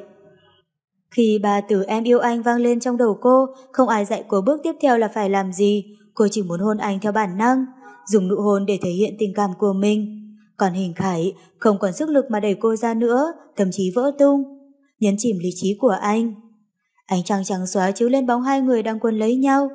Lưỡi quần lấy lưỡi, giống như một bản tình ca, đánh thức khối ký ức mờ nhạt trong hình dục, khơi gợi ngọn lửa ngùn ngụt bị trôn vùi của hình khải. Hơi thở của hình khải càng lúc càng nhanh. Tiểu dục, anh... Hình dục đưa ngón tay ra chặn lên môi anh, cười khúc khích. Sau đó cô hơi nghiêng đầu, ngậm lấy cái tay đang nóng rực của hình khải. Dùng chiếc lưỡi nhỏ nhắn của mình từ từ đánh thức dục vọng của hình khải. đôi tay hình dục tùy tiện buông lơi nơi bờ vai của anh. Cô thích bộ dạng lúng túng ngượng ngùng của hình khải, anh ấy đẹp trai như thế, dịu dàng như thế, cô rất sợ những cô gái hàng xóm cướp mất hình khải của mình, bởi vì họ đều là những cô gái xinh đẹp, không những biết làm việc nhà mà còn biết cách nói chuyện với hình khải cười. Cô biết, nhưng chị những cô ấy không đến đây vì cô mà mượn cớ mang thứ này thứ kia cho cô ăn để tới gặp hình khải. Cô không ngốc, cô hiểu được cái thứ cảm giác ấy, chua chua, giống như ăn cả bình giấm. Xong cô không biết phải làm thế nào để thu hút sự chú ý của hình khải, cô nên biểu đạt thế nào về nỗi thường cảm nếu như cô mất anh. Cô rất muốn lớn tiếng nói với những cô gái với đôi mắt hồ đói ấy rằng Hình khải là của cô, không ai được tơ tưởng, chỉ cần cô còn sống một ngày thì không cho phép ai nhớ nhung tới người con trai cô trân trọng hơn tính mạng mình ấy. Đúng thế, trong lòng cô, Hình khải không phải là anh trai, không phải là cha, càng không phải là bạn. Vì vậy, cô muốn trở thành một người phụ nữ dịu dàng hiền thục. Tiểu dục Tạm thời lúc này Hình Khải đang rơi vào trạng thái bị động. Để mặc hình dục hôn lên tay anh, cổ anh, nhưng anh không ngờ cô lại mạnh mẽ chuyển sang môi anh, ngay sau đó ra sức cắn mạnh một cái. Mùi máu nhàn nhạt, nhạt lan tỏa trong miệng của cả hai, hình dục không rút lưỡi ra mà càng quân lấy lưỡi anh chặt hơn. Cô dùng đầu lưỡi liếm sạch máu trên môi anh, hy vọng máu của anh sẽ hòa vào cơ thể mình, như thế sẽ không bao giờ bị chia cắt nữa. Mặc dù hình dục không nói gì, nhưng hình khải biết vì cô giận nên mới cắn anh. Anh hiểu cô, cho dù cô có quên cả thế giới, nhưng sự bất an trong lòng không biến mất cùng trí nhớ. Thế là anh ôm chặt cơ thể run rẩy của hình dục, cuồng nhiệt hôn lên người con gái đang nằm trong lòng mình. Anh không thể nhượng bộ nữa, cũng có thể càng cẩn thận chăm sóc cô, càng hiểu, khiến cô hiểu nhầm rằng thứ tình cảm đó không phải là tình yêu. Ôi! Một lúc lâu sau, Hình Khải, Hình Khải, em... Hình dục thở dốc, không thể dùng lời để diễn đạt được cảm xúc lúc này. Cô chỉ biết không ngừng gọi tên anh, đôi môi Hình Khải như có ma lực, cơ thể cô từng chút từng chút một bị hút rỗng. Cổ họng khổ khốc khó chịu, cô chắc chắn chỉ có Hình Khải mới có thể giải cứu cô. Hình Khải! Cô khẽ chào mày, bất giác liên tục gọi khẽ. Có điều tiếng gọi của cô sớm đã chuyển từ trong sáng sang trạng thái dịu dàng như trước. Cô vòng ôm lấy đầu anh, những ngón tay thon dài lùa vào tóc của anh. Từ bao giờ cô cũng đã từng cùng anh tận hưởng niềm vui hoan hỉ này. Anh thân thuộc cơ thể cô giống như cô thân thuộc nhu cầu của anh vậy. Như có sự thỏa thuận ngầm đầy ăn ý. Nhưng có chỗ không giống là hình dục ngày ấy không dám thả lỏng thân trong lúc yêu. Cô chọn cách nằm đờ đẫn trên dưới anh như một khúc gỗ, cẩn thận che giấu sự mãnh liệt của mình. Còn bây giờ, cô dùng những tiếng rên xiết để thể hiện niềm vui. Cô thể hiện tình yêu sâu đậm của mình dành cho anh không chút do dự. Trong mắt cô viết rất rõ ràng là cô cần anh, không thể không có anh. Sau đó, hình dục nằm gối đầu lên cánh tay của hình khải, lười biếng nhéo mắt cười. Hình khải hôn lên khuôn mặt nhỏ xinh đẹp. Tiểu dục, anh yêu em. Hình dục dựa vào vai anh, mắt sáng lên, cô siết chặt vòng tay ra sức gật đầu. Hình khải, em cũng yêu anh. Động tác chuẩn bị châm thuốc của hình khải đột ngột dừng lại.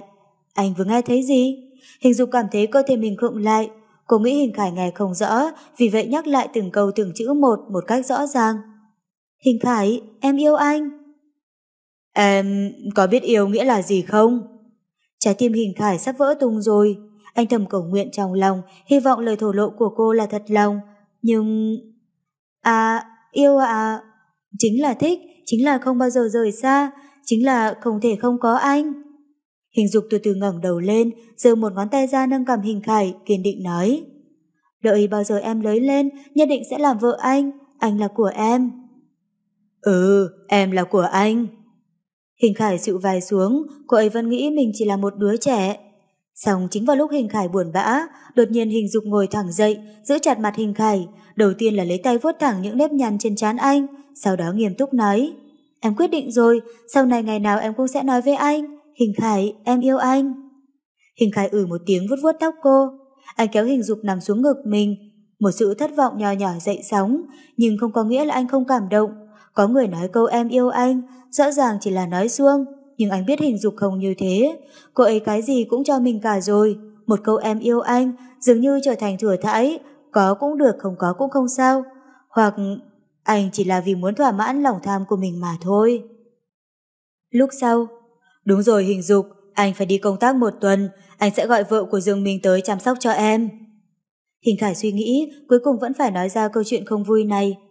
Phản ứng của hình dục khá bình tĩnh, cô lắc lắc đầu, nũng nịu nói. Không, anh đi đâu em cũng đi đấy. Anh sẽ cố gắng rút ngắn thời gian, có thể chỉ 2-3 ngày thôi.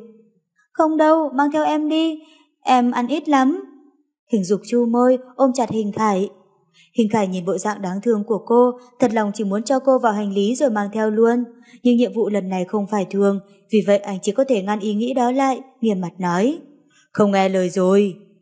Hình dục trao mày, cô tin hình khải chắc chắn là bất đắc dĩ nên mới phải rời nhà đi công tác xa. Nhưng thật sự không nỡ, môi cô run run, giật phát chăn ra. Nhẫn tầm đạp một cái, chỉ một cái đã khiến hình khải rơi khỏi giường. Hình khải ngã bụp xuống đất, trời ơi, đạp cũng chuẩn quá nhỉ. Tiểu dục, xì, anh ra ngủ ngoài ghế sofa đi. Hình dục cuộn chăn lăn ba vòng, khiến cả cái chăn ôm trọn lấy cô, quay lưng về phía hình khải, tức giận nhắm mắt lại. Hình khải tức giận, liếc mắt nhìn hình dục nằm chắn ngang cả cái giường. Anh chặt chặt lưỡi, lấy chiếc đồng hồ báo thức trên tủ đầu giường kẹp dưới nách, ôm gối đi ra ngoài phòng khách. Anh nằm trên ghế sofa, vốn muốn suy nghĩ xem nên giải thích với hình dục thế nào, nhưng anh đã mệt tới mức không chịu nổi nữa, vừa rồi lại lao lực quá sức, nên vừa đặt mình xuống đã ngủ luôn. Cho từ sáng sớm hôm sau, đồng hồ báo thức đúng giờ reo inh ỏi. Hình Khải đau khổ ấn nút tắt, đang chuẩn bị lật người ngủ thiếp đi, nhưng phát hiện ra cánh tay mình không thể cử động được. Anh mơ mơ màng màng mở mắt, phát hiện ra hình dục không biết chạy ra từ lúc nào, đang cùng anh chán trúc nằm trên chiếc ghế sofa chật hẹp. Hình Khải từ từ chớp chớp mắt, cúi xuống nhìn tiểu dục đang ngủ say trong lòng.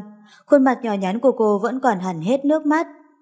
Hình Khải bất giác thấy đau lòng vô cùng, khẽ khẽ siết chặt cô trong lòng, anh định gọi cô dậy, nhưng nghĩ đến chuyện xảy ra tối qua chắc chắn khiến cô không dễ chịu. Anh nhẹ nhàng hôn lên tóc cô hối hận. Lúc này, di động đổ chuông, Hình Khải nhận ra áo khoác ngoài đang vắt trên ghế sofa, vì vậy tiện tay móc di động ra. Đầu tiên phải tắt tiếng, sau đó nhắn tin cho đối phương. Phó Bộ trưởng, 10 giờ tôi sẽ đúng giờ có mặt ở sân bay.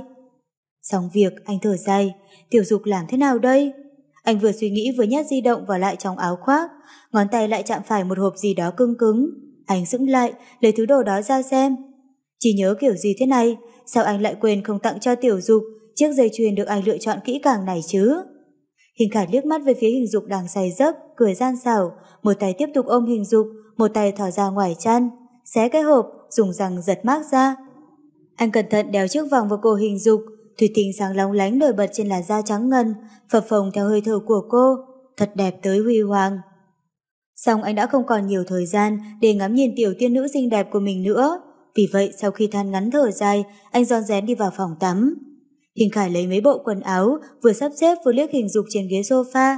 Hình dục chưa tỉnh dậy, xem ra đúng là cô rất mệt. Hình Khải khe khẽ thở dài, một tuần không gặp hình dục, anh còn khó chịu hơn cô, còn không nỡ hơn cô. Trong lúc tức giận nói thì nói vậy, thật không thể không đi. Huống hồ ai bảo anh là phó tránh văn phòng chứ, đã nhận lời rồi, còn có cơ hội rút lại. Trước khi xuất phát, anh đã liên lạc với Đặng Dương Minh, đợi khi xác định chắc chắn vợ Đặng Dương mình sẽ đến nhà mình trong vòng một tiếng nữa, Hình Khải mới thấy yên tâm. Anh lặng lặng lấy chiếc áo khoác bên cạnh hình dục, giòn rén đi ra cửa. Khi đóng cửa lại không kìm được, quay đầu nhìn cô ấy lần nữa. Sau khi ngập ngừng chừng 10 phút, cuối cùng anh đành bất lực khép cửa lại. Đi ra đến sân, đại dục lập tức ngoái ngoái đuôi, quân lấy chân hình khải. Hình khải vục một nắm thức ăn dành cho chó, bỏ vào bát của đại dục, sau đó nghiêm mặt ra lệnh. Tao cảnh cáo mày, đừng chỉ biết ăn rồi lại ngủ, phải bảo vệ tiểu dục nghe chưa? Đại dục sủa sủa với vẫy đuôi mặt mày hớn hở. Hình khải đang định nói thêm gì đó, thì bên ngoài đã vang lên tiếng còi xe dục dã. Anh lập tức dị mặt, cầm cặp đi ra ngoài, ngay sau đó ngồi vào xe không chút do dự. Trong con ngõ chật hẹp, xe công vụ lại to, vì vậy đi với tốc độ khá chậm. Hình Khải ngồi ở ghế sau, lập tức lật dở xem tài liệu vừa được đưa vào tay. Đúng lúc này, một thân mảnh khảnh xuất hiện ở gương sau. Chỉ thấy hình dục người mặc quần áo ngủ, chân đi dép lê, ra sức chạy đuổi theo sau đuôi chiếc xe. Đại dục chạy ngay sau cô, đuổi theo hình Khải. Mấy tiếng chó sủa rất lớn khiến lái xe và hình Khải phải chú ý. Hình Khải nghe thấy tiếng quay lại nhìn, kinh ngạc khi thấy hình dục đang chạy đuổi theo mình. Anh lập tức kêu lái xe dừng lại. Anh vội vàng nhảy xuống xe, quay người đón hình dục. Hình dục ngay lập tức la vào lòng hình Khải, nước mắt giản ruộng. Tiểu dục đừng khóc. Tiểu dục, anh sẽ về nhanh thôi, không bỏ em lại một mình đâu. Em có tin anh không? Hình Khải thật ra rất sợ hình dục tỉnh dậy, chỉ là một tuần xa cách, nhưng với anh mà nói lại quá lâu. Anh ôm hình dục trong lòng, vốn không muốn đi, Hình dục lại đuổi theo như thế, anh càng tâm trí hỗn loạn. Hình dục vừa khóc lóc vừa lắc đầu, ôm chặt lấy mặt hình khải ôm lấy hôn để. Cái vòng rất đẹp, cảm ơn anh. Em chỉ chạy theo để nói một tiếng cảm ơn. Cô cầm chiếc vòng cổ lên, mặc dù nước mắt vẫn lơi dã trã. Nhưng vì không muốn Hình Khải lo lắng, cô thả tự mình tỏ ra kiên cường mỉm cười. Hình Khải ra sức miếm chặt môi, cố gắng đè nén tâm trạng của mình rồi. Tiểu dục nhà anh đeo cái gì cũng đẹp. Hình dục lặng lặng gật đầu, ngón tay túm chặt cổ áo hình khải, nhưng không sao thuyết phục mình buông tay ra được. Cô biết mình rất trẻ con, nhưng liệu có thể để hình khải ở lại với cô mấy phút không? Phó tránh văn phòng, sắp không kịp nữa rồi. Lái xe biết mình phiền phức, nhưng không thể không lên tiếng nhắc nhở. Hình khải quay đầu ừ một tiếng ổn định lại tâm trạng, bình tĩnh buông hình dục ra. Không biết nên nói gì, bởi vì nói gì cũng đều khiến cả hai buồn bã. Đến một câu tạm biệt cũng không muốn nói. Thế là anh quay người đi lên xe. Hình dục vẫn cúi gằm đầu, cho tới khi bánh xe chậm chậm lăn đi, cô đột nhiên lao lên phía trước, vừa vỗ vào cửa xe và hét lên. Hình Khải, hôm qua em đã nói, từ nay về sau mỗi ngày, em đều nói với anh rằng em yêu anh, anh có nhớ không? Nhưng Hình Khải chỉ biết là cô đang la hét gì đó, chứ không nghe rõ nội dung mà cô muốn nói. Khi anh thả cửa sổ xe xuống, thì lọt vào tay anh là những lời tự đáy lòng hình dục, nhẹ nhàng dịu dàng, nhưng khiến Hình Khải cảm động vô cùng. Thứ hai, Hình Khải, em yêu anh. Thứ tư, Hình Khải, em yêu anh. Thứ sáu, Hình Khải, em yêu anh. Chủ nhật, Hình Khải, em yêu anh. Em yêu anh, Hình Khải, anh chính là hạnh phúc duy nhất của cuộc đời em. Anh phải nhớ nhé, em chính là hình dục người yêu anh sâu đậm nhất. Hình dục dừng lại không chạy đuổi theo nữa, đứng nguyên tại chỗ, hai tay bắc lên miệng làm loa cười nói. Em yêu anh, Hình Khải, đợi anh trở về cưới em. Cô nhìn theo hướng chiếc xe đang chậm chậm lăn bánh, tươi cười như hoa, nước mắt cô dưới ánh nắng mặt trời trở nên lóng lánh. Nước mắt nóng hổi làm nhòe tầm nhìn của hình khải, đột nhiên anh bịt chặt miệng ngón tay kích động run run. Đây không phải là ảo giác, tuyệt đối không phải ảo giác, hình dục của anh, hạnh phúc của anh, cuối cùng cũng đã trở về rồi. Dừng xe, dừng xe! Xin kính chào quý khán thính giả của truyện của tình SE. Ngày hôm nay Hà Phương xin gửi tới các bạn phần cuối của câu chuyện con dâu nuôi từ bé của hình gia, tác giả Điển Tâm. Các bạn nhớ đừng quên like ủng hộ, subscribe kênh Chuyện Ngôn Tình SE để nghe thêm nhiều chuyện ngôn tình hay và nhớ bình luận cảm xúc của bạn sau khi nghe chuyện nhé. Chúc các bạn nghe chuyện vui vẻ. Chuyện hủy hôn đã kéo dài lâu như thế, An Giao cũng cảm thấy mệt mỏi. Nhưng khi tất cả lắng lại, cô mới ngộ ra rằng mình đã từng làm bao nhiêu là việc ngốc nghếch. Huống hồ hình dục lại hoàn toàn không dương oai diêu võ, trên tư thế là người thắng cuộc. Rõ ràng cô đã trách nhầm hình dục. Có điều không phải việc gì cũng có thể nói sớm biết thế. Chuyện gì phải trải qua thì nên trải qua. Cậu nhầm rồi, người bị tổn thương không phải mình, mà là người đàn ông định nắm tay đi nốt nửa cuộc đời còn lại cùng cậu kia. Hình dục thở hắt ra nói tiếp. Mình chẳng cao thượng như cậu nghĩ đâu, và cũng chẳng phải là người bị hại gì cả. Mình vẫn luôn nghĩ, nếu có một ngày mình đi rồi, Hình Khải nên giao cho ai chăm sóc đây. Nói xong cô đứng dậy bỏ đi. Nghe xong, An Giao nhìn theo bóng bạn thở dài. Nhớ lại những ngày đã qua, lần đầu gặp Hình Khải, cô đã yêu anh, đã trúng tiếng xét ái tình với anh. Con đường này là do cô tự chọn, thậm chí cô còn đưa ra cho mình tình huống xấu nhất. Nếu cả đời này Hình Khải không yêu cô, hoặc đối với cô lạnh nhạt, cô cũng can tâm tình, nguyện, nguyện chấp nhận. Xong cô đã đánh giá quá cao tình yêu của mình, yêu một chút mà lại muốn có được nhiều hơn. Khi không đạt được kết quả như mong muốn, cô bắt đầu coi tất cả những người khác là kẻ thù, vô tình đánh mất con người đáng yêu trước kia của mình. Lúc này An Giao đột nhiên như nghĩ ra điều gì, dững lại một lát rồi gọi. Đợi đã, hình dục. Cô vội vàng chạy đuổi theo hình dục, vừa đuổi vừa hỏi. Cậu nói câu đó là có ý gì? Cậu định đi đâu? Hình Khải có biết không? Hình dục mím môi không để lộ ra nụ cười, trả lời mà như hỏi lại. Cũng may cậu còn trẻ, mình hy vọng cuộc hôn nhân sau cậu sẽ hạnh phúc hơn. An Giao, quên hết những chuyện không vui đi, chỉ nhớ đến những quãng thời gian vui vẻ, nếu cậu cũng đã từng hối hận, được không? An Giao lặng lặng gật đầu, chằm chằm nhìn theo bóng lưng hình dục đang đi xa dần, không hiểu được hàm ý trong nụ cười của bạn, hình như trong đó có một chút bi thương. Từ sau khi Hình Khải trở lại cuộc sống độc thân, gia đình họ Hình dần dần khôi phục lại cuộc sống trước kia. Hàng ngày Hình dục về nhà đúng giờ, trong khi Hình Khải kiệm lời hết sức, Cô quan tâm tới hình khải từ những thứ nhỏ nhặt nhất, giúp anh nhanh chóng thoát khỏi bóng đen của cuộc hôn nhân thất bại. Hình khải cảm nhận được một cách sâu sắc sự ấm áp và bao dung mà người nhà có thể mang lại cho mình. Anh giờ đã hiểu rồi, tình thân mới là thứ tình cảm đáng tin cậy nhất trên thế giới này. Cho dù bạn có đáng ghét tới đâu, những người duy nhất không vứt bỏ bạn chính là người nhà bạn. Họ dang rộng vòng tay, mãi mãi là cảng tránh gió của chúng ta. Sau bữa cơm tối, Tiểu Dục, chuyện anh nói với em, em đã quyết định chưa? Hình Khải dục dã nói, tháng sau là anh phải đi rồi, tên của người nhà đi theo vẫn đang bỏ trống.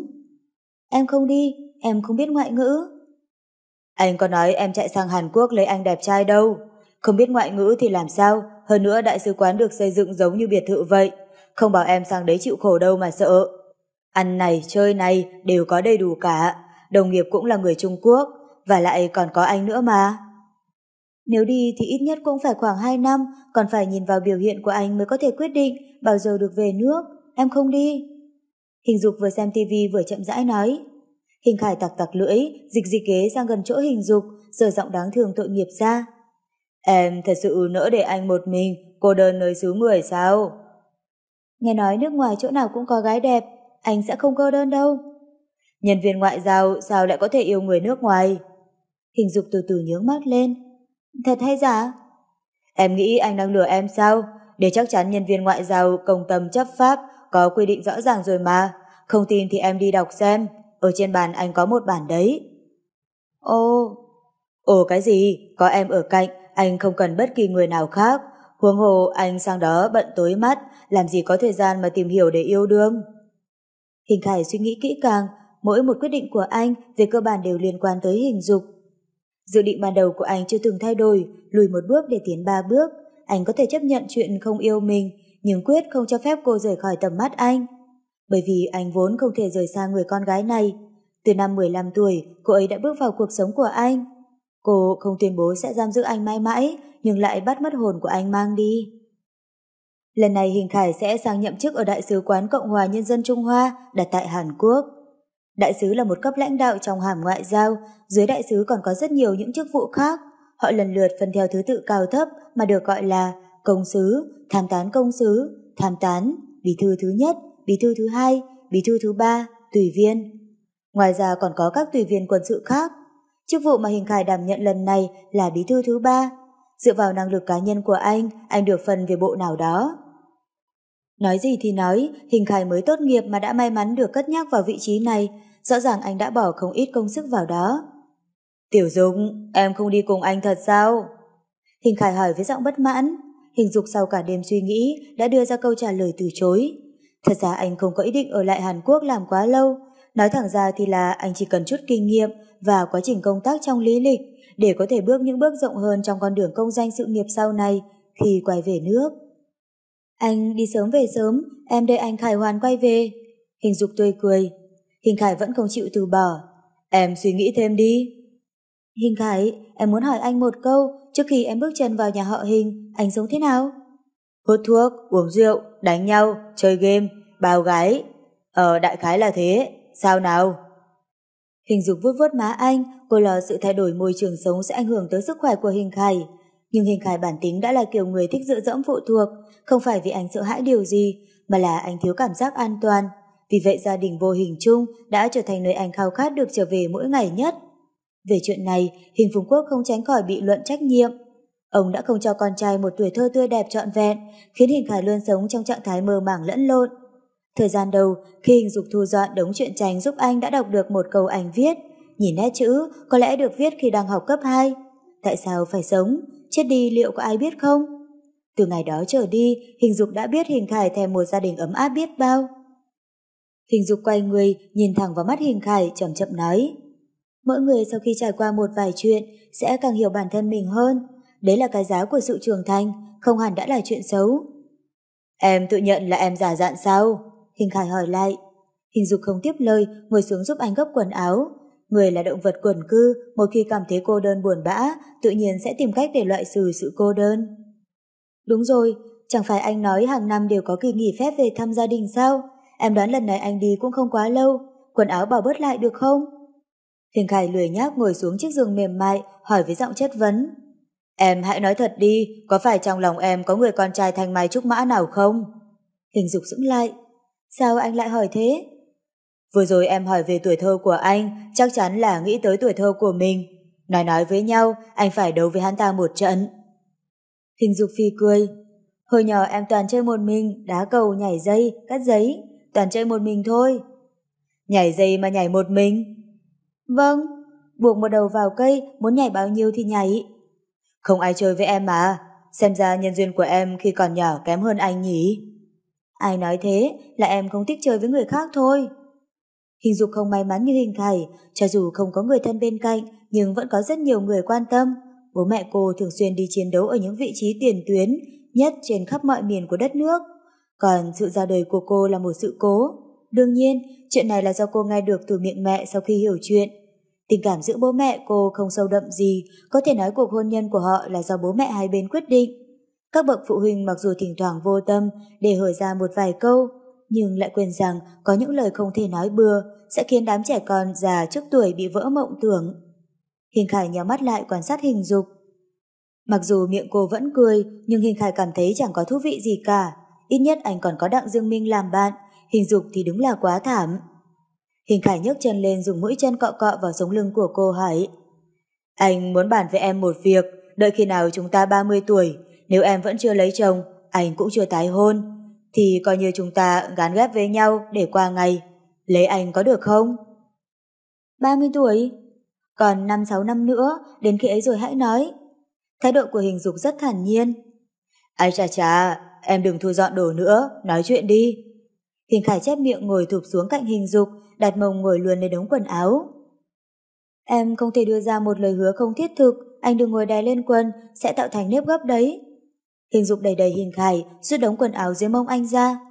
Hình Khải băn khoăn từ chiều tới tối, anh sắp đi rồi, hình dục còn chưa thể cho anh một câu trả lời chính xác. Nhưng bao nhiêu dấu hiệu kia đều cho thấy trong lòng cô không có người con trai nào khác cả. Chuyện gì thế này? Hình Khải theo băn khoăn trong lòng tới tận lúc ăn cơm, trên TV đang chiếu một bộ phim nhiều tập nào đó. Biểu diễn của câu chuyện không rõ ràng lắm, nhưng có một đoạn ngắn khiến Hình Khải phải suy nghĩ. Nữ chính bị mắc bệnh ung thư máu, để tránh cho nam chính phải chịu buồn đau quá độ, nên nữ chính đã đề nghị chia tay, thậm chí còn hôn người đàn ông khác trước mặt nam chính. Hình Khải đột ngột nhìn khuôn mặt nhỏ bé trắng trẻo của hình dục, đặt bát đũa xuống, kéo cô ngồi lên đùi mình chăm chú quan sát. Sao thế? Hình dục vuốt vuốt mái tóc vẫn còn ướt. Không, chỉ là muốn nhìn em thôi. Hình Khải dùng lòng bàn tay cọ cọ vào môi cô, anh không nên nghĩ theo chiều hướng tiêu cực, nhưng lại không kìm được suy nghĩ hỗn loạn của mình. Phải rồi, em đang làm ở bệnh viện phải không? Vâng. Ngày mai anh đến bệnh viện của bọn em chụp phim, gần đây cảm thấy phổi hơi tức thở. Khó chịu thế nào? Tức thở lắm, đặc biệt là khi ngủ. Hình dục bắt đầu lo lắng vội vàng đứng bật dậy. Vậy đừng đợi đến ngày mai, đi luôn bây giờ đi. Ôi trời, không nghiêm trọng đến thế đâu, ngày mai hãy hay. Anh bị thế bao lâu rồi, sao không nói gì với em? Chẳng phải anh vừa làm kiểm tra sức khỏe tổng thể sao? Báo cáo xét nghiệm đâu, mau đưa em xem. Hình dục đã bắt đầu đứng ngồi không yên. Vừa tức thở đấy, có lẽ gần đây một phút. Kết quả kiểm tra tất cả các mục đều bình thường, chắc không có chuyện gì lớn đâu, em đừng căng thẳng quá. Anh chỉ nói thế thôi. Hình Khải kéo cô ngồi xuống ghế, về cơ bản anh đã xác định được vị trí của mình trong lòng hình dục, đồng thời cũng chứng minh được rõ ràng hình dục có chuyện giấu anh. Kiểm tra lại một lần nữa đi, em sẽ nói với chủ nhiệm, có thể lấy kết quả ngay. Ừ, anh nghe em. Hình Khải cúi đầu ăn cơm, anh cố tình sắp xếp như thế, hình dục ở bên đưa anh đi khám, tiện thể cũng bảo cô kiểm tra sức khỏe luôn. Nếu cô từ chối làm xét nghiệm máu thì chắc chắn là có bệnh gì đó đang giấu. Sáng sớm hôm sau, họ cùng đến bệnh viện nơi hình dục làm. Hình Khải nhìn thấy đủ mọi bệnh nhân khiến anh nhíu chặt mày lại. Nói thật, không có bệnh chẳng ai muốn chạy tới bệnh viện làm gì. Ồ, anh chính là người như thế. Anh, đi xét nghiệm máu. Hình dục cầm một tờ hóa đơn trên tay, người mặc bờ lùi trắng đi về phía Hình Khải. Hình Khải thấy vẻ nghiêm túc của cô, trước ngực còn đeo ống nghe, rất có phong thái của một nữ bác sĩ làm việc cẩn thận. Bình thường em làm ở đâu? Phòng cấp cứu. Hả? Nơi đây máu me lắm. Hình Khải chưa bao giờ thật sự quan tâm tới công việc của hình dục, dù sao gia đình cũng không thiếu tiền tới mức phải cần tới lương của cô. Hình dục chỉ cười cười không nói, lúc này có người gọi giật hình dục từ phía sau. Nụ cười trên môi hình khải vụt tắt, dù sao cũng từng là vợ chồng một thời gian, giọng nói vẫn nhận ra được. Anh quay người lại nhìn An Giao. Lâu rồi không gặp. Gần đây anh khỏe không? An Giao rất bình thản, mỉm cười bước tới. Cô nhìn hình dục cười gật đầu như muốn chào. Mặc dù cô và hình dục cùng thực tập trong một bệnh viện, nhưng hai người khác khoa nên ít có cơ hội gặp mặt. Hình dục gật đầu mỉm cười, biết ý đứng lùi ra một chút. Hình khải gượng gạo cười đáp lại. Anh vẫn thế, còn em? An Giao khẽ thở mạnh. Rất ổn, nhớ lại những gì em đã làm trước kia, em rất muốn xin lỗi anh, nhưng lại không đủ dũng khí. Hình Khải sững lại. Xin lỗi, là có ý gì? An Giao ngồi xuống chiếc ghế cạnh hành lang, tay nghịch nghịch chiếc ống nghe treo trên cổ, điềm nhiên cười.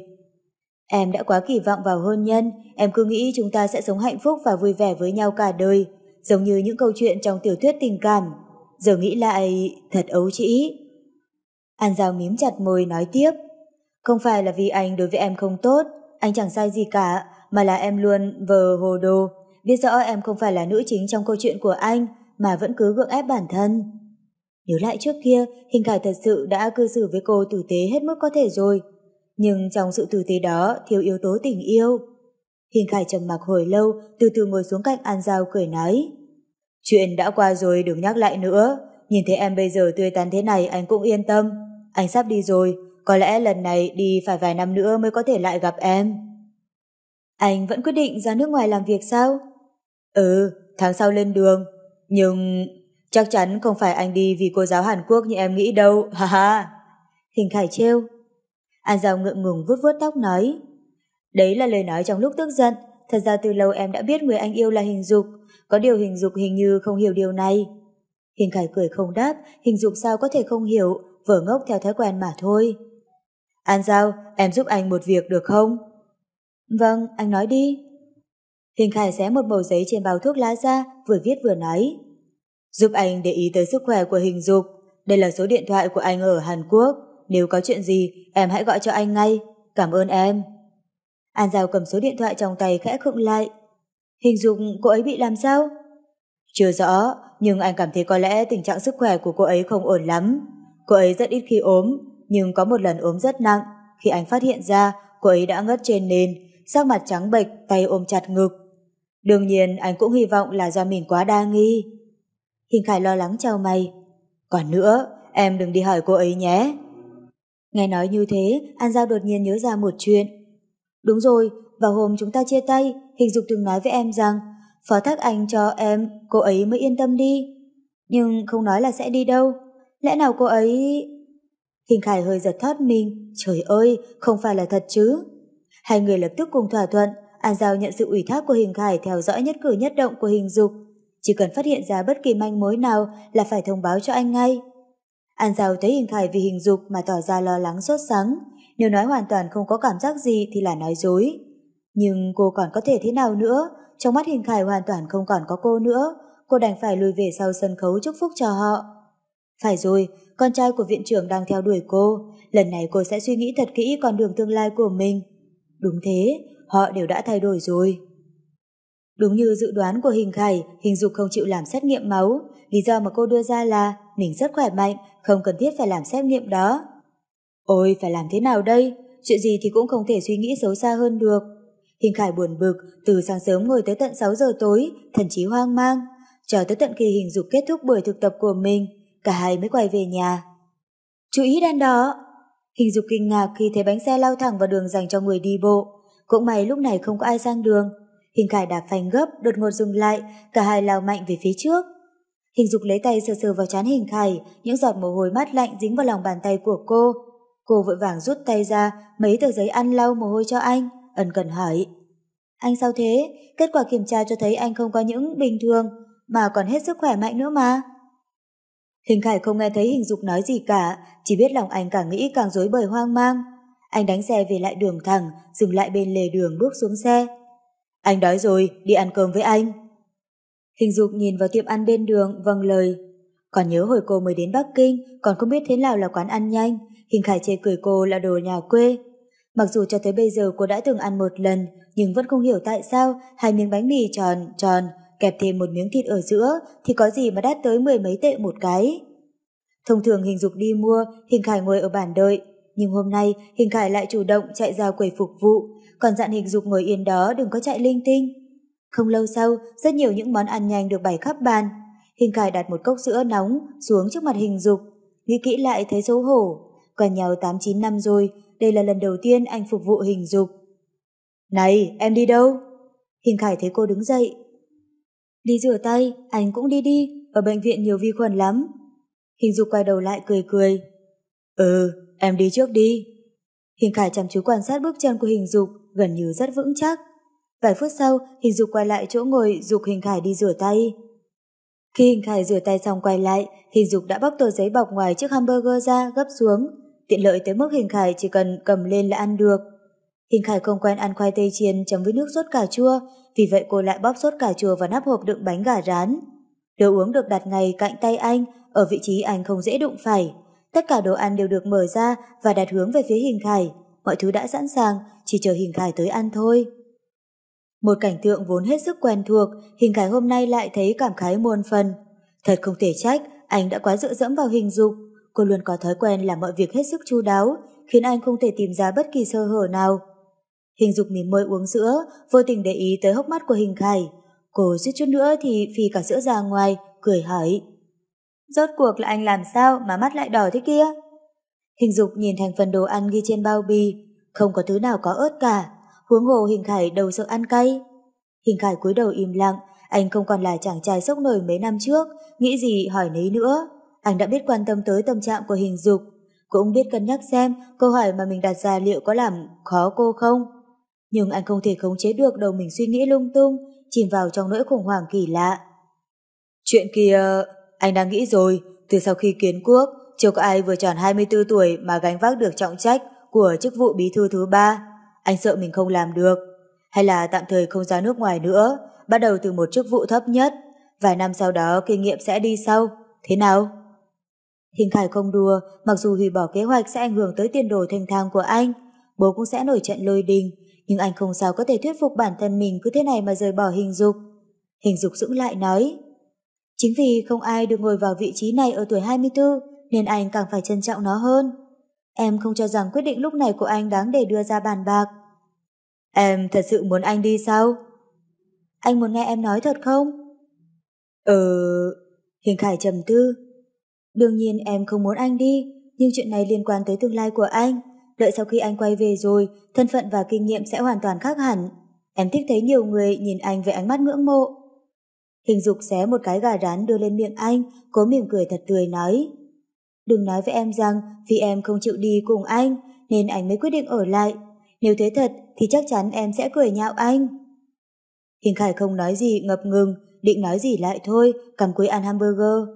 Sau khi ăn no, anh cầm tay hình dục, không muốn lái xe mà muốn cùng cô đi dạo. Đèn lồng treo rực rỡ, đèn neon lấp lánh, hình khải và hình dục tay nắm tay, lương thưởng bước đi không mục đích. Những cặp tình nhân đi dạo gần đó, thỉnh thoảng vọng tới tiếng cười nói vui vẻ. Phải rồi tiểu dục, em có nơi nào đặc biệt muốn đến không? Dạ, anh nói bây giờ ấy hả? Không, chỉ muốn hỏi em có nơi nào em thích đi du lịch không? Còn một tháng nữa anh mới đi, chúng ta đi chơi một chuyến được không? Hình Khải siết chặt những ngón tay của cô. Hình Dục ngẩng đầu lên nghĩ ngợi. Em chưa bao giờ được thấy biển. Cô vừa nói xong, Hình Khải đã gọi điện đặt vé, đặt hai tấm vé bay thẳng tới đảo Hải Nam, càng nhanh càng tốt. Hình Dục nhón chân lên định giật lấy điện thoại của anh. Anh làm gì mà vội vàng thế, em còn phải xin nghỉ phép đã. Hình Khải nâng cánh tay lên cao, nhanh chóng kết thúc việc đặt vé, ngay sau đó quay sang nhìn Hình Dục chớp chớp mắt. Chuyến bay sáng mai, vé anh đã đặt xong rồi, khoảng 6-7 giờ là đến Hải Nam, khách sạn cũng đặt xong rồi, ở ngay cạnh bờ biển, chỉ cần mở cửa sổ ra là nhìn thấy biển.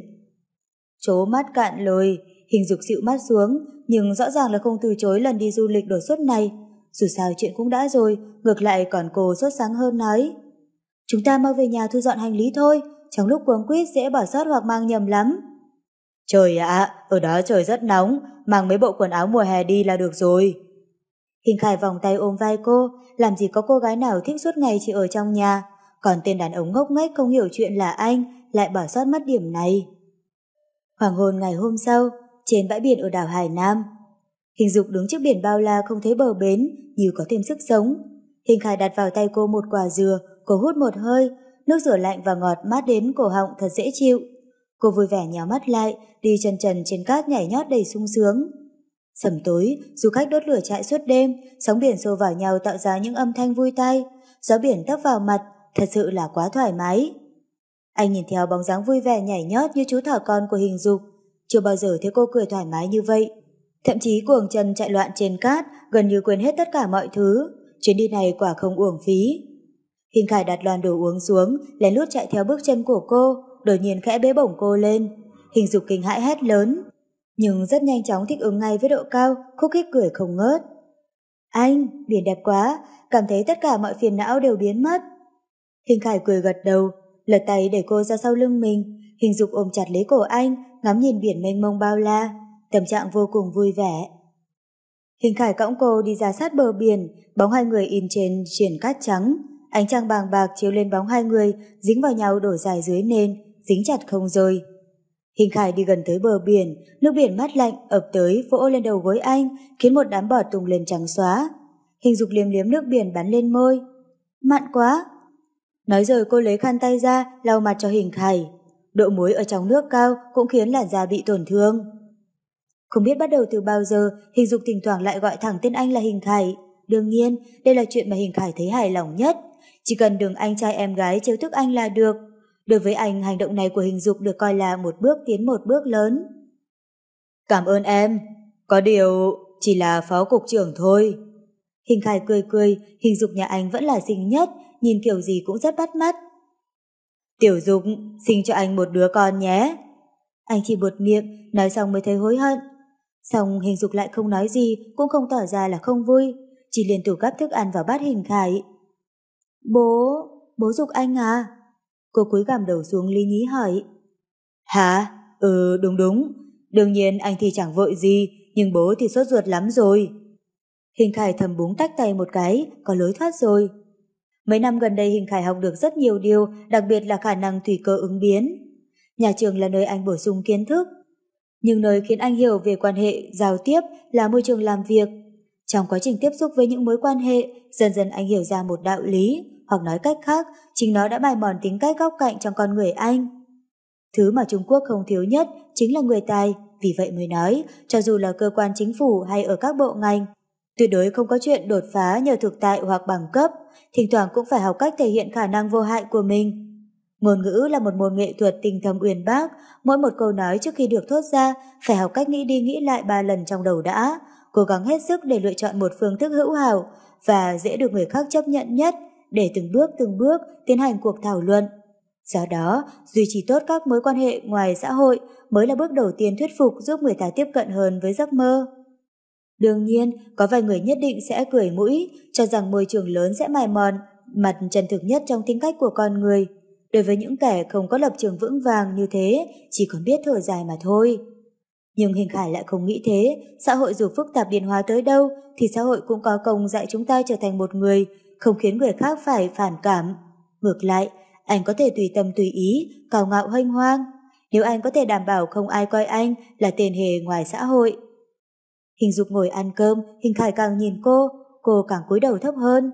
Rất lâu, cuối cùng Hình dục mở miệng. Anh hãy hỏi ý bố trước đi. Gì nhỉ? Chuyện này sao lại phải hỏi ý của bố? Hình Khải thật sự không hiểu. Hôm đó bố về nhà, khi ăn cơm có nhận mấy cuộc điện thoại, hình như họ muốn giới thiệu bạn gái cho anh. Hình dục mím mím môi, hình Khải tặc tặc lưỡi, bố chẳng phải vẫn luôn muốn anh lấy cô sao? Thật đúng là còn sợ chưa đủ loạn chắc. Hình dục thấy anh mặt nhăn mày nhó nói. Thật ra cũng là việc bình thường thôi, mấy vị bác sĩ già ở trong bệnh viện cũng nhiệt tình lắm, hay giới thiệu bạn trai cho em. Cũng may em chỉ là bác sĩ làm ở phòng trị liệu, vì vậy mới không bị áp lực phải trực tiếp từ chối. Hình Khải nghi ngờ nhướng nhướng mày. Em được lắm, anh ngờ là không phải em muốn giúp anh, mà là đang lo lắng cho chính bản thân mình. Hình dục cười khổ. Đương nhiên không phải. Việc hôm nay chứa để ngày mai, đây chính là câu nói mà Hình Khải luôn rất sùng bái. Thế là anh gọi vào điện thoại của bố ngay trước mặt Hình Dục. Anh oang oang nói. Bố, chẳng phải bố đang muốn có cháu bé sao? Hình Dục nói rồi, cô ấy đồng ý sinh, còn chờ ý kiến bố. Hình Dục đỏ bừng mặt đứng bật dậy, cô giơ tay định giằng điện thoại của Hình Khải. Hình Khải giơ cao tay lên, nghiêng trái né phải. Hình Dục thấp nên không thể với tới. Cô đánh mất sự điềm tĩnh hàng ngày của mình, vội vàng trèo lên ghế sofa. Hình Khải cầm máy di động càng chiêu cô hung hơn. Khi cuối cùng Hình Dục đã giằng được điện thoại, Hình Khải nói với cô rằng bố muốn nói chuyện với cô. Hình Dục biết thời gian của bố nuôi quý như vàng bạc, không dám lần khân. Cô nhận điện, thái độ vô cùng cung kính. Hình Khải dừng dừng tự đắc, có câu gì mà không đánh không có được ấy nhỉ? Đúng thế thật. Trước khi gọi điện, anh đã lén lút gửi cho bố một tin nhắn, nói với bố rằng lần này nhất định phải phối hợp với con trai để lừa con dâu về. Còn hình dục hoàn toàn không biết về kế hoạch của hai bố con anh. Vâng, con biết rồi. Bố còn muốn nói chuyện với Hình Khải không? Vâng ạ, con đưa cho anh ấy. Hình dục đưa máy cho Hình Khải, nhảy xuống khỏi ghế sofa đi vào bếp. Tiểu tử thối, bố già thế này rồi mà còn để con làm mất cả mặt. Trước cuối năm phải cưới được hình dục đấy. Nói xong, hình phục quốc vội vàng cúp máy, nhưng ông rất vui, từ đầu đến cuối trong lòng ông chỉ nhận một mình hình dục, làm con dâu thôi, chưa bao giờ thay đổi. Hình Khải chuồn đến trước cửa bếp, anh không biết hình dục đang bận làm gì. Anh đi lên trước, vòng tay ôm lấy cô từ phía sau. Sống lưng hình dục hơi cứng lại, từ từ quay người ngẩng đầu lên, chăm chú nhìn vào đôi mắt đen láy của anh, nhón chân lên, chạm chạm vào môi anh. Hình Khải ngược lại còn căng thẳng hơn, bao năm rồi, anh đã đợi bao năm rồi. Thế mà vào giây phút này, tất cả mọi tưởng tượng dự đoán đều thành đồ bỏ. Một vài chuyện lại trở nên hết sức thuận lợi. Đột nhiên anh nhấc cô lên, ép cô vào tường, nồng nhiệt hôn lên môi cô. Cô khẽ ngửa cổ đón lấy những nụ hôn nóng bỏng, có phần thô bạo của anh, cuốn lấy đầu lưỡi anh không rời. Sự đam mê hỗn độn, giải phóng dục vọng đang bừng bừng trong người cô. Áo khoác ngoài, quần, dây lưng, áo ngủ, từng chiếc, từng chiếc một rơi xuống nền nhà, từ từ vương vào tận gối. Anh ôm lấy cơ thể cô, hôn khắp nơi trên da thịt cô. Cô khẽ run rẩy, hai tay luồn vào trong tóc anh. Mỗi khi anh có ý đồ thâm nhập phá rào, cô vô thức túm chặt lấy những sợi tóc mà giật kéo. Theo bản năng, cô cong cả người lên, dần dần hai má đỏ hồng, nhuộm hồng cả đôi môi mỏng. Hình Khải chăm chú quan sát thần thái không cách nào che giấu của cô, bất giác mỉm cười. Thấy được sự căng thẳng và bất an trong tâm trạng của cô, ngược lại anh thấy rất thoải mái. Ít nhất từ đó anh cũng biết được rằng cô không phải là người con gái không sợ trời mà cũng chẳng hãi đất. Anh cúi người hôn lên môi cô, cố gắng làm dịu sự căng thẳng của cô. Sau trận cuồng phong, Hình Khải vẫn ôm chặt cô vào lòng, vui mừng trước thắng lợi của mình. Họ cũng nên có một cái kết rồi chứ nhỉ? Lúc này anh đột nhiên nhớ tới quyển nhật ký, thứ tài liệu duy nhất có thể giúp anh hiểu được thế giới nội tâm của hình dục. Phải rồi, đôi giày trắng, em còn giữ không? Con, ở dưới gầm giường, đôi giày anh vất vả khổ sổ tìm lại cho em, đương nhiên em phải bảo quản thật tốt. Hình Khải ho một tiếng khá thiếu tự nhiên, hình dục thật sự không nhận ra đôi giày trắng đó không phải là đôi giày của cô ư. Nếu đúng là thật thì bước ngoặt của cuộc đời cô có lẽ có liên quan tới anh. Nhưng khi đó cô chẳng có thể biểu hiện kích động khác thường, chỉ là làm cho anh một bữa tối thịnh soạn mà thôi. Tiểu Dục, em có biết em đã thay đổi nhân sinh quan của anh không? Hình Dục dững lại, cười cười lắc đầu. Là sự chăm chỉ cần cù của anh đã gây dựng nên sự nghiệp này. Còn nhớ ngày trước em đã dùng điểm số ép anh không? Anh vì muốn nhìn thấy em cởi đồ nên mới ra sức chăm chỉ học tập. Nhưng sau đó do thành tích học tập khá lên, đột nhiên lại nhận được rất nhiều những lời biểu dương. Những học sinh ngoan, học sinh giỏi, từng xa lánh anh, giờ lại muốn tiếp cận anh. Đám trẻ con trong khu đại viện này không còn sợ anh nữa. Giáo viên nhìn thấy anh cũng không nhăn chán nhíu mày nữa. Bố không những không đánh anh mà còn cười tới mức chẳng khép nổi miệng. Lúc ấy anh mới nhận ra rằng thì ra là thành tích có thể chi phối hỉ nộ ái ố của những người xung quanh. Nhưng anh vẫn là anh, vẫn đánh nhau gây chuyện, thế mà chẳng ai nói cho anh biết rằng nhân phẩm của anh có vấn đề. Còn anh, trong lòng anh vừa cười nhạo sự ngây thơ của họ, vừa dương dương tự đắc. Sau đó hăng xe học hành cho tới tận hôm nay như bị chúng ta. Em nói xem, có phải anh là người quá coi trọng hư vinh không? Hình dục sờ sờ vào viền môi anh. Bởi vì anh là một người con hiếu thuận, không chịu được cảnh bố cả ngày vất vả lo lắng cho anh. Khi ấy anh mới chỉ 17 tuổi, cái tuổi chỉ thích phản nghịch. Em chỉ tạo ra một động lực nhỏ để anh quyết định thay đổi tình trạng hiện tại của bản thân mà thôi. Nếu anh cho rằng con đường mình đang đi là đúng và hài lòng về nó, thì người mà anh thật sự phải cảm ơn chính là bản thân mình. Nói thì nói vậy, nhưng trong nhật ký chẳng phải em đã viết thế sao? Em đã dùng bốn từ tương kế tự kế. Hình Khải vừa tỏ vẻ cảnh giác, nhào mắt lại. Anh đọc trộm nhật ký của em thì thôi, lại còn dám nói ra một cách công khai như thế à? Hình dục dịu mặt. Hình Khải thấy cô tỏ ra giận dỗi, lập tức thi hành quân lễ với cô. Nhà đầu này nắm chắc anh trong tay rồi. Hình Khải, xuống nhà ăn cơm đi. Hình dục gõ gõ cửa phòng gọi, sau đó bỏ đi. Hình Khải ừ một tiếng, đóng máy tính lại, vội vã chạy xuống nhà. Công việc ở bộ bận rộn và gấp gáp, từ sau khi Hình Khải nhậm chức, anh gần như chưa về nhà đúng giờ hôm nào. Chuyện cả tuần anh không về nhà cũng thường xảy ra như cơm bữa. Đương nhiên, những thứ anh phải học rất nhiều. Anh biết, chỉ cần còn một hơi thở, thì biển học không có bờ. Đúng cuối tuần, hiếm lắm Hình Khải mới có thời gian ở nhà nghỉ ngơi một hôm. Hình Dục bận rộn từ sáng tới trưa là một bàn đầy thức ăn đãi anh. Hình Dục giới một bát cơm đầy đưa tới trước mặt Hình Khải. Hình Khải đang xem tivi, di động lại đổi trường không ngớt. Chắc chắn lại muốn hỏi anh có rảnh không, có thể đi xem mặt không đây mà. Cô thấy anh mặt mày nhăn nhó chán ghét nói, không thể tắt máy sao? Ừ, không được, gần đây phải ra chính sách mới, nên lúc nào cũng phải mở máy để nghe sai khiến. Hình Khải bất lực trả lời, lầm bầm như tự nói với chính mình.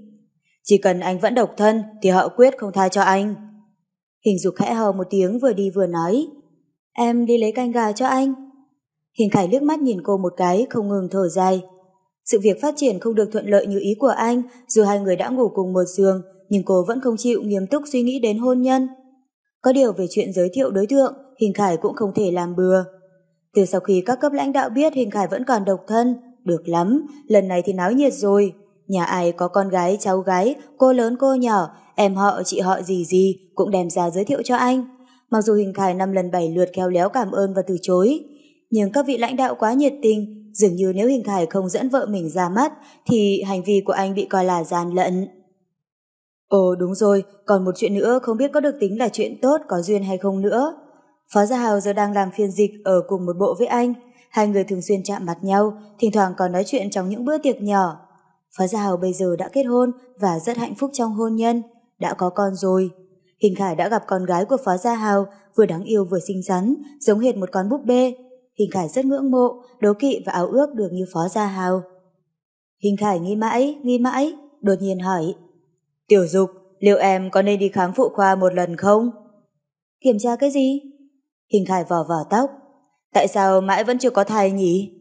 Hình Dục dững lại. Tại sao đang yên đang lành lại nhắc tới chuyện này? Em cũng không rõ nữa. Có lẽ là chưa rơi vào đúng ngày mà thôi. Hình Khải không hiểu chuyện này có gì mà còn phải đúng ngày với không đúng ngày. Nhưng cả một năm rồi anh đều mồ hôi như tắm trong sự nghiệp chồng người. Ngoài những ngày cô đến kỳ ra, gần như cả năm không ngừng không nghỉ. Không lẽ phận anh lại hầm hưu thế sao? Này, có phải em cố ý tránh anh vào đúng ngày không đấy? Anh nghĩ có thai dễ lắm mà. Hình Khải tặc tặc lưỡi. Em là bác sĩ anh đâu nói được em. Nhưng mà cho dù anh không có bản lĩnh, bách phát bách trúng, thì ít nhất tung lưới mãi cũng phải bắt được con cá tép chứ. Hình dục nhướng mày, thần sắc rõ ràng là đang băn khoăn. Ồ, chỉ biết ồ ồ ồ, em cũng sắp tới độ tuổi vàng để sinh nở rồi đấy. Anh thật không hiểu, sắp đầu ba đến nơi rồi, mà làm tới làm lui cũng không khiến cho chúng nó gặp nhau chứ. Tên tiểu tử phó gia hào đó, ngày nào cũng mang việc này ra để chiêu thức anh. Hai năm nữa, con gái cậu ta có thể làm việc nhà được rồi. Hình Khải than vắn thở dài, anh thật sự sốt ruột. Anh chắc chắn rằng đứa con có khả năng cải thiện tình hình hiện tại của anh. Tám năm kháng chiến trường kỳ cũng kết thúc rồi. Anh đã kháng chiến 13 năm còn chưa mãn hạn. Nếu còn tiếp tục thế này, với tình trạng luôn bị quá tải và áp lực vì công việc như hiện giờ, e là thể lực của anh không thể trụ được nữa. Hình dục lại suy nghĩ không nói, cụp mắt xuống, chăm chú nhai cơm. Hình khải nhướng mày chừng mắt với cô. Ồ, đã thấy sự giằng co đấu tranh trong đôi mắt cô rồi, ha ha. Anh Dương Minh cũng đã kết hôn đâu, anh ấy còn lớn tuổi hơn anh mà người ta còn chưa lo kìa. Cậu ta là lãng tử mà, tự do tự tại ngao du khắp nơi non xanh nước biển. Anh thấy rõ ràng cậu ta muốn đi hái hoa tươi, ở các vùng khác thì đúng hơn. Vừa nói xong, Đặng Dương Minh đã hầm hở bước vào. Hình Khải, cậu được lắm, cậu đang lén nói xấu mình đúng không? Hình Khải cười cười, gọi Đặng Dương Minh vào cùng ăn cơm. Dương Minh cũng không khách sáo, vốn anh đến để ăn trực, mà. Có điều đầu tiên phải chắc chắn Hình Khải ở nhà anh mới xuất hiện. Hình Khải không quan tâm, đợi Hình Dục đi vào bếp, anh khoác vài Đặng Dương Minh thì thầm. Cậu hãy mau nghĩ cách giúp mình, làm sao có thể khiến một cô gái không muốn sinh con phải mang thai. Ý cậu muốn nói ai? Lẽ nào là Hình Dục? Ồ, Đặng Dương Minh cố ý nói lớn tiếng, lập tức bị Hình Khải bịt miệng lại. Hét gì thế, để Hình Dục nghe thấy không ổn đâu. Mình chẳng phải đang muốn sinh con trước rồi mới cầu hôn sao? Hình Khải liên láo nhìn quanh, căng thẳng vô cùng. Dương Minh gạt gạt tay bạn ra rồi chán ghét đưa tay lên lau miệng nhăn nhó. Giờ cậu cũng là nhân vật có sừng có sạn trong giới chính trị, sao đến một người con gái cũng không giành được thế? Cậu còn nhớ trước khi vào trường quân sự cậu đã nói gì không? Cậu nói khi về sẽ lấy cô ấy, nhưng đã hơn 10 năm trôi qua rồi Hình Khải. Liệu cậu có làm được không? Dùng khả năng đối thoại của cậu để thuyết phục cô ấy đi. Được, mình thừa nhận với cậu mình vô dụng, mình không giành được cô ấy. Hình Khải buồn bã nằm bò ra bàn. Tuổi thanh xuân của mình cũng bị cô ấy bào mòn tương đối rồi, tình khí cũng bị mài rũa rồi. Giờ mình chỉ chờ ngày về với trời với đất thôi. Có cần mình nói chuyện với cô ấy không? Dương Minh nghiêm túc hỏi. Cậu nói gì với cô ấy? Hỏi cô ấy xem có phải thật ra cô ấy muốn lấy mình, nhưng lại ngại cậu. À, cậu dám? Đặng Dương Minh bị đánh ngã ngửa xuống nền, hình khải ngồi trên người anh ra sức bóp cổ. Lúc này hình dục bừng nổi cành tới, thấy hai tiểu tử đang vật nhau lăn lộn dưới nền, cô mím môi cười nghỉ ngợm cũng không kém năm xưa là bao nhỉ, cố lên. Nói xong lại đi vào bếp. Hình Khải lúc này mới nhận thấy hai người đàn ông mặc vest lịch sự lại chơi một trò chơi không phù hợp với độ tuổi chút nào. Con người đúng là loài động vật đòn sóc hai đầu. Trước mặt người khác thì làm bộ làm tịch, về tới nhà là lập tức hiện nguyên hình ngay. Hình Khải nghiêng người ngã nằm ra nên lẩm bẩm nói. Trong trận chiến này mình đã không ngừng hạ thấp tiêu chuẩn. Yêu hay không yêu mình đã không còn băn khoăn nữa. Chỉ cần khi còn sống, cô ấy thừa nhận đã từng thích mình là được. Hình Khải, mình vẫn luôn biết cậu là người trọng tình cảm, nhưng cậu có thể nghe mình khuyên cậu một câu không? Từ bỏ đi, nếu cô ấy muốn, sớm đã làm rồi. Đặng Dương Minh nằm bò trên ghế sofa, vô vỗ vai Hình Khải. Bộ dạng yếu đuối này của Hình Khải chỉ mình Đặng Dương Minh được chứng kiến. Nhưng nhìn thì nhìn, trong lòng anh thật sự không dễ chịu chút nào. Hình Khải cười chua xót. Chỉ có cậu biết ngày nào mình cũng sống trong chịu đựng. Trước mặt cô ấy, mình không những phải tỏ ra vui vẻ, mà còn phải đóng vai chính trong vở kịch tình yêu. Nhưng mình cũng muốn nói một câu mà nghe xong nhất định cậu sẽ buồn nôn. Tình cảm của mình dành cho hình dục không còn là thứ tình cảm có thể khống chế nữa. Mình không thể từ bỏ cô ấy. Cô ấy muốn bảo mòn mình, hành hạ mình, mình cũng chấp nhận. Cho tới khi giả nua, phải ngồi xe lăn là xong chuyện. Dương mình không chế nhạo tấm tình si của hình khải, nhưng vô tình cũng bị những lời chân thành đó làm cho cảm động. Con người tùy tiện bá đạo trước kia của hình khải đã hoàn toàn biến mất, đứng trước mặt anh bây giờ là một kẻ điên vì tranh giành tình yêu mà không ngừng dè vò bản thân. Thật là tình yêu, mẹ kiếp, không biết nó là cái trò gì chứ. Ha ha, vốn nó không phải là trò chơi rồi. Hình Khải nhếch nhếch mép. Đặng Dương Minh nhảy khỏi ghế sofa, giả sức lắc lắc vài Hình Khải lo lắng hỏi. Hình Khải, cậu hãy trả lời mình một cách nghiêm túc nhất. Cậu chưa bao giờ nghĩ rằng vì không nhận được sự hồi đáp của cô ấy nên mới không chịu buông tay đấy chứ. Hình Khải cười khan, lắc lắc đầu một cách chắc chắn. Trời biết đất biết, anh chưa bao giờ mất hình dục, nhưng dường như cũng chưa từng có được cô. 13 năm rồi, anh vẫn mãi đứng ở trên miệng vực ngăn trở. Bao giờ cô mới chịu được đi đến kéo anh lại đây? Đặng dừng mình thấy nhói lòng khi anh chứng kiến những người đàn ông bên cạnh hình dục bị lần lượt bị đánh bại và phải lựa chọn từ bỏ trước sự lạnh lùng của cô. Chỉ có hình khai là chưa bao giờ thay đổi. Nói cách khác, trái tim của hình khai đã dành cho hình dục từ lâu rồi. Anh không dám lấy lại nữa. Hình dục vẫn như mọi ngày đi làm ở phòng cấp cứu. Lúc này một tin tức chấn động như cuồng phong khiến cô gần như ngất lịm đi. 28 phút không giây, ngày 14 tháng 5, ở Bắc Xuyên, Vấn Xuyên, thuộc Tứ Xuyên xảy ra một trận động đất mạnh 8 độ Richter. Đây là trận động đất lớn nhất, có phạm vi ảnh hưởng và tàn phá rộng nhất kể từ khi Tân Trung Quốc được thành lập cho tới nay. Lần động đất này đã làm san bằng khoảng 50 vạn mét vuông diện tích, khu vực chiều dương môn của thành phố này chính là vùng đất dưới tòa nhà văn phòng cũng chịu ảnh hưởng của trận động đất. Nhưng những tin tức liên quan chưa chính thức công khai có bị thiệt hại về người hay không vẫn còn là một ẩn số. Thật ra xung quanh bệnh viện cũng cảm nhận được sự rung chuyển, nhưng những nơi đông người là nơi thường tạo ra không khí khủng hoảng nhanh nhất.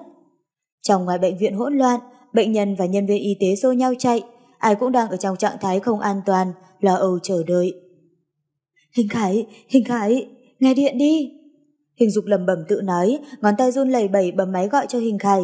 Chính vì tất cả mọi người ai cũng lo lắng cho bạn bè và người thân, nên di động mạng, các phương tiện truyền tải thông tin đều tắc nghẽn.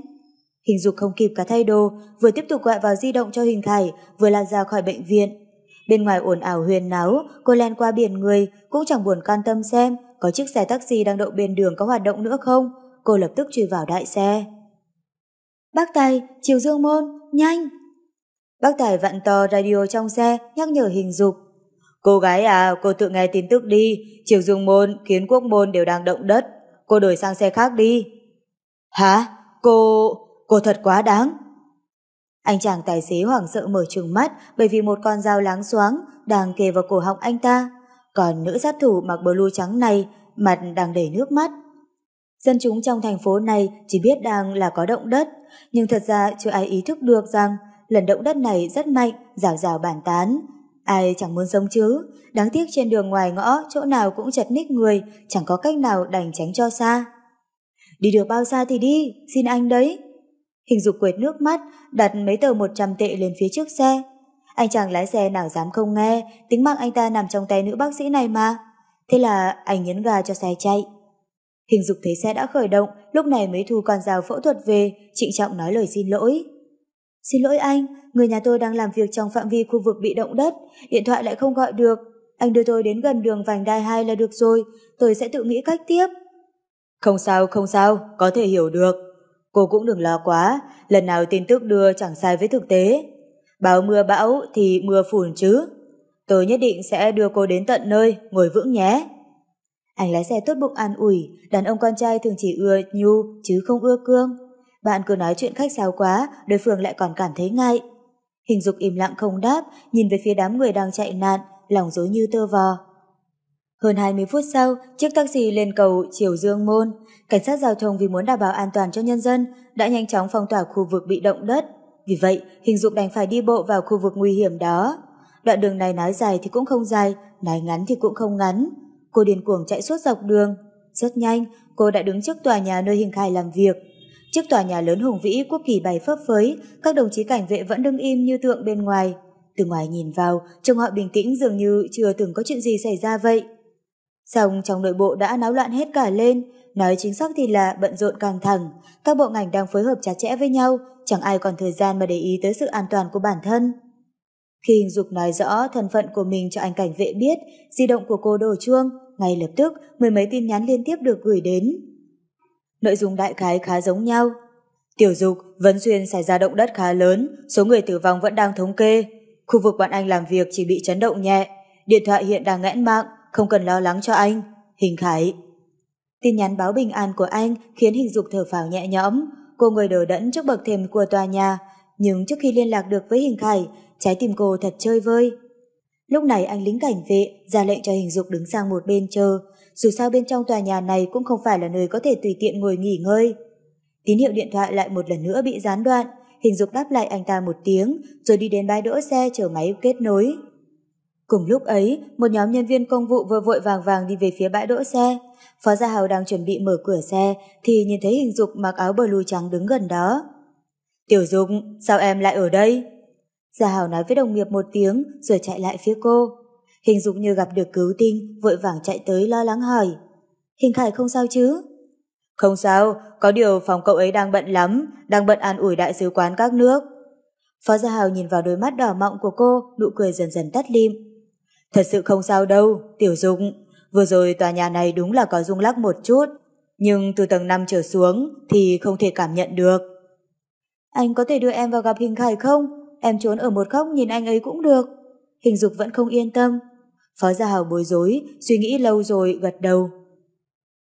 Trong thang máy, Gia Hào nghiêng đầu nhìn Hình Dục, thoát cái đã 6-7 năm rồi không gặp, cô không thay đổi nhiều, hoặc nói cách khác thì là từ thời thiếu nữ cô đã luôn thể hiện trước mặt người khác một vẻ mặt bình tĩnh nhàn tản. Tiểu Dục, anh phải thừa nhận với em một chuyện. Anh đã từng đọc trộm nhật ký của em. Hình Dục khẽ khựng người lại.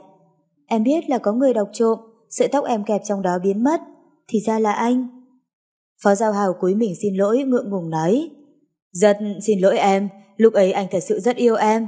Em cũng là người con gái đầu tiên mà anh nghiêm túc theo đuổi. Không nhận được tình cảm đáp lại của em anh rất đau khổ. Anh cũng chỉ là đoán mò em có thói quen viết nhật ký, vì vậy đã... Xin lỗi.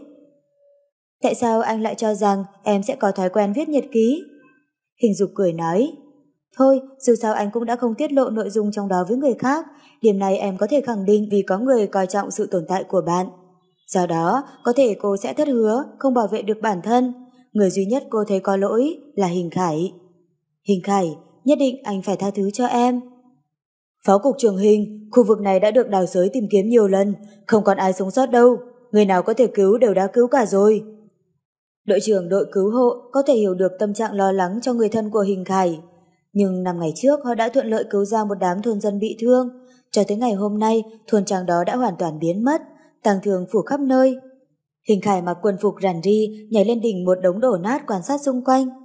Suốt dọc đường đi anh trầm mặc không nói, trong mắt vẫn lấp lánh niềm vui, bởi vì qua lời của một người được cứu, anh biết rằng nơi cuối cùng hình dục xuất hiện là ở gần đây. Cô rời đi từ 8 ngày trước, đối với anh mà nói, đây là một tin tức hết sức tốt đẹp. Anh tin hình dục còn sống. Hình Khải chậm chậm ngẩng đầu nhắm mắt lại, hít một hơi thật sâu, cố gắng giữ tâm trạng vui vẻ lạc quan. Tiểu dục, ngày 18 tháng 7 là sinh nhật 28 tuổi của em. Anh rất xấu hổ, bao nhiêu năm chưa bao giờ được ở bên em vào ngày sinh nhật. Năm nay định xin phép nghỉ mấy ngày đưa em đi chơi, thì trời lại không chiều lòng người. Sang năm, anh hứa với em, nhất định sẽ cùng em tổ chức một sinh nhật vui vẻ. Tiểu Dục, xin em, bằng bất cứ giá nào cũng hãy tin vào lời anh đã hứa. Tiểu Dục, xin hãy giúp anh tìm ra phương hướng, anh biết em còn sống, nhất định còn sống. 13 năm nói dài không dài, nói ngắn không ngắn, em chắc chắn không nỡ rời xa anh khi chưa nói lời tạm biệt, đúng không? Chờ đợi một phút, hai phút. Đúng vào lúc ấy, một cơn gió lạnh thổi tới, nhân viên cứu hộ người nào người đấy như bừng tỉnh, nhảy lên thang mà chiếc trực thăng vừa thả xuống. Cục phó hình, mà đất đang chuyển động, mau lên đi. Đội trưởng đội cứu hộ túm lấy loa gọi lớn. Hình Khải lờ đi như không nghe thấy, anh thậm chí còn không muốn nghe thấy những kết luận được đưa ra từ máy thăm dò nữa. Anh phải dùng cách nguyên thủy nhất, dùng thính giác, hơi thở, dùng trái tim để cảm nhận, để tìm thấy người con gái anh trân trọng hơn cả bản thân mình. Chậm chậm, Hình Khải giơ ba ngón tay lên, trái tim kiên định như thép không dễ gì lay chuyển. Tiểu dục, chẳng cần phải bàn bạc gì nữa, anh cảnh cáo em một lần nữa, hoặc là cùng chết, hoặc là cùng sống. Cứ thế, lại chờ đợi thêm vài phút. Không biết do ông trời cảm động sự si tình của anh hay đúng lúc có một tia sáng dọi thẳng vào mắt, Hình Khải cảm nhận được mở to đôi mắt, nhìn về phía hướng đông nơi trong rừng sâu. Anh cầm ống nhòm lên nhìn, thấy một con suối nhỏ đang không ngừng chảy từ trên cao xuống. Ánh sáng phản chiếu qua mặt nước đến vị trí của anh. Một điểm sáng, sáng lấp lánh như kim cương. Rất dễ thấy rằng những nơi có nước mới có đủ điều kiện cơ bản để sự sống sinh tồn. Trái tim hình khải đập thình thịch, nhanh như một mũi tên nhảy lên thang dây, chỉ huy người phi công xuyên qua rừng cây rậm rạp, đi về phía trước nguồn nước. Mặc dù không ai tin một nơi bị núi sập xuống như thế còn có sự sống, nhưng tất cả vẫn tuân theo mệnh lệnh của hình khải. Dù sao, kỳ tích vốn do con người tạo ra. Trực thăng ù ù tiến về phía đó, nhưng khu rừng rậm rạp, không có nơi để đáp xuống, dư chấn lúc nào cũng có thể xảy ra. Hình Khải không thể vì một mình mình mà hy sinh tính mạng của những thành viên trong đội cứu hộ. Vì vậy anh tự mình nhảy xuống, ra lệnh cho mọi người tạm thời ở trên không trung, đợi anh thông báo tình hình.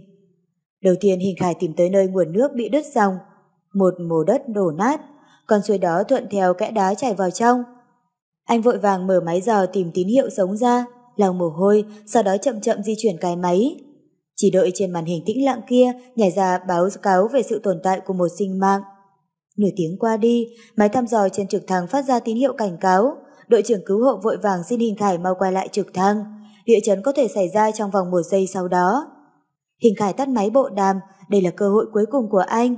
Người đã đến đây rồi, không định quay về một mình. Thời gian chậm chậm trôi đi, dù mồ hôi thấm ướt một bộ quần phục của anh, nhưng anh vẫn rất bình tĩnh, vẫn kiên trì tin rằng nhất định sẽ có thể tìm thấy cô. Tiểu dục, anh biết em ở ngay cạnh anh thôi, mặc dù đất đá là mất liên lạc giữa chúng ta, nhưng huyết mạch anh vẫn đang chảy rất mạnh mẽ. Sự mạnh mẽ đó cho thấy em đang ở rất gần anh, rất gần. Trời không phụ lòng người, cuối cùng 7 phút sau, từ máy dò tìm phát ra tín hiệu vui mừng, tít tít tít. Hình Khải ngồi bệt xuống đất, rơi nước mắt vì chuỗi âm thanh liên tiếp này. Tất cả mọi người mau tới đây, tìm thấy rồi, tìm thấy rồi. Nhận được mệnh lệnh, trực thăng quay vòng vòng trên trời, khi tới độ cao cho phép, nhân viên cứu hộ nhảy xuống. Không có máy xúc máy khoan, họ phải dùng mìn để phá đá mở đường. Tiếng nổ vàng trời thách thức thính giác của một người gặp nạn đang mắc kẹt. Anh ta từ từ mở mắt sau khi bị hôn mê.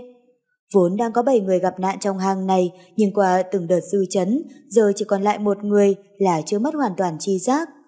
Mặc dù người bị nạn này không nhìn thấy gì, nhưng từ ngày hôm qua, trong hang động tối âm, giờ nằm bàn tay ra trước mặt cũng chẳng nhìn thấy gì, đã không còn ai nói với anh ta câu nào nữa, còn anh ta chỉ có thể nghe thấy hơi thở yếu ớt của chính mình. Đồng thời, chân trái của anh ta bị đá đè nên anh không thể nhúc nhích. Càng chẳng có hơi sức mà kêu cứu, trong bóng tối anh ta hoảng loạn lần sờ với ý đồ tìm được vật gì đó có thể tạo ra âm thanh. Nhưng chỉ có mấy tiếng giấy vụn rách nát, anh ta cố gắng lết về phía trước, thò một ngón tay thô gầy của mình ra ngoài khe sáng. Rất nhanh, đội cứu hộ phát hiện ra người bị kẹt đầu tiên. Tất cả mọi người đều nở nụ cười sung sướng. Nhưng bất hạnh là phải tiến hành phẫu thuật cắt chân cho người này gấp. Thế là được sự đồng ý của người bị nạn, đội cứu hộ bắt đầu chuẩn bị phẫu thuật. Hình Khải lại chú ý tới mẩu giấy nát mà người được cứu đang cầm trong lòng bàn tay đầy máu của anh ta. Anh vội vàng bóc tờ giấy ra, cố gắng nhìn những nét chữ trên đó và lờ mờ đọc được chữ Hình Khải. Nước mắt của anh lại một lần nữa trào ra. Hình dục ở trong đó, tôi chắc chắn cô ấy ở trong đó. Đưa sẻng cho tôi, đưa cho tôi tất cả mọi dụng cụ có thể đào được. Hình Khải đã không còn nói được theo thứ tự gì nữa, tâm trạng đó không thể diễn tả bằng lời. Mặc dù không thừa nhận bằng lời, nhưng trong lòng đã khẳng định chắc chắn. Bây giờ, hình dục của anh đang ở một nơi rất gần chờ anh tới cứu. Tìm lại được rồi, tìm lại được rồi. Nhưng khi một hòn đá được lật ra, khi nhân viên cứu hộ phát hiện ra hình dục, trong lòng cô đang ôm một cậu bé trai, cả tảng đá lớn đè lên lưng cô. Nếu họ không nhìn nhầm thì xương sống lưng của cô đã bị gãy dập biến dạng. Từng đám máu đen xì động lại xung quanh, đến đôi giày trắng đang đi ở chân cũng bị nhuộm đỏ bộ dạng đó của cô giống như là đã chết rồi, hoàn toàn không còn sự sống. Lúc này, ánh mắt của những đội viên cứu hộ đang chăm chú quan sát nét mặt của hình khải, còn hình khải thẫn thờ mở mắt nhìn chừng chừng vào cơ thể, gần như bị đẻ nát của hình dục. Anh rất muốn ôm lấy cô, nhưng hai chân anh không thể nhúc nhích nổi, thậm chí còn hoảng sợ giật lùi về phía sau, chỉ lắp bắp nói. Không, không. Rầm một tiếng, hình khải ngất xỉu. Ngay sau đó, ngón tay đứa bé cử động, rồi một tiếng khóc ré lên, xuyên thẳng lên tận trời cao. Ngón tay bị thương của hình dục nhét trong miệng đứa trẻ, máu tươi nhỏ ròng ròng. Đây chính là kỳ tích giúp duy trì sự sống cho nó. Không chỉ đứa trẻ, trong trận chiến với trời này, qua sự cố gắng không ngừng nghỉ của cô đã cứu sống được hơn 10 mạng người. Mặc dù không ai biết tên họ của cô, nhưng nụ cười không thỏa hiệp của cô mãi mãi khắc sâu trong lòng những người được cứu sống. Tối đó, khi hình thải tỉnh dậy, đã thấy mình đang nằm trên giường bệnh. Đột nhiên, anh giật phát ống truyền trên tay ra, loạn choạng chạy ra khỏi phòng bệnh. Nhưng anh vừa ra khỏi cửa, hai nhân viên cứu hộ đã đứng chặn đường anh. Cục phá hình, xin anh hết sức bình tĩnh. Các bác sĩ đang gắng hết sức để cứu hình dục. Cô ấy chưa chết. Phải, phải không? Còn sống, còn sống phải không? Hình Khải chưa bao giờ nghĩ mình còn dễ khóc hơn cả con gái thế này. Nước mắt anh túa ra như chiếc vải hoa sen, chảy mãi không dứt. Sắc mặt đội trưởng đội cứu hộ u buồn, nặng nề gật đầu, rồi lại báo cáo tình hình. Lần này đội cứu hộ tìm được tất cả 7 người, 6 người lớn và một trẻ con. Trong đó 4 người đã chết, một người gãy chân, đứa bé bình an vô sự. Còn hình dục... Trước khi hôn mê có lẽ đã tự tiêm cho mình một loại thuốc cấp cứu nào đó, vì vậy may mắn vẫn còn chống đỡ được. Nhưng phần đầu của cô ấy bị thương rất nặng, toàn thân bị gãy bảy chiếc xương, đâm vào nội tạng khiến chảy máu trong. Tạm thời không thể biết tỷ lệ sống sót là bao nhiêu. Báo cáo xong, đội trưởng đội cứu hộ lại lấy ra một cuốn sổ ghi chép, vằn vện vết máu, vết đất, trên đó đưa cho Hình Khải nói. Quyển sổ này ở dưới tay hình dục, có một phần nội dung bị ai đó xé mất. Chúng tôi đã cố gắng tìm kiếm, giao cho anh giữ. Nghe xong, Hình Khải phải giơ tay lên tới ba lần mới cầm được quyển sổ. Đấy là quyển nhật ký của hình dục, tất cả mọi bí mật của cô đều được cất giấu trong đó. Nhưng không có cô ấy, anh chẳng còn hứng thú tò mò với bất kỳ chuyện gì. Đầu như bị rót thủy ngân vào, đầu tới mức co giật. Anh đã không còn dám nghĩ nữa, không dám đến gần phòng phẫu thuật, không dám nghe bất kỳ tin tức nào liên quan đến hình dục. Tất cả những âm thanh xung quanh đều khiến anh hoảng sợ. Anh quay về phòng bệnh khóa cửa lại, ngồi thu lưu ở góc tường, ngón tay bám chặt vào cuốn sổ nhật ký dính máu, gục đầu vào giữa hai đầu gối. Bóng tối cô đơn sao mà lạnh lẽo, còn anh dường như quay lại buổi tối nào đó của 13 năm trước. Những ngày tháng không có hình dục, không có cô, anh chỉ là một đứa trẻ mất phương hướng. Nhìn xem, đừng bỏ anh lại, đừng nhẫn tâm như thế, xin em đấy được không? Hình Phú Quốc mặc dù không thể tới hiện trường nhưng đã tìm được bác sĩ ngoại khoa giỏi nhất trong thành phố về phối hợp với bệnh viện để bàn bạc phương án chữa cho hình dục. Đích thần gọi điện thăm hỏi tình hình của cô. Khi từng tin tức không thấy khả quan lọt vào tay ông, đôi mắt khô khốc của ông lại trào dâng cảm xúc. Hình dục đã nằm trong phòng phẫu thuật 18 tiếng đồng hồ rồi.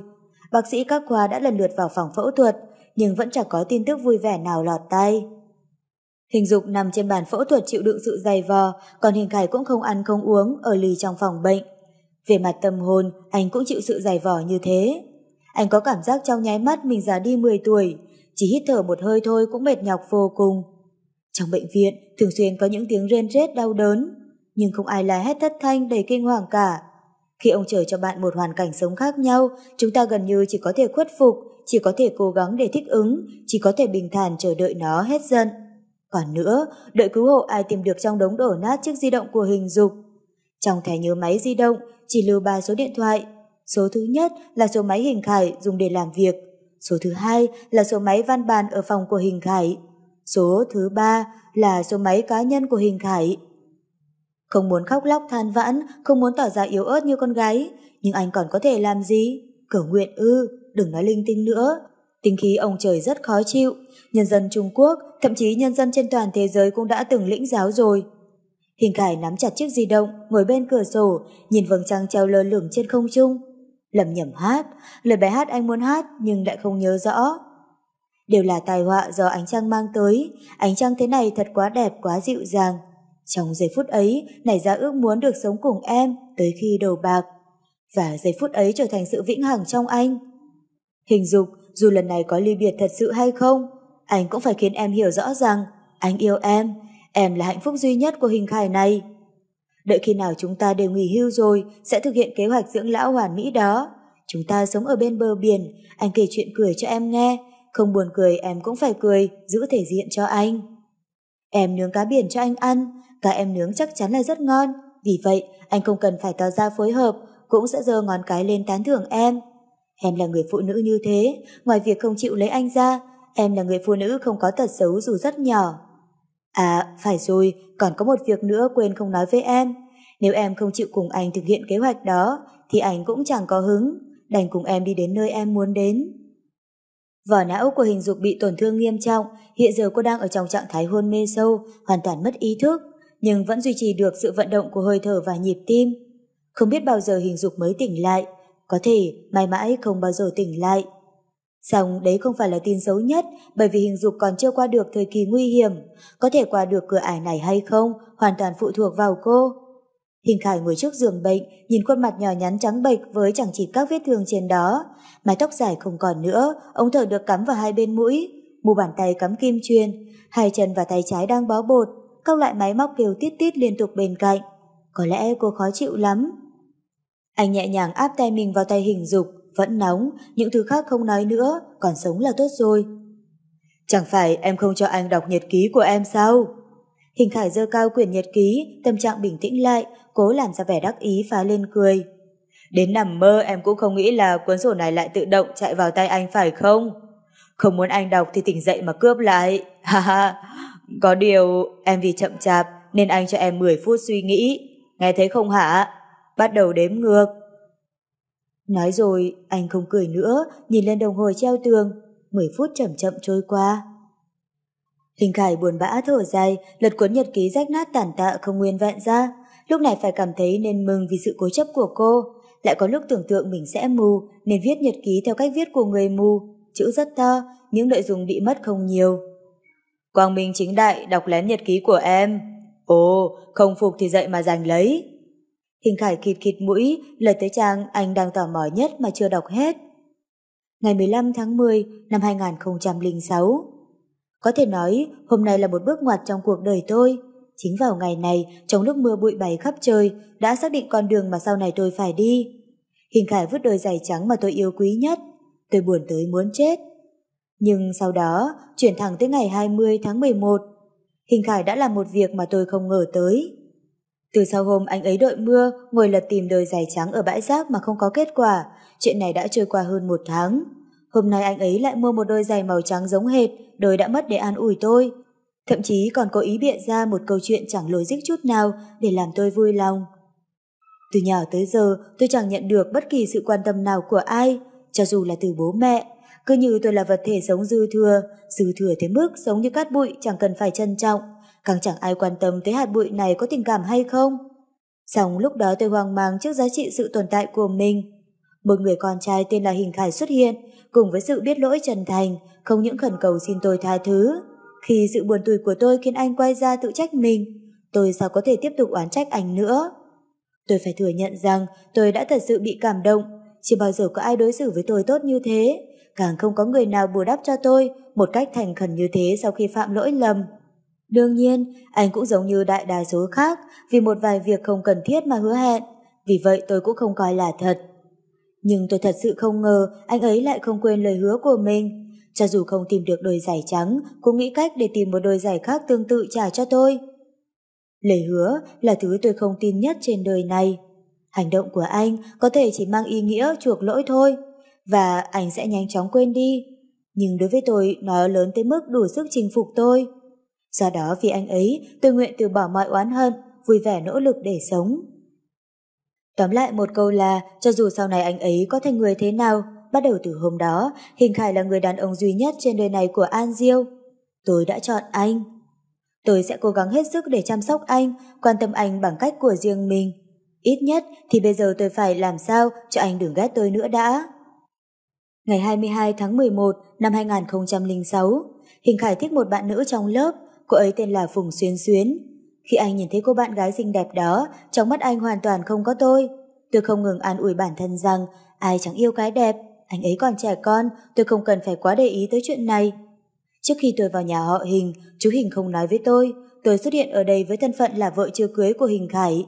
Vì vậy, khi chú làm rõ mọi chuyện trước mặt Hình Khải, tôi rất kinh ngạc, nhưng không phản đối. Dù sao chú Hình cũng là ân nhân của tôi. Vào giây phút biết tin cha mẹ chết, tôi đã không còn muốn sống nữa.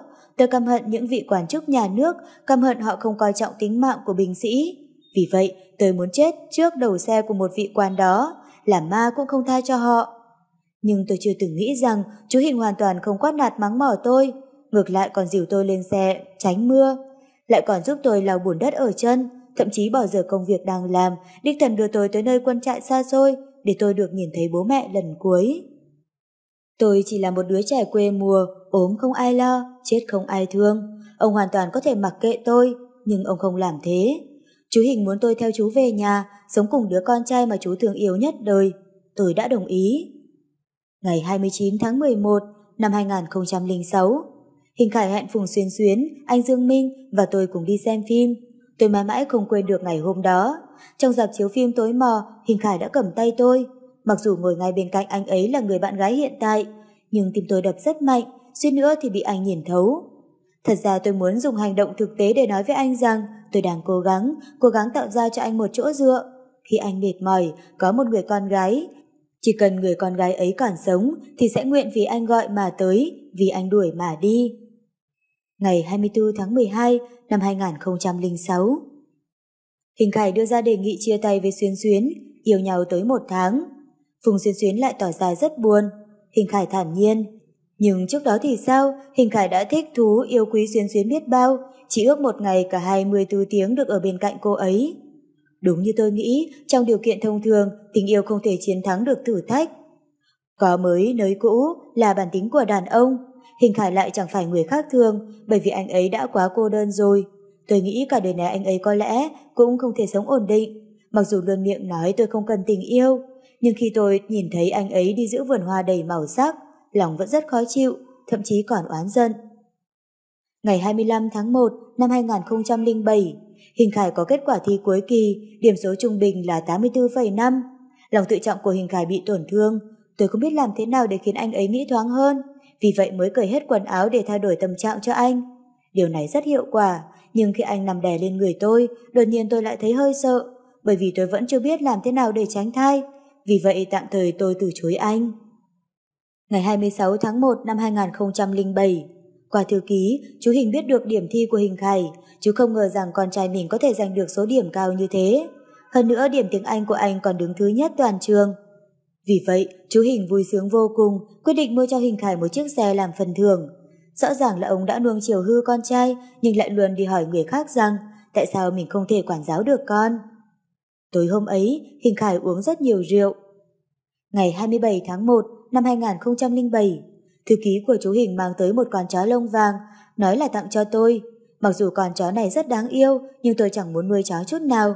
Tôi nhẫn tâm bắt nó ở ngoài vườn không cho vào nhà. Hình Khải là một cái chuồng cho nó, bằng tôi không có tình yêu thương động vật, tôi thừa nhận. Còn nguyên nhân thì... Tuổi thọ của chó quá ngắn, một khi lún vào tình cảm sâu đậm với nó, tôi sẽ lại phải đối mặt với sự mất mát. Xin lỗi đại dục, mày đừng giận tao nhé. Ngày 30 tháng 1 năm 2007, chú Hình hỏi Hình Khải muốn học đại học hay vào trường quân sự. Hình Khải đến hỏi ý kiến của tôi. Lựa chọn khác chính là câu trả lời của tôi. Chưa bao giờ tôi quan tâm tới việc anh bay cao bay xa đến đâu, tôi chỉ quan tâm anh bay như thế có mệt hay không thôi. Hơn nữa, trong trường quân sự rất gian khổ, đương nhiên tôi không muốn anh vào đó, vì vậy tôi nói muốn anh học đại học trong thành phố này, nhưng anh ấy không nghe. Ngày 26 tháng 8, Hình Khải nói anh ấy thích Porsche. Tôi đến hiệu sách trả tài liệu, rẻ nhất cũng phải mất hơn 70 vạn tệ. Tôi nghĩ cả đời này tôi cũng chẳng kiếm đủ tiền để mua chiếc xe ấy. Vì vậy, tôi đành lén lút làm thêm kiếm chút tiền, định mua cho anh một chiếc mô hình Porsche. Nhưng sau này bên cảnh sát tìm ra được nơi làm của tôi, tôi bị giam trong đồn gần 10 tiếng đồng hồ.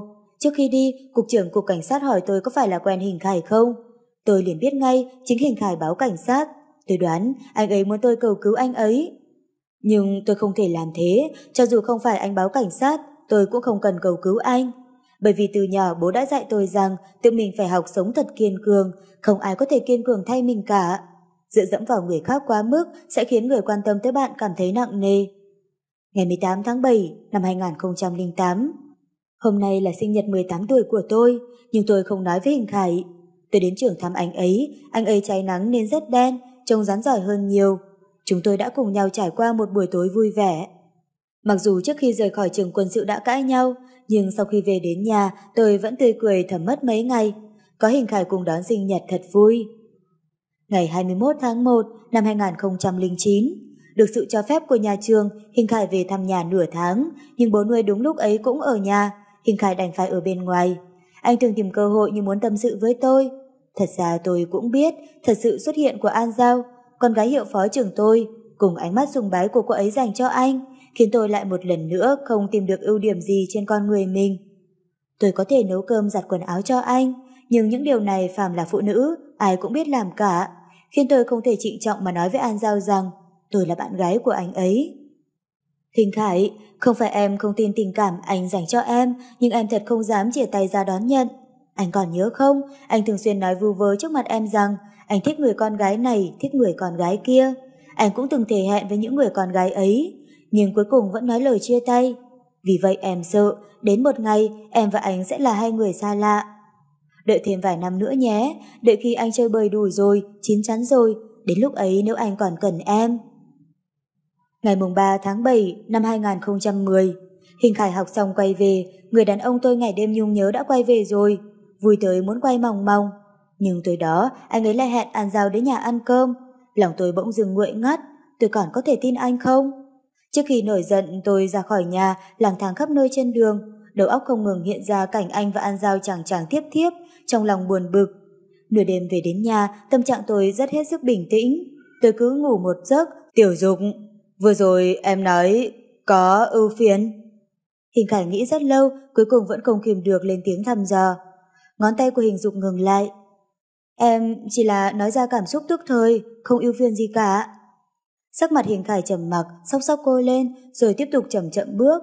Gió biển làm rối tung mái tóc dài của hình dục, một tay cô giữ tóc, thì cắm lên vai hình khải, nhắm mắt lại, hưởng thụ cảm giác ngọt ngào và không gian yên tĩnh không dễ dàng có được này. Tiểu dục, nếu em thích biển đến thế, đợi khi nào chúng ta ra, sẽ về sống gần biển được không? Phải già tới thế nào? Cô buồn cười hỏi. Năm 60 tuổi, đến khi ấy chúng ta đều đã nghỉ hưu rồi. Đương nhiên có thể nghỉ hưu sớm, chủ yếu là em muốn thế nào thôi. Chúng ta sẽ mua một chiếc du thuyền nhỏ, có thể vi vô trên biển. Khi nào em muốn ra biển, anh sẽ đưa em ra, ngắm cảnh, câu cá. Nếu em chán du thuyền rồi, chúng ta có thể mua một căn nhà nhỏ gần bờ biển. Cuối cùng ngồi tắm nắng trên bãi cát vàng, uống nước dừa. Anh kể chuyện cho em nghe. Dù hay dù không, em cũng nên chiều lòng anh mà cười mấy tiếng. Phải rồi, còn có thể nướng thịt trên bãi biển nữa. Anh sẽ nướng tôm nướng cá cho em ăn, em bóc vỏ tôm, thế nào? Hình Khải đợi rất lâu, vẫn không thấy hình dục trả lời. Anh truy hỏi hai ba lần, hình dục mới từ từ gật đầu, cố gắng kiềm chế, nhưng cô họng nghẹn ngào không chịu nghe lời. Vâng. Hình Khải thu lại nụ cười vừa hé trên môi, bởi vì anh cảm thấy cô có một chất dịch ướn ướt rơi xuống vai mình. Nhưng anh vờ như không biết, cười rạng rỡ nói tiếp. Ăn chán hải sản rồi, cũng không sao, chúng ta có thể chuyển vào núi sống. Chỉ cần mở cửa sổ ra là thấy sương mây ẩn ẩn hiện hiện, mơ ảo như sống trong tiên cảnh vậy. Nói gì thì nói, trình độ bắn súng của anh cũng không tồi, anh sẽ săn bắn dã thú cho em ăn. À, còn nữa, mấy năm ở trường quân sự, anh học được chút ít về nghề mộc. Anh có thể đóng một cái hàng rào nho nhỏ xung quanh căn nhà gỗ của chúng ta. Có thể làm giàn nho trong vườn. Em có thể trồng hoa nuôi chim, nuôi gà, nuôi vịt, nuôi thỏ cũng được. Em muốn ăn rau rừng thì chúng ta sẽ trồng rau. Phân gà phân vịt là thứ phân bón thiên nhiên tốt nhất. Trái cây và rau cỏ trồng được đều là những thứ rất sạch không độc hại. Ôi trời ơi, thật tuyệt vời! Hình dục vòng tay quanh người hình khải, ôm anh thật chặt. Cô không nói gì bởi vì nước mắt cô đang rơi lá chã không ngừng. Hình khai ngửa cổ ra sau cọ cọ vào chán cô, trầm giọng nói. Tiểu dục, anh không đùa đâu, chỉ cần em muốn. Đừng nói nữa, anh, anh đừng nói nữa. Hình dục cắn chặt vào tay mình để kiềm lại thứ cảm xúc mà cô đang không cách nào khống chế được. Hình Khải dừng bước đặt cô xuống, khoanh chân ngồi xuống bờ cát mịt mượt, để cô ngồi dựa vào ngực mình. Ánh mắt rớt xuống đôi mắt long lanh đầy nước của cô, nhìn cảnh biển này, cô từ từ động đậy lông mi, ánh nhìn bỗng như nhòe đi với đủ loại màu sắc. Anh, cuối cùng anh cũng đã trưởng thành thật rồi. Hình Khải làm như không thèm chấp, khẽ gì một tiếng nói. Này, khẩu khí của em khiến anh nhớ tới người mẹ đã mất nhiều năm của mình đấy. Thật không? Nói thật, em vẫn luôn luôn tìm cách để thay thế vị trí quan trọng ấy. Em muốn anh cảm nhận được sự quan tâm của em gần gũi như chân tay, mà cũng ấm áp như người của mẹ. Hình dục ngẩng đầu lên, nhìn vào đôi mắt to đan lấy của hình khải, dần dần cô như cười như không. Anh thích em làm em gái hay là mẹ anh? Thôn trang mà em từng ở đa phần là người già, nên bảo em phải đóng vai trưởng bối cũng không vấn đề gì. Hình Khải trợn mắt lườm cô, đột ngột cúi đầu xuống, áp môi mình lên môi cô, khẽ cắn một cái như có ý trừng phạt. Tiểu Dũng, anh muốn em làm vợ anh, ngoài em ra, anh chẳng có cảm xúc đối với bất kỳ cô gái nào. Cho dù con đường phía trước có dài tới đâu, cho dù em còn sống được mấy năm nữa, thì anh cũng chỉ cần tình yêu của em mà thôi. Cho dù xảy ra chuyện gì, hãy nhớ rằng anh yêu em biết bao, xin đừng rời xa anh.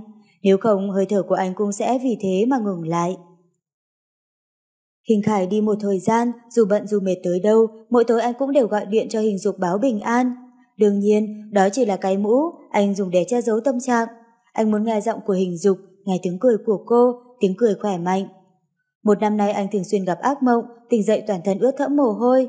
Thật ra anh không phải là một người dễ nằm mơ, mọi người thường nói người dễ nằm mơ lạc quan vô cùng, có khả năng tưởng tượng phong phú. Nhưng giấc mơ của anh ngoài cái chết ra thì là máu tươi hoặc là một màu đen kịt, chẳng phải là một giấc mơ đáng để ghi nhớ.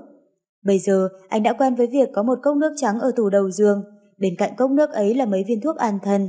Nếu hôm sau có việc phải làm, anh chỉ còn cách là uống thuốc, ép mình phải ngủ. Nếu không có việc, anh cũng không ngủ nữa, đi ra ngoài ban công đường hóng gió, pha cốc trà, chấm điếu thuốc, nhớ lại từng chút từng chút ký ức giữa anh và hình dục.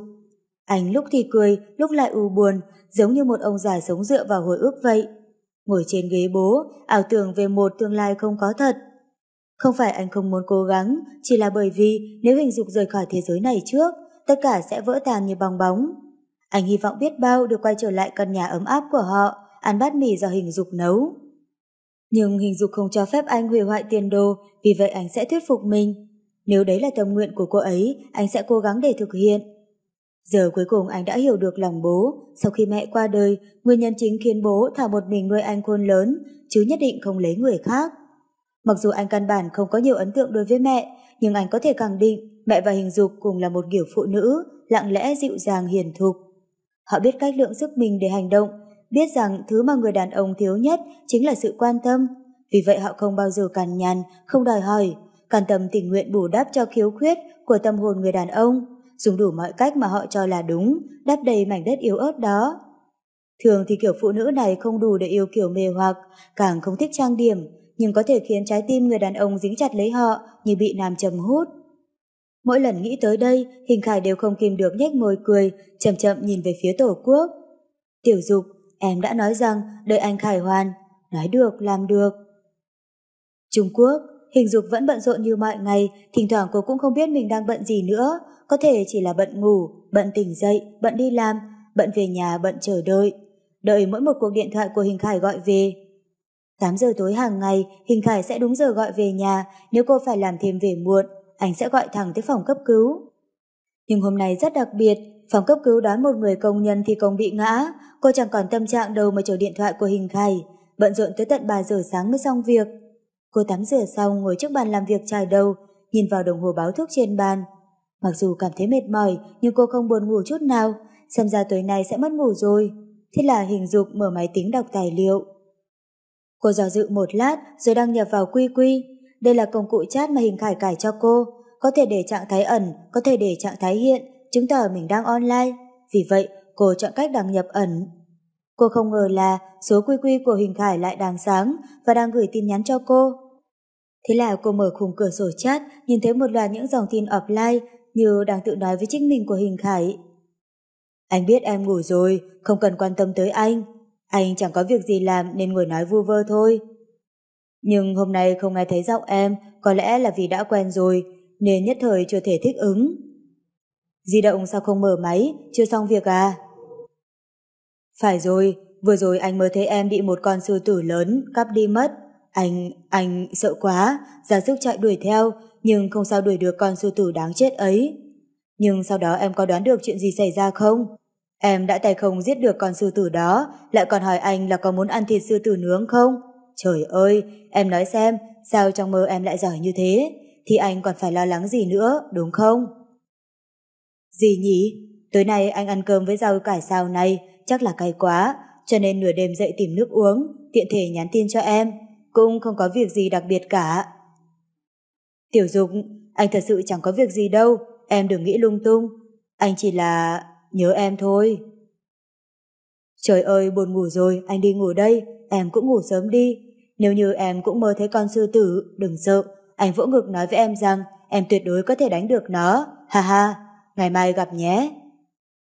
Hình dục di chuột lần lượt đọc lại những tin nhắn offline của anh, mỉm cười, mắt ươn ướt. Ngày mai cho dù thế nào cũng sẽ về nhà đúng giờ để nghe điện thoại của Hình Khải. Hả? Không được, ngồi nhớ bận quá không về được thì sao? Thôi, ngày mai nghỉ phép không đi làm nữa. Nghĩ đến đây cô đột nhiên đứng dậy đi thẳng vào bếp, hòa bột, trộn bột, cắt cà bằm thịt, bật bếp. Mặc dù đã nửa đêm canh ba, nhưng phòng khách nhà họ Hình tràn ngập mùi thơm của món cà tím nấu mì. Cô không đói, không đói chút nào cả, chỉ mong mùi hương quen thuộc này có thể bay thật xa, thật xa.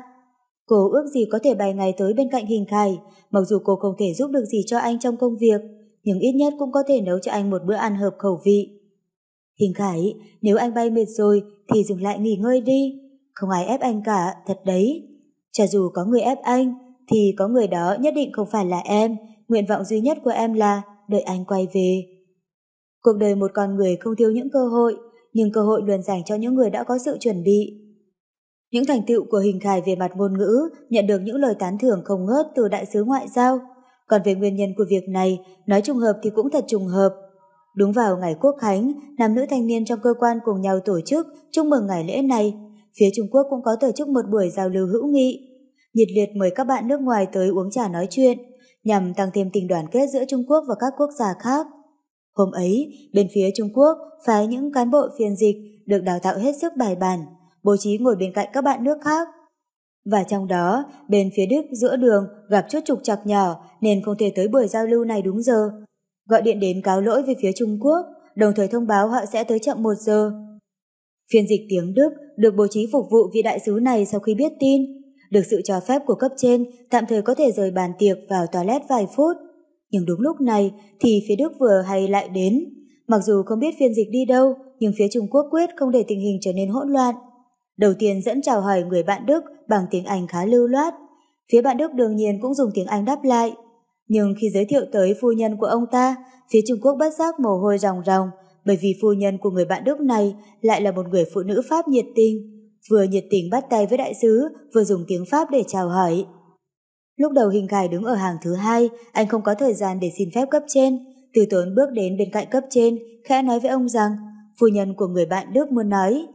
Bà ta đã từng tới Trung Quốc du lịch rất nhiều lần, đang khen lụa của Trung Quốc rất đẹp. Nói thông tục một chút thì là nghi lễ ngoại giao chính là bộ mặt của Trung Quốc, đại diện cho hình tượng và thành tựu của người Trung Quốc, không được để xảy ra dù chỉ là một chút sơ suất. Lần này, nhờ có hình khải giúp cấp trên giải vây tại trận, cấp trên không suy nghĩ nhiều, chỉ thị cho Hình Khải lại nói với phu nhân người Đức rằng Trung Quốc hoan nghênh bà. Còn Hình Khải tất nhiên không bỏ lỡ bất kỳ một cơ hội xuất đầu lộ diện nào. Anh không những thể hiện thái độ thân thiện của người Trung Quốc dành cho người dân Pháp, mà còn dùng tiếng Đức để lên tiếng mời người bạn Đức nếu có dịp cùng phu nhân tới Trung Quốc du lịch. Nụ cười tươi giói nhiệt tình của Hình Khải cùng với sự phản ứng nhanh nhẹn lưu loát của anh khiến vợ chồng người bạn Đức buông lời khen ngợi không ngớt. Đồng thời, phía Trung Quốc cũng tỏ ra rất hài lòng trước những biểu hiện xuất sắc của Hình Khải. Sau khi buổi liên hoan giao lưu kết thúc, cấp trên gặp nói chuyện riêng với Hình Khải.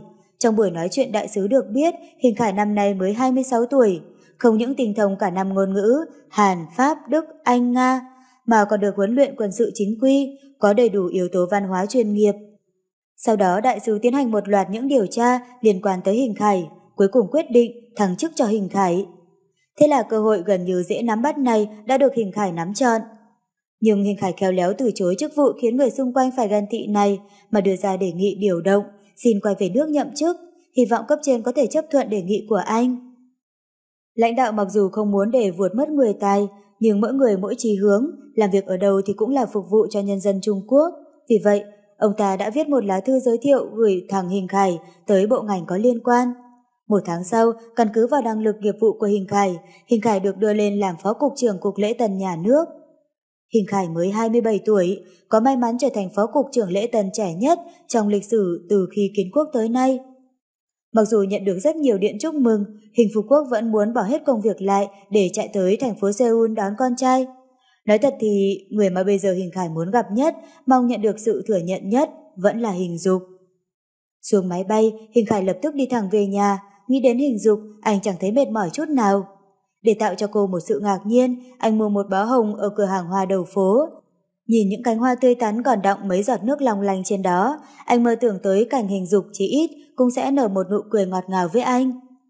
Hình Khải móc chìa khóa nhà ra, hai năm nay anh dùng rất nhiều loại chìa khóa để mở vô số cánh cửa. Có cánh cửa bên trong chứa cơ mật quốc gia, có cánh cửa bên trong chứa tài liệu quân sự của các nước. Nhưng cánh cửa khiến anh gấp gáp muốn mở ra nhất lại chính là cánh cửa của nhà mình, bởi vì trong đó có người đang đợi anh khải hoan trở về, người con gái anh ngày đêm mong nhớ. Đại dục ngửi thấy mùi của chủ nhân lao ra khỏi chuồng, chạy loạn lên quần lấy chân anh. Anh giơ cao bó hoa cười rạng rỡ. Đại dục, anh về rồi. Hình Khải gọi khẽ, rón rén đi vào phòng khách. Trước mặt đồng nghiệp và cấp trên, anh luôn tỏ ra chững chạc nhanh nhẹn. Nhưng vừa về đến nhà, anh lập tức ném chiếc mặt nạ nghiêm túc xuống, chỉ muốn trở lại làm con người lười biếng và hay cáu kỉnh trước kia. Nhưng Hình Khải gọi mấy tiếng, vẫn không thấy Hình Dục trả lời. Anh có thể chắc chắn Hình Dục ở nhà bởi vì trong bếp đang hầm một nồi canh xương thơm phức. Anh chỉ là không nói cho Hình Dục biết buổi chiều mình sẽ về mà thôi. Hình Khải thấy cửa phòng ngủ của Hình Dục đóng chặt, cười gian ta, lén lén lút lút quay nắm đấm cửa. Đúng như anh nghĩ, nhà đầu này không khóa cửa. Đột nhiên, anh đẩy mạnh cửa, cùng lúc hét lên dọa Hình Dục. a Tiếng hét kinh dị. Vớ vẩn, không có trong phòng. Hình Khải dụ vai xuống, nhìn quanh căn phòng sạch sẽ tinh thương một lượt, hít một hơi thật sâu, cảm giác được về nhà thật tuyệt. Anh tiện tay đặt bó hoa hồng lên bàn, không để ý đến cốc nước trên đó, khiến chiếc cốc bị nghiêng đổ xuống bàn. Hình Khải kinh ngạc nhìn nước trong cốc từ mặt bàn chảy xuống khẽ hở của ngăn kéo. Thế là anh vừa dùng khăn mặt chặn dòng nước lại, vừa luống cuống kéo tay mạnh, nắm ngăn kéo. Có lẽ anh đã dùng sức hơi mạnh, khiến chiếc ngăn kéo ở giữa vốn bị khóa, lại bị anh giật tới mức bật cả khóa tung ra. Sức nặng đột ngột vượt qua cả sức chịu đựng của anh. Rầm một tiếng, cả cái ngăn kéo văng ra đất. Hình Khải nhìn một đống đồ lặt vặt vãi tung dưới nền, vỏ vỏ tóc, làm thế nào bây giờ? À, lau khô bàn, nhanh chóng thu dọn, để ngăn kéo vào, đóng cửa phòng lại, coi như chưa có chuyện gì xảy ra. Nghĩ đến đây anh rón rén như một tên trộm, lau khô bàn và ghế, ngồi xổm dưới nền thu dọn đồ đạc vương vãi. Đầu tiên anh nhìn thấy hai tờ chứng nhận liệt sĩ, nhưng anh lại liên tưởng tới một việc khác. Ngày trước khi anh ghét hình dục, vì vậy mới vút đôi giày thể thao màu trắng mà hình dục yêu quý đi. Nhưng sau này, khi anh biết đó là món quà cuối cùng của bố và mẹ hình dục tặng cho cô, anh lại cảm thấy tội lỗi vô cùng. Để chuộc tội, anh đã đi khắp cả Bắc Kinh mới mua được một đôi giày trắng giống như đôi giày ấy. Để khiến nó trông như đôi giày cũ, anh còn cố ý lau đi lau lại cho nó sờn cũ, rồi lẳng lặng đặt lại vào phòng hình dục. Lần đó cũng là lần đầu tiên anh vào phòng ngủ của hình dục. Khi ấy hình dục không có nhà, anh vì tò mò mới lật xem những đồ trong ngăn kéo của cô. Lần đầu tiên biết tên thật của hình dục là An Diêu, được ghép từ họ của bố và mẹ. Sau đó, đúng lúc ấy hình dục về đến nhà nên anh không tìm được tin tức đáng giá nào từ ngăn kéo nữa. Có điều hôm nay, ha ha, dù sao cũng sẽ bị mắng, sao không thử đào bới nó một lần? Hình khải quỳ trước ngăn kéo, kéo mấy quyển sổ phía trên ra, lại một lần nữa nhìn thấy cái hộp gỗ bị khóa. Anh lấy chiếc hộp giá lắc lắc, rất nặng, anh lại nhìn thấy cấu tạo của ổ khóa là một kiểu khóa móc đơn giản. Hình khải sơ sơ cầm, khóa móc thuộc loại khóa dễ mở nhất, chỉ cần uốn một sợi théo nhỏ lại tạo thành cái móc, thở vào trong lỗ khóa, khẽ gạt một hai cái là sẽ mở được ngay. Khi còn ở trường quân sự, anh và đám bạn quỷ đói trong ký túc xá thường xuyên dùng cách mở khóa này để lấy trộm bánh bao trong bếp. Hình Khải có dự cảm trong chiếc hộp nhất định có dấu bí mật liên quan tới hình dục. Suy nghĩ không bằng hành động, mở rồi nói sau. Hình Khải nhanh chóng tìm được một sợi thép trong hộp dụng cụ, vừa lấm la lấm lét nhìn quanh để phòng hình dục về đột ngột. Một mặt bắt đầu mở khóa, cạch một tiếng, không đến hai ba lần hất lật, chiếc hộp dễ dàng được mở ra. Anh mở hộp, thấy một quyển sổ kiểu cũ, bìa da màu đỏ. Kiểu sổ này rất thịnh hành ở đầu những năm 70, bình thường được dùng làm phần thưởng cho học sinh hoặc là sổ ghi chép của người lao động. Thế vào bọc bên ngoài cũ kỹ của nó, ít nhất cũng hơn 15 năm rồi. Hình Khải cẩn thận mở trang đầu tiên ra. Cho tới tận khi cuộc sống kết thúc mới dừng việc ghi chép này. An Diêu, ngày 18 tháng 7, sinh nhật năm 10 tuổi. Hình Khải đột nhiên cười ngất, ngồi dựa vào thành giường, mới mấy tuổi đầu mà đã lắm tâm tư thế cô đấy. Mẹ bớt chút thời gian về dự sinh nhật mình, tặng mình một cuốn sổ nhật ký xinh đẹp, chính là quyển sổ mà mình đang ghi này, bìa bằng da đỏ nhìn rất rất vui. Nhưng bố không về, nói một câu bất hiếu thì mình chỉ nhìn bức ảnh kết hôn treo trên tường mới nhớ được khuôn mặt bố thế nào. Có điều không sao cả, mình đã sớm quen một mình tự chúc mừng sinh nhật mình rồi. Mình sẽ tự nấu một bát mì, ăn ngay nhân lúc nó còn nóng, ước một điều ước năm nào cũng giống năm nào. Hy vọng bố mẹ có thể cùng về dự sinh nhật con gái lần sau. À, mình sẽ nói, sẽ viết tới khi nào tính mạng mình kết thúc, thì nhất định mình sẽ làm được. Nhưng vấn đề là, nếu trước khi mình chết mà mắt bị mù thì phải làm thế nào? Hừ, mình nên là một người nói được làm được. Bắt đầu từ bây giờ, mình sẽ tập viết trong lúc nhắm mắt. Cho dù không nhìn thấy, cũng không ảnh hưởng tới việc mình viết nhật ký. Ha ha, thật là một ý hay. Đọc đến đây, Hình Khải nhướng môi cười, hình dục quả nhiên không giống với những cô gái khác. Mới 10 tuổi đầu mà đầu óc đã có những suy nghĩ cổ quái thế rồi. Anh bắt đầu lật nhanh những trang nhật ký, quả nhiên những nét chữ càng về sau càng loạn. Muốn đọc xem cô viết gì thật không dễ. Cho đến khi anh lật tới một trang bị gập mới từ từ chậm lại. Hình dục dùng cả trang giấy, dùng bút bi viết mấy chữ lớn. Từ hôm nay trở đi, tôi không còn một mình nữa. Ngày 20 tháng 3, lần đầu tiên mình nhìn thấy hình khải. Anh lớn hơn mình một tuổi, nhưng lại cao hơn mình rất nhiều, và anh tràn đầy sự thù địch với mình. Thường nghe nói còn của những cán bộ cao cấp luôn cho mình là đúng, nhưng mình lại không nghĩ thế, mà mình có thể nhận ra sự ngạo mạn của anh chỉ là đang che giấu sự mềm yếu bên trong. Anh sợ có người khám phá thế giới nội tâm của mình, bởi vì trong đó giấu một đứa trẻ cô độc. Mình phải tìm được đứa trẻ đó, như thế mình mới có thể giúp đỡ anh. Không phải vì mình bác ái, mà mình hy vọng đứa trẻ đó sẽ đồng hành với một kẻ cô đơn như mình. Ngày 15 tháng 6 Hình Khải rất thích viết thư làm quen, thấy anh rất hứng thú với những cô gái khác ngoài mình. Trong lòng mình rất vui, ít ra thì điều đó cũng có thể bù đắp được sự cô đơn trong anh. Ngày 26 tháng 6, Hình Khải hẹn gặp một người bạn quen qua thư. Mình vốn không định làm phiền họ, nhưng cô bạn gái đó vừa nhìn đã biết không phải người tốt. Mình sợ Hình Khải bị nhiễm thói xấu nên mới bắt đầu làm loạn, khiến Hình Khải tức giận bỏ đi. Nhưng sau này nghĩ lại, hình như mình không nên quản quá nhiều chuyện. Anh thích gì thì cứ để anh làm, anh vui là được. Buổi tối, Hình Khải bắt đầu động tay động chân với mình.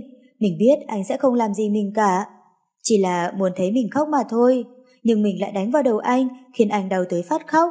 Mình cố ý đánh anh thật mạnh. Anh xâm phạm mình không sao cả. Nhưng nếu anh nghiện làm chuyện đó, rồi sẽ dùng thủ đoạn để xâm phạm những người con gái khác thì sao? Không nên vì sự thờ ơ của mình mà anh phải đi lệch đường. Vì vậy, xin lỗi Hình Khải, em ra tay hơi nặng. Ngày 12 tháng 9 năm 2006, Hình Khải giành được giải nhất môn taekwondo cấp trường. Anh cho rằng cuối cùng cũng có thể vành vàng trước mặt mình được rồi, nhưng mình thật sự mừng cho anh. Hình Khải, anh giỏi thật đấy. Ngày 13 tháng 10 năm 2006, Hình Khải bắt đầu hứng thú với việc thân thể đang dạy thi của mình. Thế là mình lên kế hoạch, dùng điểm số làm điều kiện trao đổi. Bởi vì mình biết anh là một chàng trai thông minh. Khi mình nhìn thấy rất nhiều những phát minh nho nhỏ do chính tay anh làm trong phòng để đồ, mình đã biết anh lười học thôi. Còn nữa, thật ra mình đã chuẩn bị tâm lý sẵn sàng, sớm muộn gì cũng cho anh, anh không cần phải sốt sắng. Ngày 15 tháng 10 năm 2006, có thể nói hôm nay là một bước ngoặt trong cuộc đời của mình. Chính vào ngày này, trong lúc mưa bụi bay khắp trời, đã xác định con đường mà sau này mình phải đi. Hình Khải vứt đôi giày trắng mà mình yêu quý nhất. Xoạt một cái, Hình Khải đột nhiên cảm thấy quyển sổ nhật ký lơ lửng giữa không trung. Cùng lúc đó, Hình Dục đang nhìn anh bằng ánh mắt không vui vẻ gì. Hình Khải đờ đẫn chớp chớp mắt, đang đọc đến chỗ quan trọng nhất, ha ha ha. Hình Dục quay người bỏ đi, chạy vào trong phòng đọc, khóa trái cửa lại, nhét sổ nhật ký vào trong két bảo hiểm, sau đó lập tức đổi mật mã. Tiểu, Tiểu Dục, anh không có ý đọc trộm đâu, thật đấy. Vì anh làm đổ nước, tiện tay kéo ngăn kéo ra, thế là mở... Hình Khải khẽ gõ cửa, chỉ chút xíu nữa là đọc được đến chỗ quan trọng rồi. Mẹ nói chứ, hối hận không kịp. Hình Khải đứng ở ngoài cửa tới tận 10 phút, Hình Dục mới chịu mở cửa ra gặp anh. Cô nhìn chằm chằm vào mắt anh, Hình Khải trột ra dạ nhìn làng đi chỗ khác. Sau khi cô biết Hình Khải vẫn chưa đọc được phần quan trọng nhất từ thần thái của anh, nghiêng đầu cười nhạt. Anh, chào mừng anh trở về. Hình Khải hít một hơi thật lớn như chút được gánh nặng trên vai. Ngay sau đó hai chân mềm nhũn, loạn choạng nằm vật ra sàn nhà giả chết. Làm thế nào đây? Muốn đọc tiếp nội dung trong quyển nhật ký đó quá. Hay là cho nổ cát bảo hiểm? Tối nay, Hình Dục làm rất nhiều món để tẩy trần cho Hình Khải, nụ cười luôn nở trên môi, không khí ấm áp. Hình Khải, chúc mừng anh, cục trưởng. Phó Gia Hảo nhún nhún vai. Không sai, anh chẳng nói với bất kỳ ai cả, nhưng em đúng là cô gái tự tin tới đáng sợ, khiến tất cả bọn đàn ông con trai đều cảm thấy mình thất bại. Còn việc anh nghĩ đến nhật ký... Anh ta điểm nhiên nói. Thời gian ấy vì theo đuổi em, anh có tham gia một khóa học về tâm lý. Trong sách có viết người không muốn thổ lộ tâm sự của mình cho người khác, đa phần đều biểu lộ tình cảm bằng con chữ. Cuộc đời mỗi con người, ai cũng có một cách để giải tỏa, bất luận là ôm búp bê khóc lóc hay đấm vào tường, đều giống nhau. Hình dục lắc lắc đầu. Em không phải muốn giải tỏa tâm sự qua con chữ, chỉ là em muốn ghi chép lại tất cả những gì xảy ra trong cuộc sống mà em trân trọng thôi. Mắt hình dục thoáng buồn, nhưng rất nhanh cô đã lấy lại vẻ bình tĩnh. Gia Hào trao trao mày đoán nói.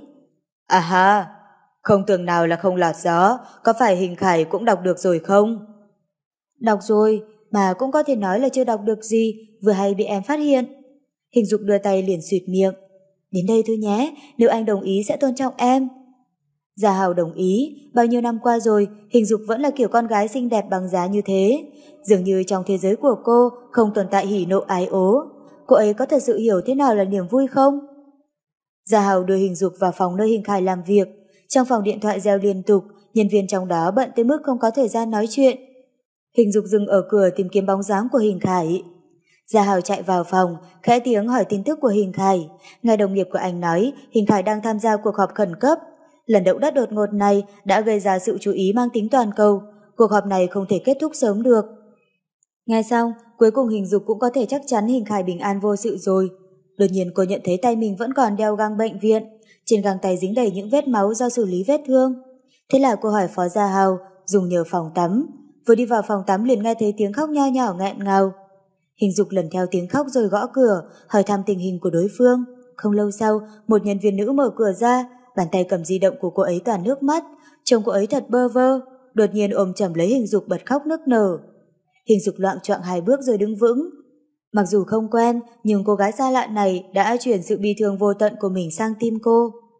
Hình dục vô vỗ vài cô gái, nữ nhân viên đó áp chiếc di động vào tay hình dục, trong ấy vang lên những động thái đang xảy ra của trận động đất. Rõ ràng là trận động đất vẫn đang diễn ra, số người tử vong vài trăm lên tới vài nghìn, và con số kinh hoàng ấy vẫn đang không ngừng tăng cao. Còn cô gái này lại đến từ Vấn Xuyên, cô ấy đã mất liên lạc hoàn toàn với người nhà, nên đang rơi vào trạng thái khủng hoảng tột độ. Cũng có thể mới một giây trước, cô ấy vẫn còn cười nói vui vẻ với người thân bạn bè, nhưng chỉ ngay một giây sau, cơn ác mộng đã ập xuống. Hình dục đứng ngẩn ra tại chỗ rất lâu, câu chuyện liên quan tới hạnh phúc, ai cũng có thể kể ra một phiên bản không giống nhau. Nhưng chờ đợi mà không biết đối phương còn sống hay đã chết, cảm giác lo lắng thấp thỏm bất an đó, cô lại cảm thấy đồng cảm. Mỗi buổi tối khi đi ngủ, mỗi buổi sáng khi tỉnh dậy, đều sợ rằng ngay giây sau sẽ đều là sự biệt ly. Cô hít một hơi thật sâu, ngay lập tức đưa ra quyết định, rồi cười nói với cô gái đó. Tôi sẽ tham gia đội tình nguyện, muộn nhất là một tuần sau đó sẽ tới Vấn Xuyên. Cô ghi họ tên và địa chỉ của người nhà cho tôi, Mặc dù khả năng tìm được không cao, nhưng tôi sẽ cố gắng tìm giúp cô. Đừng khóc, trước khi nhận được thông báo tử vong thì tất cả vẫn còn là ẩn số. Còn sống đương nhiên là tốt, nhưng nếu không may... Cô phải hiểu rõ một điều rằng khóc lóc chẳng giải quyết được vấn đề gì cả. Cô phải kiên định lên, lạc quan lên một chút được không? Cô gái đó nấc không thành tiếng, lúc này mới nhận ra hình dục đang mặc quần áo của bác sĩ. Cô ta gật gật đầu, nhanh chóng ghi lại tên tuổi và địa chỉ của người nhà đưa cho hình dục. Nhưng cô ta còn chưa kịp cúi người để cảm ơn cô thì đột nhiên thấy phó cục trưởng hình đi vào phòng tắm nữ. Ai cho phép em tham gia đội tình nguyện viên? Em còn sợ anh chưa đủ mệt, muốn anh lo lắng tới chết đúng không? Ánh mắt hình khải tràn đầy phẫn nộ, anh hoàn toàn quên mất rằng đây là nơi đàn ông không thể vào. Khi anh nghe Phó Gia Hào nói hình dục vì lo lắng cho mình mà tới tận đây để tìm, có trời biết anh đã cảm động thế nào. Nhưng khi anh chạy tới trước cửa phòng tắm đứng đợi chuẩn bị tặng cô một cái ôm xiết, thì bị ngay một cú sốc đập thẳng vào đầu như thế. Cô gái đó chưa từng nhìn thấy hình khải nổi giận bao giờ, ngượng ngùng hành lễ, sau đó lách qua người anh chạy mất. Hình dục cụp mắt không nói, hình khải cầm tay kéo cô đi vào văn phòng mình, rầm một tiếng đóng cửa lại. Trong văn phòng, hình khải tức giận tới mức đi tới đi lui, hét lên. Em biết tình hình lúc này là thế nào không? Trận động đất đó sức tàn phá mạnh nhất từ trước tới nay trong lịch sử Trung Quốc, vừa xảy ra một tiếng trước. Em mau ra đây! Hình Khải kéo cô tới trước màn hình máy vi tính, mở báo cáo cơ mật về trận động đất ra cho cô xem, ấn vào gáy cô khiến cô phải cúi xuống tự mình nhìn xem. Trời đất sụp đổ, tất cả chỉ còn lại một đống đổ nát hoang tàn. Em nghĩ với khả năng trói gà không chặt của em, em sẽ sống sót mà ra khỏi đó sao? Hình dục sững sờ nhìn vào màn hình máy tính, nhà cửa đổ nát, thi thể vãi vương, những cơ thể máu me be bét đang hiện ra trước mắt cô. Cô chậm chậm nhấc tay lên, sờ vào màn hình, một cánh tay bị đè dưới tảng đá máu me bê bét vằn viện, nước mắt nhòe nhòe. Hình Khải, anh còn nhớ bố mẹ đẻ em đã chết thế nào không? Lúc ấy em cũng nghĩ, cũng tức giận. Trung Quốc nhiều người như thế, có bao nhiêu ban ngành có thể lựa chọn, tại sao lại chọn họ làm vật hy sinh? Nhưng bây giờ em đã hiểu rồi, luôn phải có một đôi tay dơ ra níu kéo. Nếu bây giờ em đứng đính cạnh đứa trẻ kia, có thể em đã nâng hòn đá lên và cứu nó ra rồi. Anh cũng nhìn thấy rồi đấy, đứa trẻ đó chết thảm quá. Em muốn cứu nó, chỉ hận là không thể chui vào màn hình mà tới thẳng đấy. Hình dục nước nở khóc, chậm chậm nằm bò ra bàn, khóc một cách rất thương tâm. Nghe xong, Hình Khải lại thấy hoảng sợ thật sự, bởi vì hình dục là mẫu người một khi đã quyết thì sẽ làm bằng được. Nhưng sao anh có thể để người con gái mình yêu dẫn thần vào nơi nguy hiểm? Sao anh có thể cho phép cô rời bỏ mình? Thế là anh kéo vai hình dục thẳng dậy, ôm chặt cô vào lòng.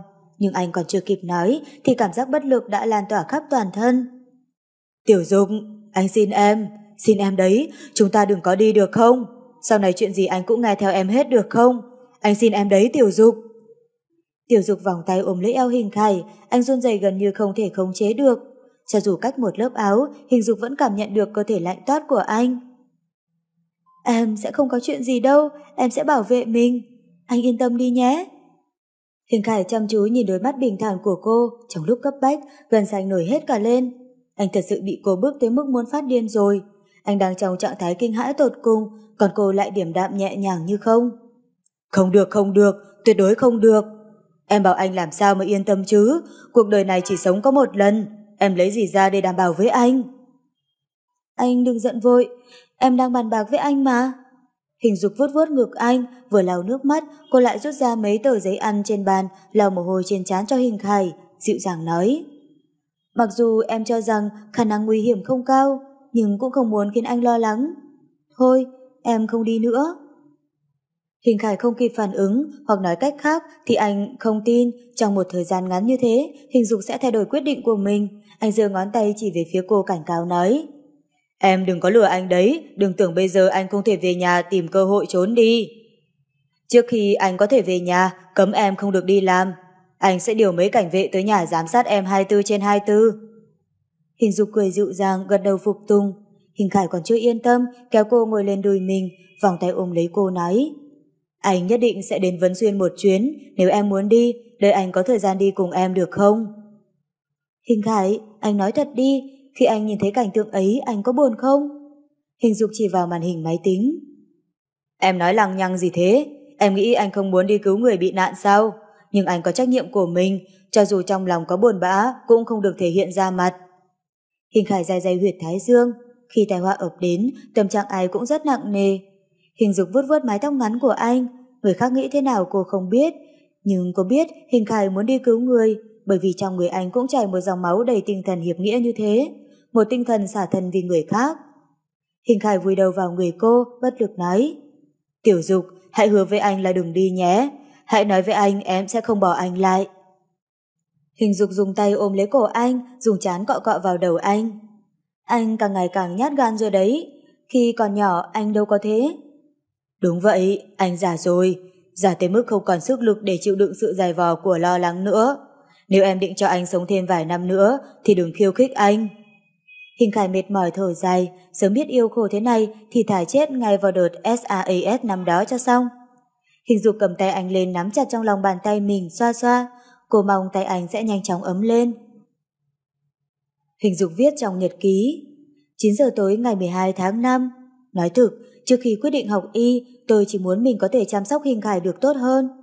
Nhưng sau khi tôi nhìn thấy những hình ảnh liên quan tới trận động đất kinh khủng đó, không chỉ ảnh hưởng của nó khiến tôi đau lòng, bây giờ tôi mới vỡ ra rằng thì ra dòng máu trong người tôi có cả tâm nguyện của bố mẹ. Tôi là một nhân viên y tế được huấn luyện bài bản chuyên nghiệp, trách nhiệm nặng nề. Dạ vậy, xin lỗi anh Hình Khải. Trên đường về nhà, em đã quay lại bệnh viện xin tham gia vào đội cứu hộ. Nhưng sau khi em tới đó, việc đầu tiên em làm sẽ là liên lạc với anh. Chỉ cần di động có tín hiệu, em sẽ liên tục gọi điện thoại báo bình an với anh. Đừng lo lắng, em sẽ tự biết bảo vệ mình. Nhưng lần này không biết là sẽ đi bao lâu, vì vậy em sẽ mang theo hai thứ quan trọng nhất trong cuộc đời mình, đôi giày trắng và cuốn sổ nhật ký. Em sẽ đi đôi giày trắng mà anh tặng, mang theo tinh thần kiên trì, không từ bỏ của anh tới vùng đất đang lắc lư rung động đó, cố gắng hết sức mình cứu những người gặp nạn. Hình Khải, em muốn nói với anh rằng chỉ cần em hít một hơi thở là em cảm thấy sự tồn tại của anh. Cho dù phải nhảy vào nước rồi lừa bỏng, em cũng không run sợ. Em thề, đây là lần cuối cùng em rời xa anh, đợi em trở về, nhé. Tiểu Dục, anh đến đón em về. Từ sau ngày 12 tháng 5, dư chấn xảy ra liên tục, bầu không khí nặng nề tăng thương đẻ nặng khắp bầu trời Trung Quốc. Nhưng điều đáng để chúc mừng là trong lúc sinh tử quan trọng này, người dân Trung Quốc lại hết sức đoàn kết. Một người gặp nạn ngàn người chi viện, đồng tâm hiệp lực để chống lại thiên tai. Từ khi trận động đất xảy ra cho tới nay đã hai tháng trôi qua, ngoài khu vực bị ảnh hưởng nặng nề ra, cuộc sống ở những khu vực khác dần dần ổn định lại. Nhưng trái tim Hình Khải vẫn luôn trong trạng thái thấp thỏm. Mặc dù anh không ở trong khu vực địa chấn, mặc dù anh vẫn đang ngồi ở một tòa nhà văn phòng sáng rực rộng rãi, nhưng mỗi ngày anh đều bị dày vò như đang sống trong địa ngục. Sự sụp đổ từng giây từng phút đó gần như rút hết mọi suy nghĩ trong đầu anh. Anh gọi vào di động của hình dục hết lần này tới lần khác, từng giây từng phút kiểm tra danh sách người gặp nạn được cập nhật bằng hình ảnh, là sợ thi thể người con gái anh yêu thương nhất đời sẽ nằm trong đống đổ nát kia. Nỗi lo lắng lan tỏa khắp người, anh cảm thấy mình sắp phát điên rồi. Đúng lúc này di động đổ chuông, Hình Khải vui mừng bắt máy, người gọi đến là bố. Bố, còn mà kệ bố định làm gì, còn muốn đến khu vực bị địa chấn. Tiểu Khải, đừng vì tình cảm nữ nhi thường tình mà quên đi trách nhiệm của mình, giờ quốc gia đang cần con. Con mặc kệ ai cần con, con chỉ biết con không thể mất cô ấy. Bố hãy xin bộ trưởng cho con đi, con phải đi tìm hình dục. Hình Khải tức giận đấm mạnh xuống bàn, anh đã rất nhiều lần xin đi tới vùng bị nạn, nhưng cấp trên không chịu phê chuẩn. Hình Phùng Quốc thở dài bình tĩnh nói, Tiểu Khải, còn nghĩ bố không lo sao? Nếu đây là lựa chọn của Tiểu Dục, ngoài lo lắng, bố còn thấy cảm kích nữa. Huống hồ đội cứu hộ Hoàng Kim mà bố đang điều động, trong tay người nào cũng cầm một tấm ảnh nhỏ của Tiểu Dục. Chỉ cần gặp Tiểu Dục sẽ liên lạc với bố ngay. Cho dù muộn tới đâu bận tới đâu, bố cũng sẽ thông báo cho con đầu tiên. Con yên tâm mà công tác đi được không? Nghe lời bố Tiểu Khải, quốc gia đã nuôi nấng bồi dưỡng con bao nhiêu năm. Luận về công về tư, bố đều không thể để con mạo hiểm. Bụp một tiếng, chiếc di động trong tay hình khải bay lên không trung, đập thẳng vào tường. Hai tháng rồi, nhưng đội cứu hộ hết đội này tới đội khác trở về, rồi lại đội mới chuẩn bị đi. Hình dục vẫn bật vô ẩm tín, phía bệnh viện cũng mất liên lạc với cô. Theo một nhân viên y tế đi cùng đợt với hình dục vào vùng bị tai nạn tả lại. Trên đường xe vào khu vực bị địa chấn đã gặp một cơn dư chấn khá lớn. Cũng may lái xe xử lý nhanh nhẹn, thông báo cho những nhân viên đi cứu hộ ngồi trên xe chạy vào những khu mỏ hoang lánh nạn. Lúc ấy, bọn họ tận mắt chứng kiến chiếc xe to cành càng lật đổ, tình hình hỗn loạn. Mỗi nhân viên cứu hộ đều cố gắng cứu số thuốc còn dư lại không nhiều. Vì vậy phải tới hai ngày sau, họ mới phát hiện ra hình dục và túi cấp cứu của cô biến mất. Thiết bị định vị GPRS, các thiết bị dò tìm vị trí di động của hình dục, nói chính xác thì là vị trí ấy không thể có sự sống tồn tại. Em đang ở đâu hình dục? Em đang ở đâu? Hình dục! Hình Khải hai tay ôm chán, nước mắt theo cãi tay chảy xuống. Anh đã từng nói, nước mắt cả đời này của anh sẽ chảy cạn vì người con gái này. Thì ra nó vẫn chưa cạn, thì ra trong lúc sợ hãi anh chỉ biết khóc. Lúc này thì Phó Gia Hào gõ cửa, đợi một lúc lâu không thấy có ai trả lời, anh ta mới khẽ đẩy cửa đi vào. Anh ta vào đứng cạnh hình khải, do dự hồi lâu, anh ta vô vỗ lên vai anh. Vốn định tiếp thêm cho anh chút sức mạnh, nhưng rồi chính bản thân anh ta lại rơi nước mắt. Người đàn ông từng hừng hực sức sống, giờ đây bỗng nhiên trở nên tiểu tụy khổ sở. Mà cho dù là thế, anh lại không thể trốn vào một góc nào đó mà gặm nhấm nỗi đau, vẫn phải mặt mày tươi tỉnh đón tiếp đại sứ các nước. Hình Khải, Hình Khải, cậu phải cố gắng lên, tiểu dục không sao đâu, khả năng võ công của cô ấy khá lắm, cậu còn nhớ không? Chỉ một trường của cô ấy thôi mà khiến tôi ngã chồng vó. Vì vậy, cô ấy nhất định sẽ không sao đâu. Phải rồi, cả ngày cậu chưa ăn gì đúng không? Hôm nay tôi mời, ha ha. Phó Gia Hào cố tỏ ra vui vẻ. Hình Khải nằm bò trước bàn làm việc, chẳng nghe lọt tai bất kỳ lời an ủi nào. Trừ phí lúc này hình dục nguyên vẹn khỏe mạnh đứng trước mặt anh, nếu không anh không thể kìm nén sự run rẩy của cơ thể mình. Cảm giác này thật sự quá đáng sợ, còn đáng sợ hơn cả việc trái đất bị hủy diệt. Gia Hào thầm thở dài, vuốt vuốt lưng anh, nhận ra cơ thể anh đang run lên bần bật. Một người luôn điểm tĩnh đối mặt với mọi thách thức như hình khải, thì ra người đàn ông kiên định vững vàng này cũng có lúc suy sụp tới cùng cực. Đột nhiên hình khải đứng bật dậy, vòng tay ôm chặt lấy phó Gia Hào. Anh cần phải chứng minh rằng mình vẫn còn sống. Anh cần nhiều hơn, nhiều hơn nữa những lời an ủi, mặc dù những lời chúc phúc đó đều thật vô nghĩa. Gia Hào lặng trọng mấy cái rồi mới đứng vững, Hình Khải ghét nhất đàn ông con trai với nhau mà cứ ôm ôm ấp ấp. Còn càng không bao giờ để lộ sự buồn đau ra ngoài mặt, nhưng giờ anh đã hoàn toàn vô vọng.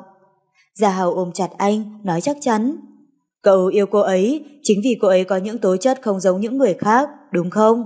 Hãy cho bản thân và cả cô ấy, nữa thêm chút thời gian chờ đợi. Mình nghĩ, vì cậu, cô ấy cũng sẽ không để để bản thân xảy ra chuyện gì đâu. Mình sợ, mình rất sợ cứ thế này mà mất đi cô ấy. Mình thật hối hận vì đã tin cô ấy, nói rằng em sẽ không đi. Cô ấy biết rõ rằng mình sẽ lo lắng tới chết mà vẫn đi. Cậu cho rằng cô ấy sẽ vì mình mà bảo vệ bản thân ư? Không đâu, cô ấy chỉ muốn dùng cách mà cô ấy cho là xứng đáng để hy sinh bản thân mình, trở thành tờ giấy chứng nhận liệt sĩ thứ ba của nhà họ An. Người con gái ích kỷ đó đáng ghét vô cùng. Cuối cùng thì Khải cũng đã hiểu anh không phải là thứ quan trọng nhất trong đời cô. Cô thích mạo hiểm hơn anh, hoặc có thể trước khi bước chân vào nhà họ hình, cô đã đợi để đi theo bố mẹ mình, vì vậy cô mới chấp nhận chuyện tình cảm của họ. Thôi được, cho dù là không phải, anh hoàn toàn có thể chấp nhận chuyện của cô không yêu anh. Nhưng bây giờ tại sao còn khiến anh phải sống những ngày lo âu thấp thỏm? Cậu ưu tú như thế, hình dục có phải kẻ ngốc đâu. Sao cô ấy nỡ rời xa cậu chứ? Đừng nghĩ ngợi linh tinh. Giả Hào không biết phải nói thế nào, thật ra cũng chẳng cần nói nhiều. Hình Khải giờ chỉ cần một người chịu lắng nghe anh mà thôi. Hình Khải cười tự chào. Giờ anh chỉ còn cách nói liên tục mới không khiến đầu óc mình suy nghĩ linh tinh. Khi cậu quen mình thì đã trở thành một kẻ tương đối chấp nhận được, nhưng mình của ngày xưa là một đứa trẻ hư, đi đâu cũng gây chuyện thị phi. Cậy bố là cán bộ cao cấp mà gặp ai cũng bắt nạt, bỏ học, chơi gái, đánh nhau. Tóm lại, hình dục đã nhìn thấy con người xấu xa nhất của mình, nhưng cô ấy chưa từng nói một câu nào. Ngày đó mình thường xuyên mắng mỏ cô ấy, nói những lời rất khó nghe, động tí là đòi đuổi cô ấy ra khỏi nhà họ hình. Nhưng cô ấy chẳng nói gì cả, vẫn giúp mình giặt quần áo nấu cơm. Giống như một A hoan để mặc mình giải vỏ chút giận. Lâu dần mắng mãi cũng mệt, từ từ mình chấp nhận sự tồn tại của cô ấy, thích những món ăn cô ấy làm. Vì một bữa cơm, mình có thể vứt lại đám bạn hung hăng tàn học mà về thẳng nhà. Cô ấy sẽ ngồi ở trên ghế sofa chờ đợi mình, dù nhăn nhó hay tỏ ra mệt mỏi. Cô ấy cũng luôn tươi cười chạy đến, đưa cho mình một đôi dép lê, còn nói một câu là Em nấu cho anh món mà anh thích ăn, mau vào rửa tay đi. Cảm giác ấy thật ấm áp. Vì vậy, vì cô ấy, mình nguyện trở thành người mà cô ấy muốn. Còn cô ấy lại chưa bao giờ thừa nhận, chính cô ấy đã đưa mình về con đường đúng đắn. Nghĩ đến hình dục, hình khải lại bắt đầu lo lắng. Anh siết chặt vòng tay, vùi mặt, giấu đi bộ dạng đáng thương để Phó Gia Hào không thể nhìn thấy. Bộ dạng kém cỏi nhất của anh đã bị hình dục nhìn thấy hết. Anh chỉ có thể để lộ nhược điểm của mình tới trước mặt cô mà thôi. Cũng chỉ người con gái ấy mới biết tính cách ngoan cố ngang ngược của anh thật khó coi tới mức nào. Gia Hào cảm thấy vạt áo mình bị thấm ướt, anh buồn bã thở dài, không ai có thể cứu vớt trái tim đang tan nát của hình khải, bởi vì anh biết hình khải yêu hình dục biết bao, 13 năm rồi, anh dùng thời gian 13 năm để có thể yêu một người con gái. Không gì có thể thay thế được, không gì có thể lay chuyển được. Lúc này, điện thoại đổ chuông, thư ký của Bộ trưởng mời Hình Khải sang gặp ông. Hình Khải nhanh chóng chỉnh đốn lại hình thức, sau đó ra khỏi văn phòng. Phó Gia Hảo ngồi xuống trước bàn làm việc của Hình Khải, trên bàn đặt một bức ảnh của Hình Dục. Trong ảnh, Hình Dục nhón chân đứng giữa vườn hoa, cười rạng rỡ. Gia Hảo bất giác nhếch miệng lên, rút một tờ giấy ăn, nhẹ nhàng lau mặt kính của khung ảnh. Trong lòng dấy lên một cảm giác chua xót. Rõ ràng nước mắt của Hình Khải đã làm ướt cả khung ảnh. Hết lần này tới lần khác, anh dùng nước mắt để tưới lên khuôn mặt thanh tú và u buồn khiến người khác rung động này. Hình dục, em có thể phớt lờ cả thế giới nhưng không thể phụ bạc Hình Khải. Cậu ta yêu em như sinh mạng của mình. Nửa tiếng sau, Hình Khải vui sướng đẩy cửa bước vào, nụ cười tươi tắn trên môi. Bộ trưởng điều anh đi vào vùng địa chấn để thăm hỏi đại sứ các nước. Mặc dù thời gian chỉ có một tuần, nhưng anh đã mãn nguyện lắm rồi. Đương nhiên, Hình Khải hoàn toàn không biết rằng Hình Phú Quốc đã đích thân xin với Bộ trưởng nhất định cho phép con trai ông đi vào vùng nguy hiểm. Đưa ra quyết định khó khăn này là người cha cần phải có dũng khí hơn người. Ngay chiều ngày hôm ấy, Hình Khải lên trực thăng chuyên dụng bay tới nơi giáp danh với huyện tự trị dân tộc, Khương Bắc Xuyên. Trong tình hình dư chấn có thể lên tới cấp 6, cấp 7, anh lại chỉ ước mình có thể mọc cánh bay tới nơi mà hình dục gặp nạn. Trong tay Hình Khải cầm một tấm ảnh của hình dục, nhìn rồi lại nhìn, sờ rồi lại sờ. Trên khuôn mặt tiểu tụy của anh cuối cùng cũng có thể nở một nụ cười. Anh đến đây hình dục, đến đón em về nhà. Cùng lúc này, hình dục và 6 người bị nạn khác đang bị giam ở trong một hang núi sụp. Trong đó có 5 người lớn và một em bé. Người bị thương nằm ngổn ngang trên nền đất dì, không khí trong hang rất loãng, nhưng cũng may còn có nguồn nước. Dòng nước róc rách chảy vào khe đá, vì vậy cho đến hiện tại chưa có ai tử vong. Hình dục vừa bận rộn làm sạch vết thương, chờ những người bị thương, vừa chỉ huy những nông dân khác đào đất mở đường. Khoảng 3 ngày trước, họ còn có thể nghe thấy tiếng trực thăng, nhưng bây giờ thì tất cả đã chìm vào trong sự im lặng chết chóc. Theo hình dục phân tích, vị trí mà họ đang ở rất hẻo lánh, xung quanh đất đá phủ lên, từ trên cao nhìn xuống, có lẽ chỉ nhìn thấy một đống đất đá lộn xộn, bị vùi lấp mà thôi. Xem ra những người cứu hộ đã không tin khu vực này còn có người có thể sống sót. Bác sĩ Hình, sao vẫn chưa có ai tới cứu chúng ta? Những người gặp nạn mặt nhăn mày nhó hỏi. Đừng lo, có thể chúng ta cứ đào ra ngoài rồi sẽ gặp được đội cứu hộ đấy, cố lên. Qua ánh sáng yếu ớt, hình dục nhìn những người bị nạn đang mất dần niềm tin cười. Cô tin rằng lòng ham sống có thể tạo ra kỳ tích và sức mạnh vô hạn. Quay ngược trở lại hai tháng trước, chính vào cái ngày xe chở đội cứu hộ bị lật, cô thấp thoáng nghe thấy tiếng trẻ con khóc lóc vọng lại từ trong núi. Vì vậy trong lúc khẩn cấp, cô cầm theo túi thuốc của mình chạy vào trong núi. Ai ngờ cô vừa đặt chân lên núi thì lại một trận rung lắc dữ dội nữa xảy ra.